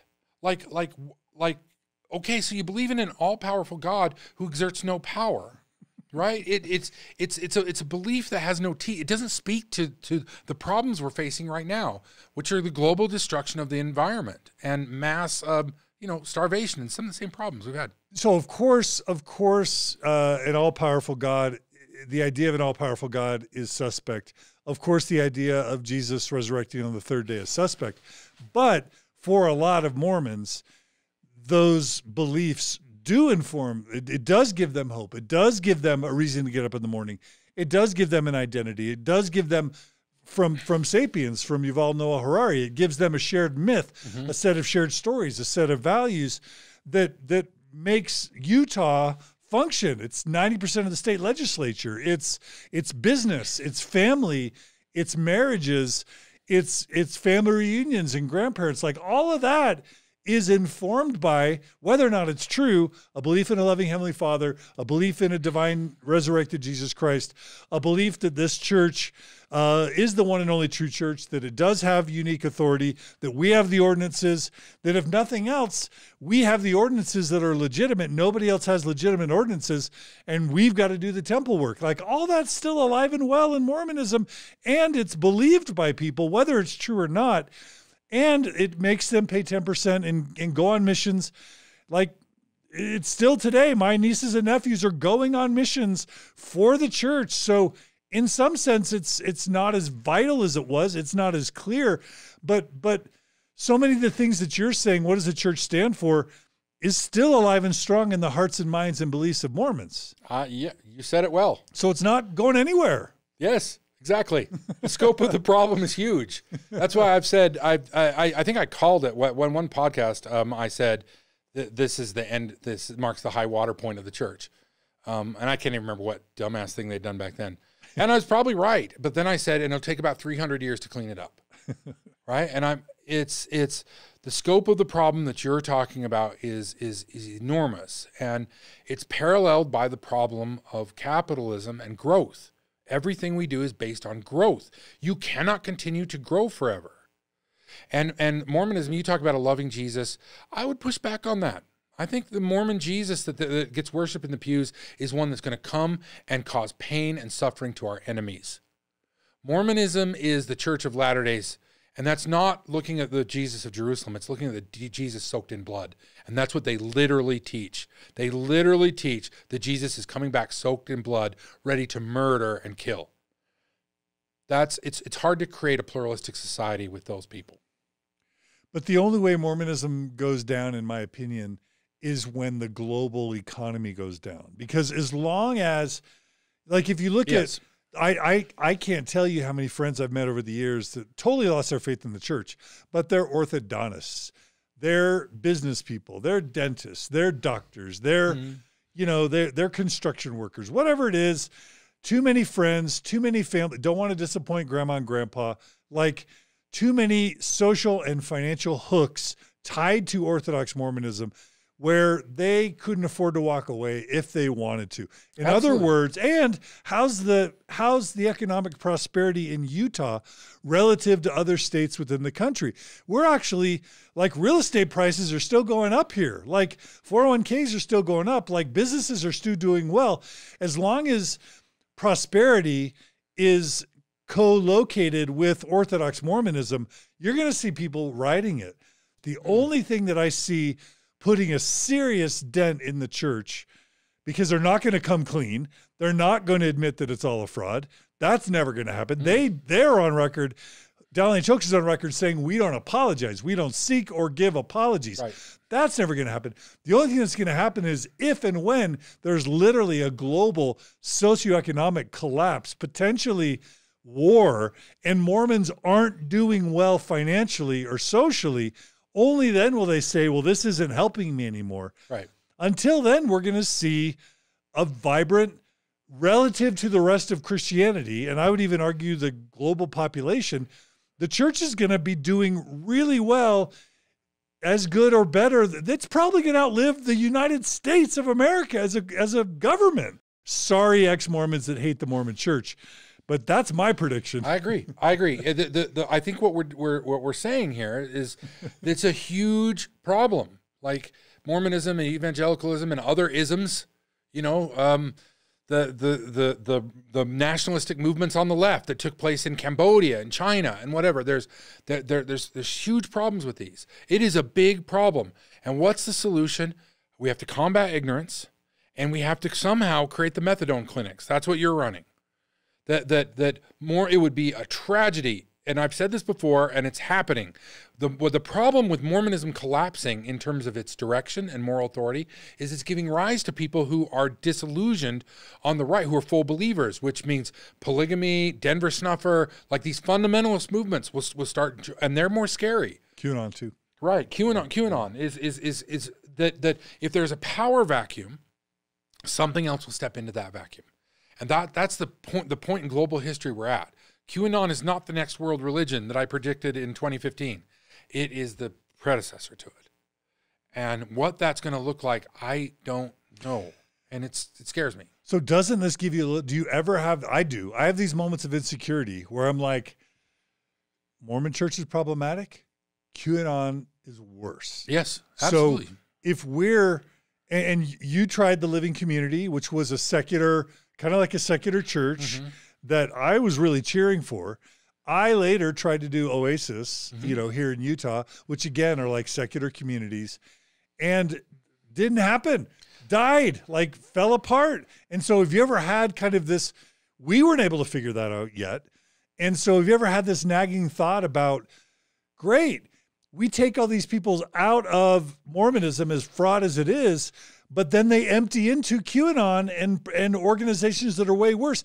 Maybe it would have been better to just stay quiet, be on the down low, and let Orthodox Mormonism thrive because the alternative might be worse. The vacuum that we create by educating people and waking them up to the fact that the church isn't true just takes them into organiz- other cult leaders, you know, un- unhealthy pyramid schemes, other charlatans, and even worse, super fraudulent socio-political movements that that take down democracy itself. Do you ever worry that we all would have been better just staying quiet and keeping Mormonism, you know, as it is versus what we're what, the direction we're we're headed towards? I, I think I think yeah uh, yes, but I don't I don't I don't have regrets. you said yes. Yeah, yes, you're right. You, you, you're right. About the, what? That, that, that, that the world might be worse if Mormonism collapses, right? The, the, the absence of Mormonism might make the world a worse place. But I am not smart enough, and nor is any government or to engineer that. The only thing we can we can we can do is combat ignorance and seek the truth, knowing that our truth-seeking mechanisms are flawed and they have to keep they have to keep re-engaging. That that that even though even though science and logic and, and these, these things are our best hope, but they're they're still human. They're still a product of our human mind. They're still flawed. But all we can do is go after truth. The utility of the utilitarian argument for Mormonism, I get it. But fundamentally, spiritually, at my core, I reject it because I say it's truth that matters. It's the only thing that can matter. And if the, the Mormon church could be the best thing that ever happened to humanity, but if it's built on lies, the lies need to be exposed and people need to know the truth. That's all I've got for you, John. I've got no other, like, I look at human history. I think in the long run, human race is doomed. Whether that's in 300 years or 30,000 years, I don't know. And you know what? That may not be such a bad thing. We are flawed. I love being alive. I love being a human, but we got a lot of fucking problems, right? I can't solve those problems, but all we can do is cling to truth and cling to one another and recognizing, like, like I was saying before, that we're all just trying to solve this problem. We're all just elements of the of the universe that became self-aware. What a fucking miracle. What a beautiful thing. And and all this other stuff, like I keep saying, it's all imaginary. If if the if the church fails and something else comes in, there are all these imagine. We just go chasing one imaginary thing after another after another. So the only thing we can do is pursue truth, and and and let the chips fall where they will. I think that's all we can do. When I think about uh, turning my questions back on myself, when I think about movies like Pleasantville or Truman Show or The Village, you know, uh, these these constructed realities that a bunch of kind of uh, sages in a community or old people uh, uh, cr- constructed a fake uh, reality so that there would be order and happiness and health within the society. And that's you know I don't want to give away any spoilers to any movies. I but after 30 years, you're, you're free. Rosebud is a sled. so, but but when I think about that, there's kind of this benevolent arrogance of like, what if truth? What if truth isn't the, uh, the the highest good? What if we need okay, we need science, we need evidence, we need enough truth to like escape germ theory, you know, germs to prolong our lifespans to 90 years instead of 40 and to, you know, get to the moon and and and build computers and improve society in the ways that we have. But too much truth makes us nihilistic, too much truth makes us depressed. Uh, having this hope in Jesus, having these authorities telling us how to behave, it's problematic, but the myth and the authority and the religious structure gives us something that we need in addition to measured truth. I, I, hate to say it, but I'm kind of asking the question Boyd K. Packer was was sort of asserting, which is not all truth is useful, and not all things that are true should be shared, right? What if what if we can't what if we're not smart enough like what if we can't fully handle all the truth and stay healthy and sane and have full order what if we need myths and and prophets and heroes and and patriarchies even to have enough order and if you don't have some of the myth and some of the patriarchy and some of the structures then then it unravels uh, I, am not making an argument. No, I, it's a, it's a brilliant question. None it of really, us are smart enough to know for sure, but but I think that's a fair question. I would say the answer is that every time in human history, known human history, last ten thousand years, that we have tried to construct a truth. Uh, it's my air quotes. Oh yeah, I'm on camera, you guys. It's we try to construct a truth. It, it's always failed we the, the the the I would say, John, you're putting hope in doing this thing that we as humanity have done over and over and over and over and over again, and it's never worked. We keep saying, but this time it's going to work. What I'm saying is, I don't know if what you're saying, if there's this there's this theory that we need some kind of false construction in order to to be happy in the universe. I don't know, but I all I know is that truth wins out. And to me, there's obvious things about truth, like uh, like um, if I suffer pain when somebody hits me in the shoulder, then that person suffers pain. So I actually think the truth is more redemptive than maybe you're rhetorically giving it credit for. That with truth comes empathy, and with empathy comes compassion, and compassion is the opposite of greed and selfishness. And the truth, the big truth T, is we're very greedy and we're very selfish and tribal. And tribal. We're very tribal, right? Right. So I think the truth will set you free, as the as the Bible tells us. But you're not going to like the truth because the truth is you need to take less from everybody. You need to demand less. You need to put less on people. You need to stop walking around telling people they need to do this or they need to do that. It's, it's I mean this this takes the conversation full circle. There is no true sexuality. There is no true monogamy. There is no true church. There's no true dollar. Like like all these things can be used for good or for bad you know and and and when you start getting religions like mormonism where they will they will um, uh, excommunicate you if you get a mastectomy um, because you have gender dysphoria but if you get a mastectomy preventative because your mom had cancer you won't get excommunicated for that you can get in trouble for getting a tattoo that's a beautiful piece of work but you can literally, and in, in Salt Lake is the number one thing, you can violently, as a woman, get your breasts cut open and put um, implants in there that will destroy their function both as a nourishment device and kill sensation, potentially negatively impacting the sexuality to ostensible purpose for breast. And that's okay. Like, you can't, the problem with Mormonism is you can't make any sense of it. And so the idea that that nonsensical um, bunch of like random things that have been could somehow be something that makes people happier well, we first have to stop begging the question that as humans, we should be happy. Maybe as humans, what we should be is content. Maybe as humans, what we should be is peaceful and stop pursuing happiness.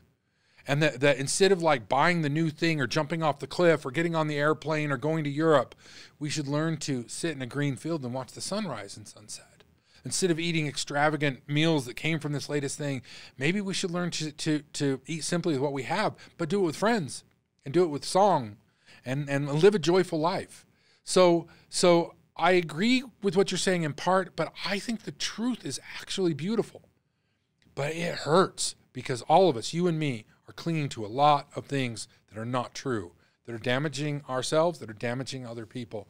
And that's that's the the religion I want to see emerge is that we start saying, let's let's really take a breath and figure this out.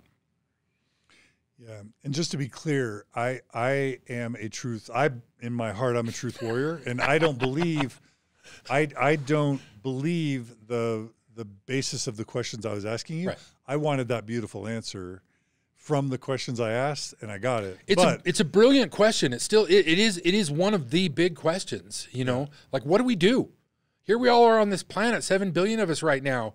Like like what what what do we do? What what what if there was a revelation that came from space that showed us that all of our religions were false? What what would we do the next day? yeah, yeah, you know Yeah. um and but I, I think that something beautiful can emerge my hope for the the you know we talk we end with the the discussion of the future i think we're in for a rough ride i think i think we have crossed and there's good evidence for this we have crossed the, the people talk about tipping point it was about 30 years ago of what? the, the environment, the, the environmental catastrophe that's coming. And the next, um, the next uh, millennia is going to be rough. It's going to be tough.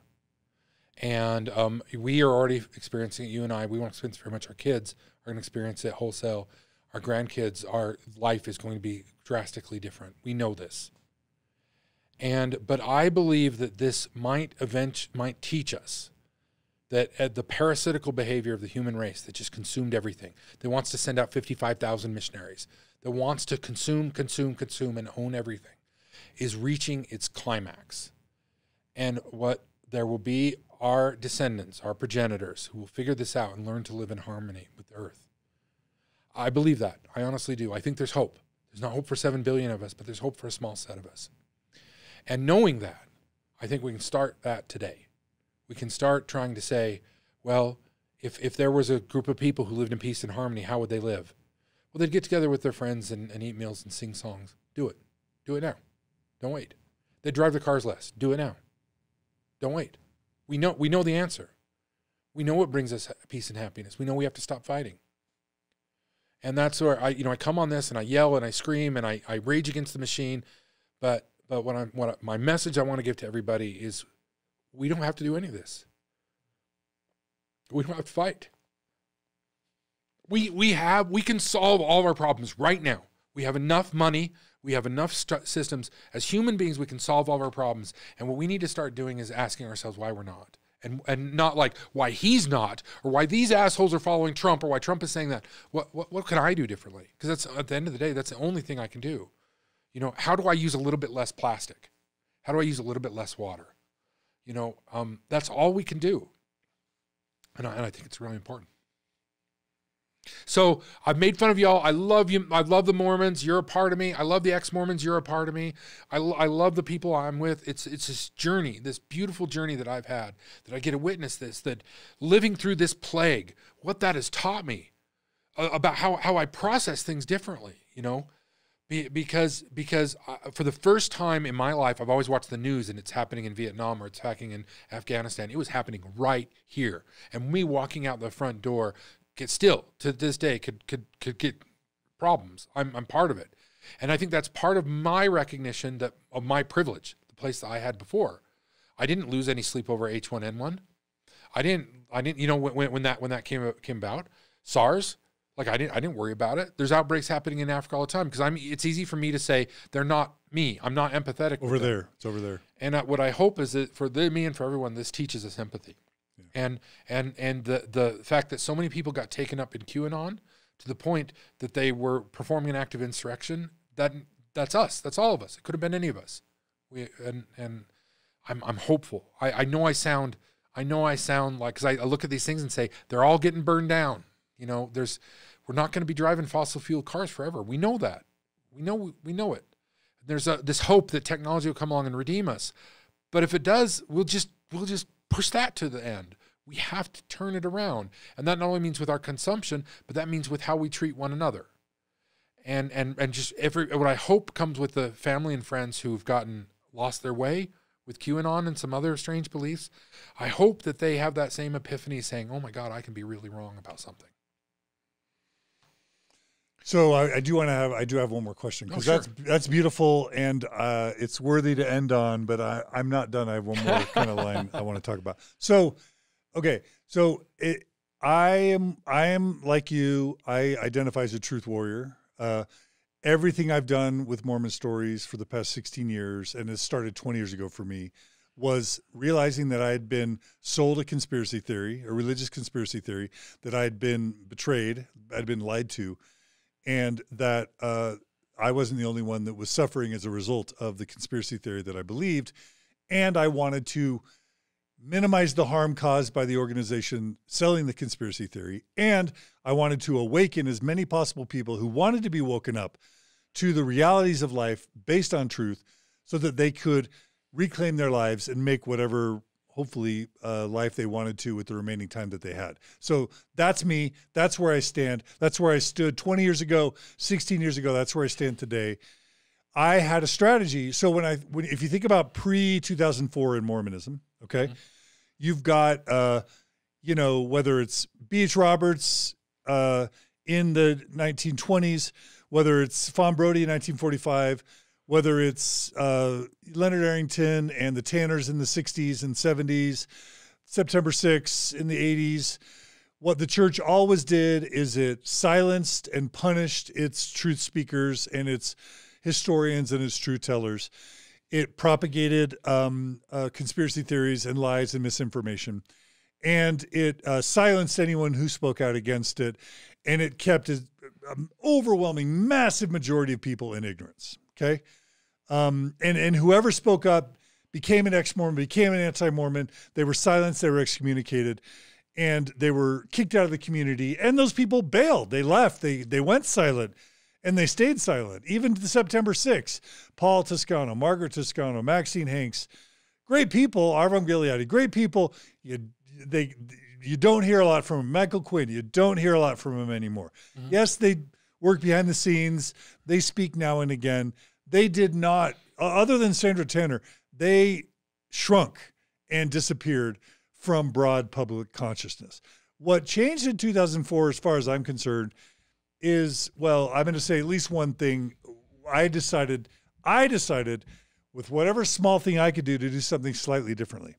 I was going to, number one, try and make the change from within. And part of making that change, because I, I would, all I thought about and all I think about now is effectiveness.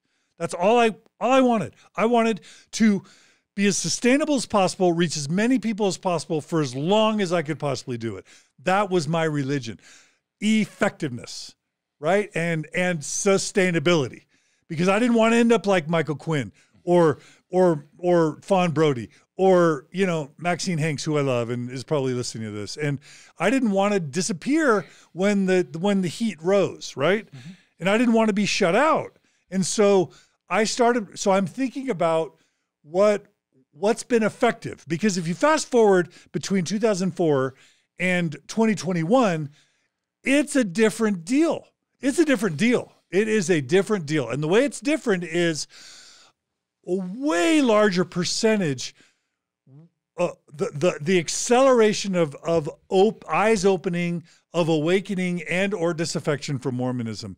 It's exponentially greater now than it ever was before in the history of the church I believe. And I'm going to acknowledge that that's not just happening in Mormonism that we've got the rise of the nones that we've got you know Protestant Christianity and free fall you know religion's taking the shorts everywhere and you've already acknowledged that but for the power and the influence and the and the timeline and trajectory and growth of Mormonism, uh, the Mormon internet put a dent, put a crack in Mormonism, in the Church of Jesus Christ of Latter Day Saints, in a significant way. The ex-Mormon Reddit. There is no other ex-church community any way comparable to the ex-Mormon Reddit. There's no other ex-religious podcast community not Jehovah's Witnesses, not Orthodox Jews, not Muslims, not nothing compares to ex Mormon podcast world. Mm-hmm. Like we are, we are, we have been effective, and you have been and continue to be in your way a really important part of that. And you know, Bill Reel and RFM and Lindsay and your polygamy and Sunstone, like we have made an impact. And I want to argue that one of the ways we've made an impact is by number one, relying on storytelling. And so if you think about it, what I try to do with Mormon stories is like, how do we not become marginalized in the trash pile of, of ex Mormonism? We're going to rely on stories. Because if we just let people tell their stories, how do you argue with stories? You can argue about Nahom, you can argue about DNA. How do you argue with someone's story? So I think that's one thing we got right is by by telling stories. Another thing that I think has helped with longevity as far as I'm concerned is trying not to be too angry, trying not to be too extreme. Ed Decker, like, burned himself out, burned his reputation out. And so I've waxed and waned, but by trying to be empathetic, by trying to be moderate, by trying to not get too angry, but not too apologetic, by, by being as safe feeling and as as as uh, neutral and as objective as possible, I think that's been effective and I'm, I'm I'm building to a larger question that that far exceeds Mormonism because we've got we've got geopolitical problems not just in America, not just with the Constitution, but with with global warming and with the global community. The question I'm asking is how do we make a difference? How do we make a difference? I think story helps. I think speaking out helps. I think leveraging technology helps. I think trying to be open minded and as objective as possible.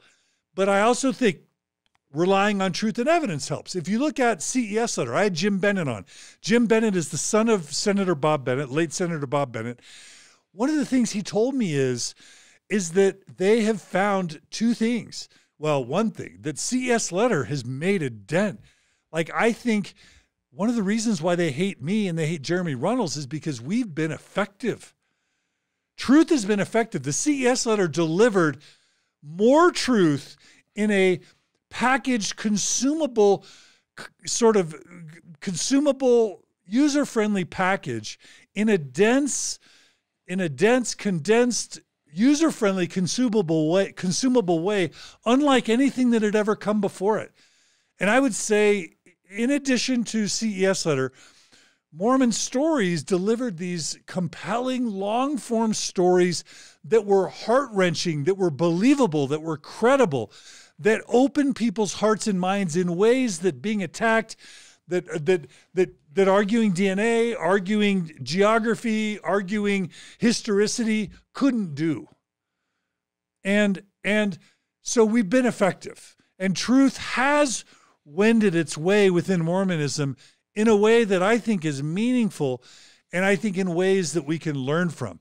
So, whether we're talking about the next 100 or 400 years of Mormonism, or whether we're talking about QAnon, or whether we're talking about MAGA, or anti truthers, or fascism, or whether we're talking about global consumption uh, materialism and or environmentalism and or global, you know, wealth and or poverty, what what can and should we do? What have we learned that we've done right on the side of truth, on the side of uh, making people, of, of building a broader consciousness, of waking people up, of bringing them to their senses, of helping them live a higher, more noble, more meaningful, more healthy life. What can and should we all be doing to make because because it only happens when people speak up. It only happens when people lift their voices. It only happens when educators educate that's the only way people learn a different point of view. So how do we do it john larsen? What can we learn from the good things we've done within progressive mormonism within post-mormonism in the world? How do we educate our current and future selves so that we're not as prone to conspiracy theories. We're not as prone to uh, lies and and and malicious patriarchies and fascist leaders. How do we move forward as humanity? What are the tools? What are the ways that we do that? Hope I didn't put you to sleep. No, no, it's a fantastic question. Uh, it's, and I, I think there's a, th- a few things buried in there. We do what we can. The real reason is you. The reason you did Mormon stories and I did Mormon expression is because there was no other choice. Like you, you, you, you are a type of person who values truth and and is empathetic and could see the pain and wanted to fix it. What you've been doing, Mr. Dehlin, is trying to fix a big problem. And I think if you've been listening for the last few hours, we've outlined it's a big problem. And and just everybody tearing at the problem. What whatever whatever we can, whatever and So do what you can. and and I I, I look at human history and I, I I gave this talk at the Thrive conference a year or two ago.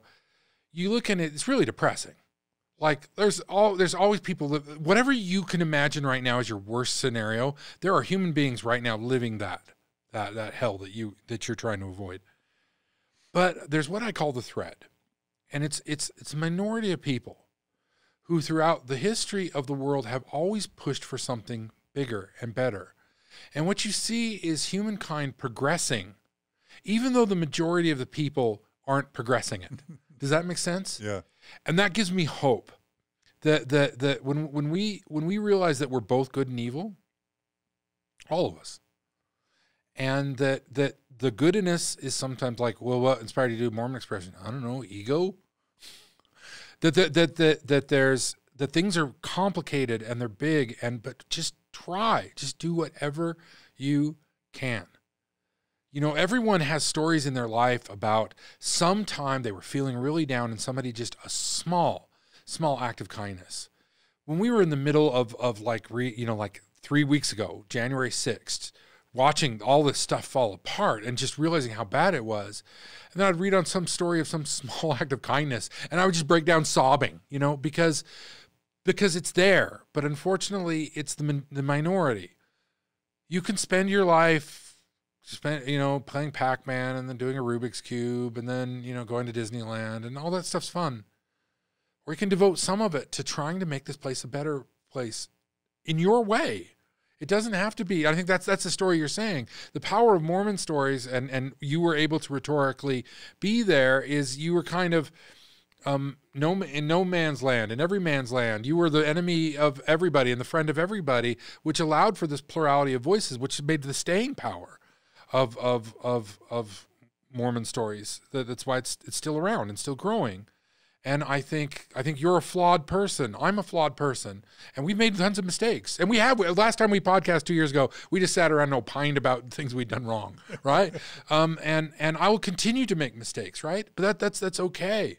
But if we once we start striving for the good, I, I, I yeah, all hands on deck, everybody in whatever little way you can. There's somebody in your neighborhood who's suffering right now. Don't ever ask anybody what you can do for them. None of us know how to answer that question. Just do something for them, whatever, a tiny thing, you know. Um, that that's that's the beauty of it. Is is good is so much more powerful than evil. It's so much stronger. And there's people who would tell you, well, touching your peepee is bad and using naughty words is bad, but you need to give us 10% of everything we're going to put in a big bank account and that's good. You know, it's like, you know what's good. Um, I mean, Socrates taught us this like like 2,600 years ago. No one needs to tell you what is good. You know what's good fundamentally. It's all this big confusing in these made up systems that it gets hard. But but you know that sharing your lunch with somebody who's hungry is good. There's nobody who thinks that people starving to death is is is, is a good. You know what's good. And if all of us just started doing what's right, loving people, supporting them, helping the addicts, helping the assholes, helping the people who we all deserve every bad thing that's ever happened to us, every one of us, right? And just letting that go and saying, okay, we've got people in prison. It's, I, I got to let go that I want to punish them. How do we make our society better? When we can, when we can shift from justice to just like, dude, we're only here for so much, for so long. Let's make this place as nice as possible.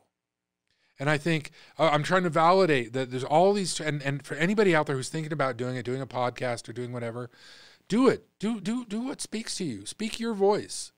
Because if everybody in the church spoke out right now, the church would immediately collapse under the power of the, the innate goodness of all of us that's wrapped in the innate evil of all of us. It's you know it's it's a, it's cycle. It's a it's a yin and yang. But we we we've got to have hope. We've got to have faith. We've got to push against the machine. And it wins out. The Nazis were in power for 12 years. 12 years. That's all. They they they created a hell of a mess, but truth won out. And Germany right now, because America has advocated, is is is the global leader of progressive, compassionate democracy. We we lost our standing, but they picked it up, and they also invaded Poland. You know, that many years ago, right? We can all we can all change, and we have to cling to to hope.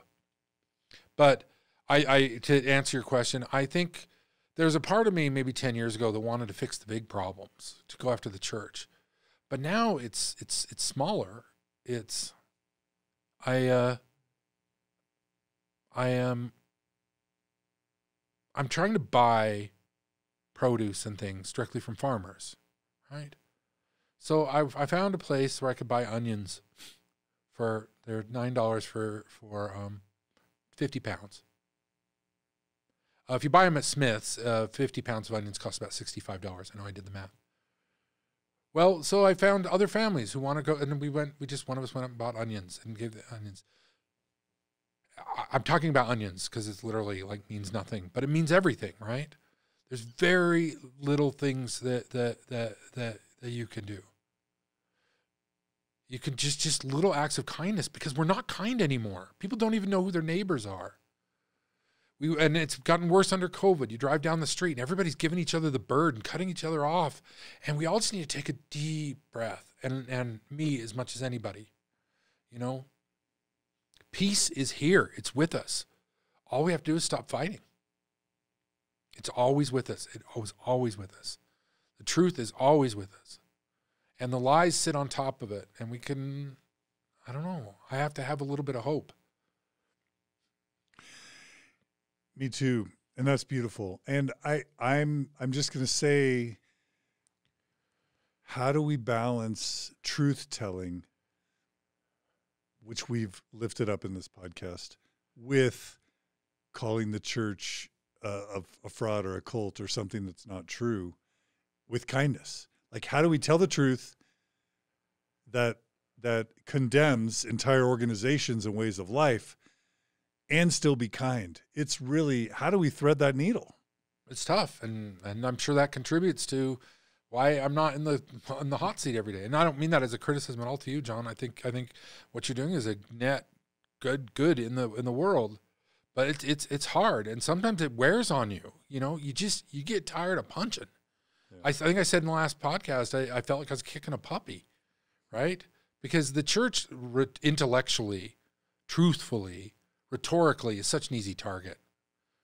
like, like they have, you know, they have things where it's written in Egyptian, literally written in Egyptian, and we there are people who can read Egyptian, and it doesn't say what the scriptures say it is. It's hard to recover from mistakes like that, you know. But we have to keep trying. We do, we do. It's hard. So I admire you. Thank you for doing this. You've got the studio we started all in our basements with trying to figure this stuff out. And here you're, you're growing up. We're on camera. I look like the Unabomber who ate too many Twinkies. Yeah, it's it's a we're all progressing. We're all, we're I this is this is this this encourages me, John, and encourages me that people out there um, have been inspired by me.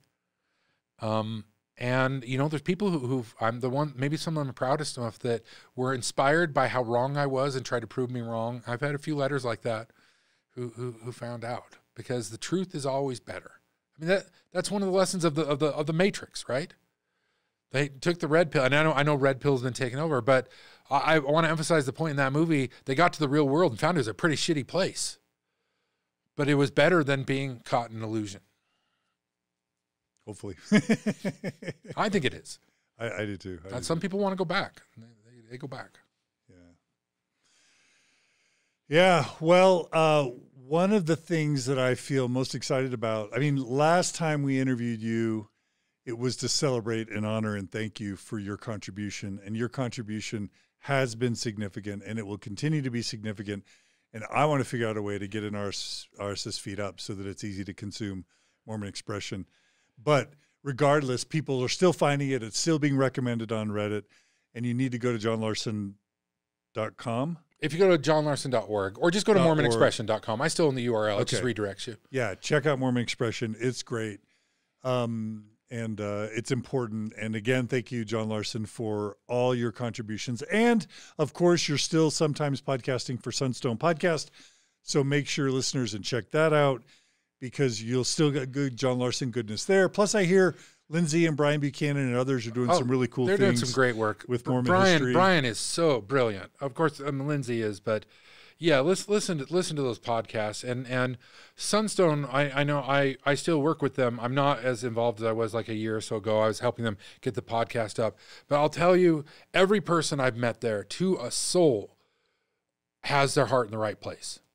Like we're all doing this stuff on shoestrings, and and when I say that, you guys don't realize how tight the budgets are. I mean, they they are oftentimes just tight like like trying to decide how much paper to buy. You know, that's why I think if people saw really how how hard it is to to do these things.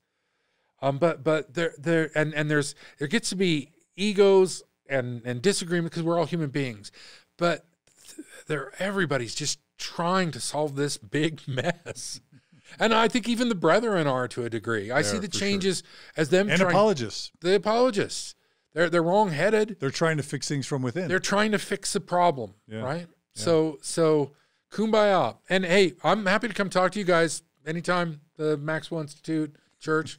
I'll give you I'll give you my, my mind. And I don't envy your job. Yeah. I don't I don't know how to do it any better. We yeah. already said that. I said they should just walk away. well, the thing that I'm most excited about today is that your call for people to get engaged and to contribute makes it so you aren't off the hook. In other words, John Larsen can't go away. Now that doesn't I you know, I would love you to become a full-time podcaster again or the next great thing that you have to contribute. But uh, your words condemn any effort you might have of shrinking and disappearing. we need you, John Larsen. I don't know what form. I would love to see you just get right back to your prominence within this community maybe that's going to take uh, donations, but you still have a lot to offer. You've given us so much. You've given us so much today, and I believe in you and how much more you have to give. Uh, you are brilliant and a sweetheart and wise and good-hearted.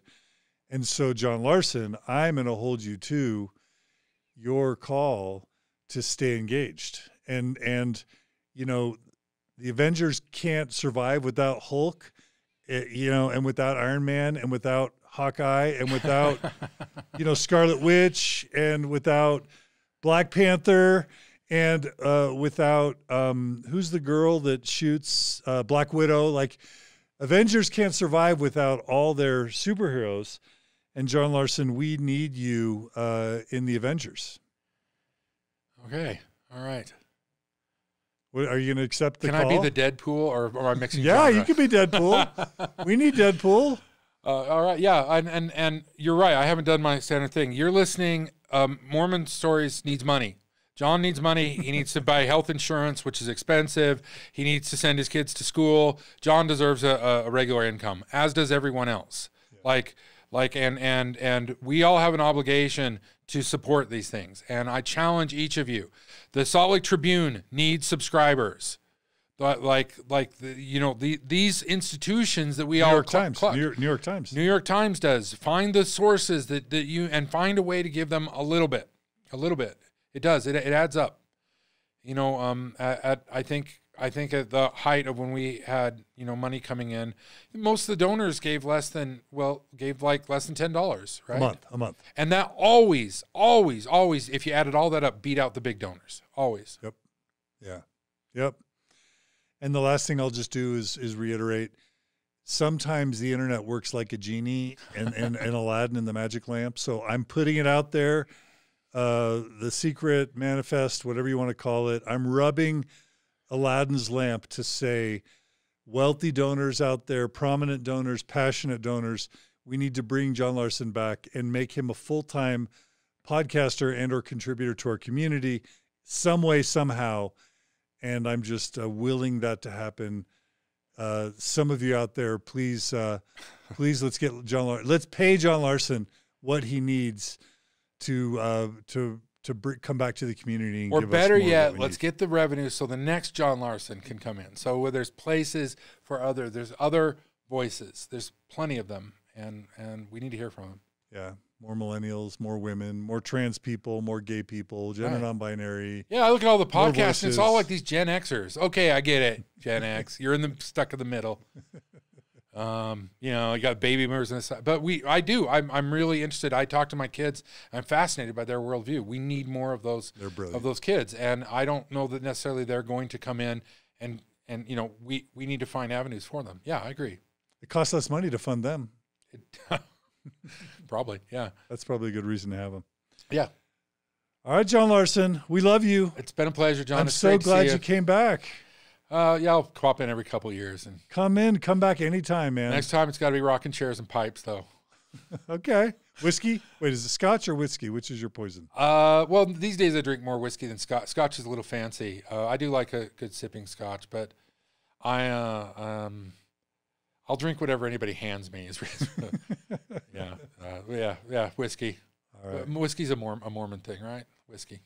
all right well thank you and we love you brother Thanks. you're a good soul Love you too, John, and everything you've done, and and uh, and keep up God's work.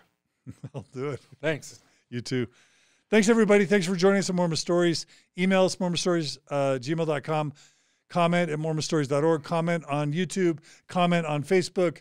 Support us if you can. Uh, and, uh, and please be kind to each other, love each other, do good, and step up and be a part. How, even if you just learn, read good books, listen to good books, and teach your kids, teach your siblings, your, you know, teach each other, learn. And uh, that's one of the best things you can do is just learn and discover the truth and not the truth filtered through me, not the truth filtered through, you know, get, find lots of sources and, and figure out how truth works, how science works, how evidence works, and learn. And I think we're going to learn our way out of this problem as much as we are uh, in any other way. All right. Love you guys. Take care. John Larsen, you're awesome.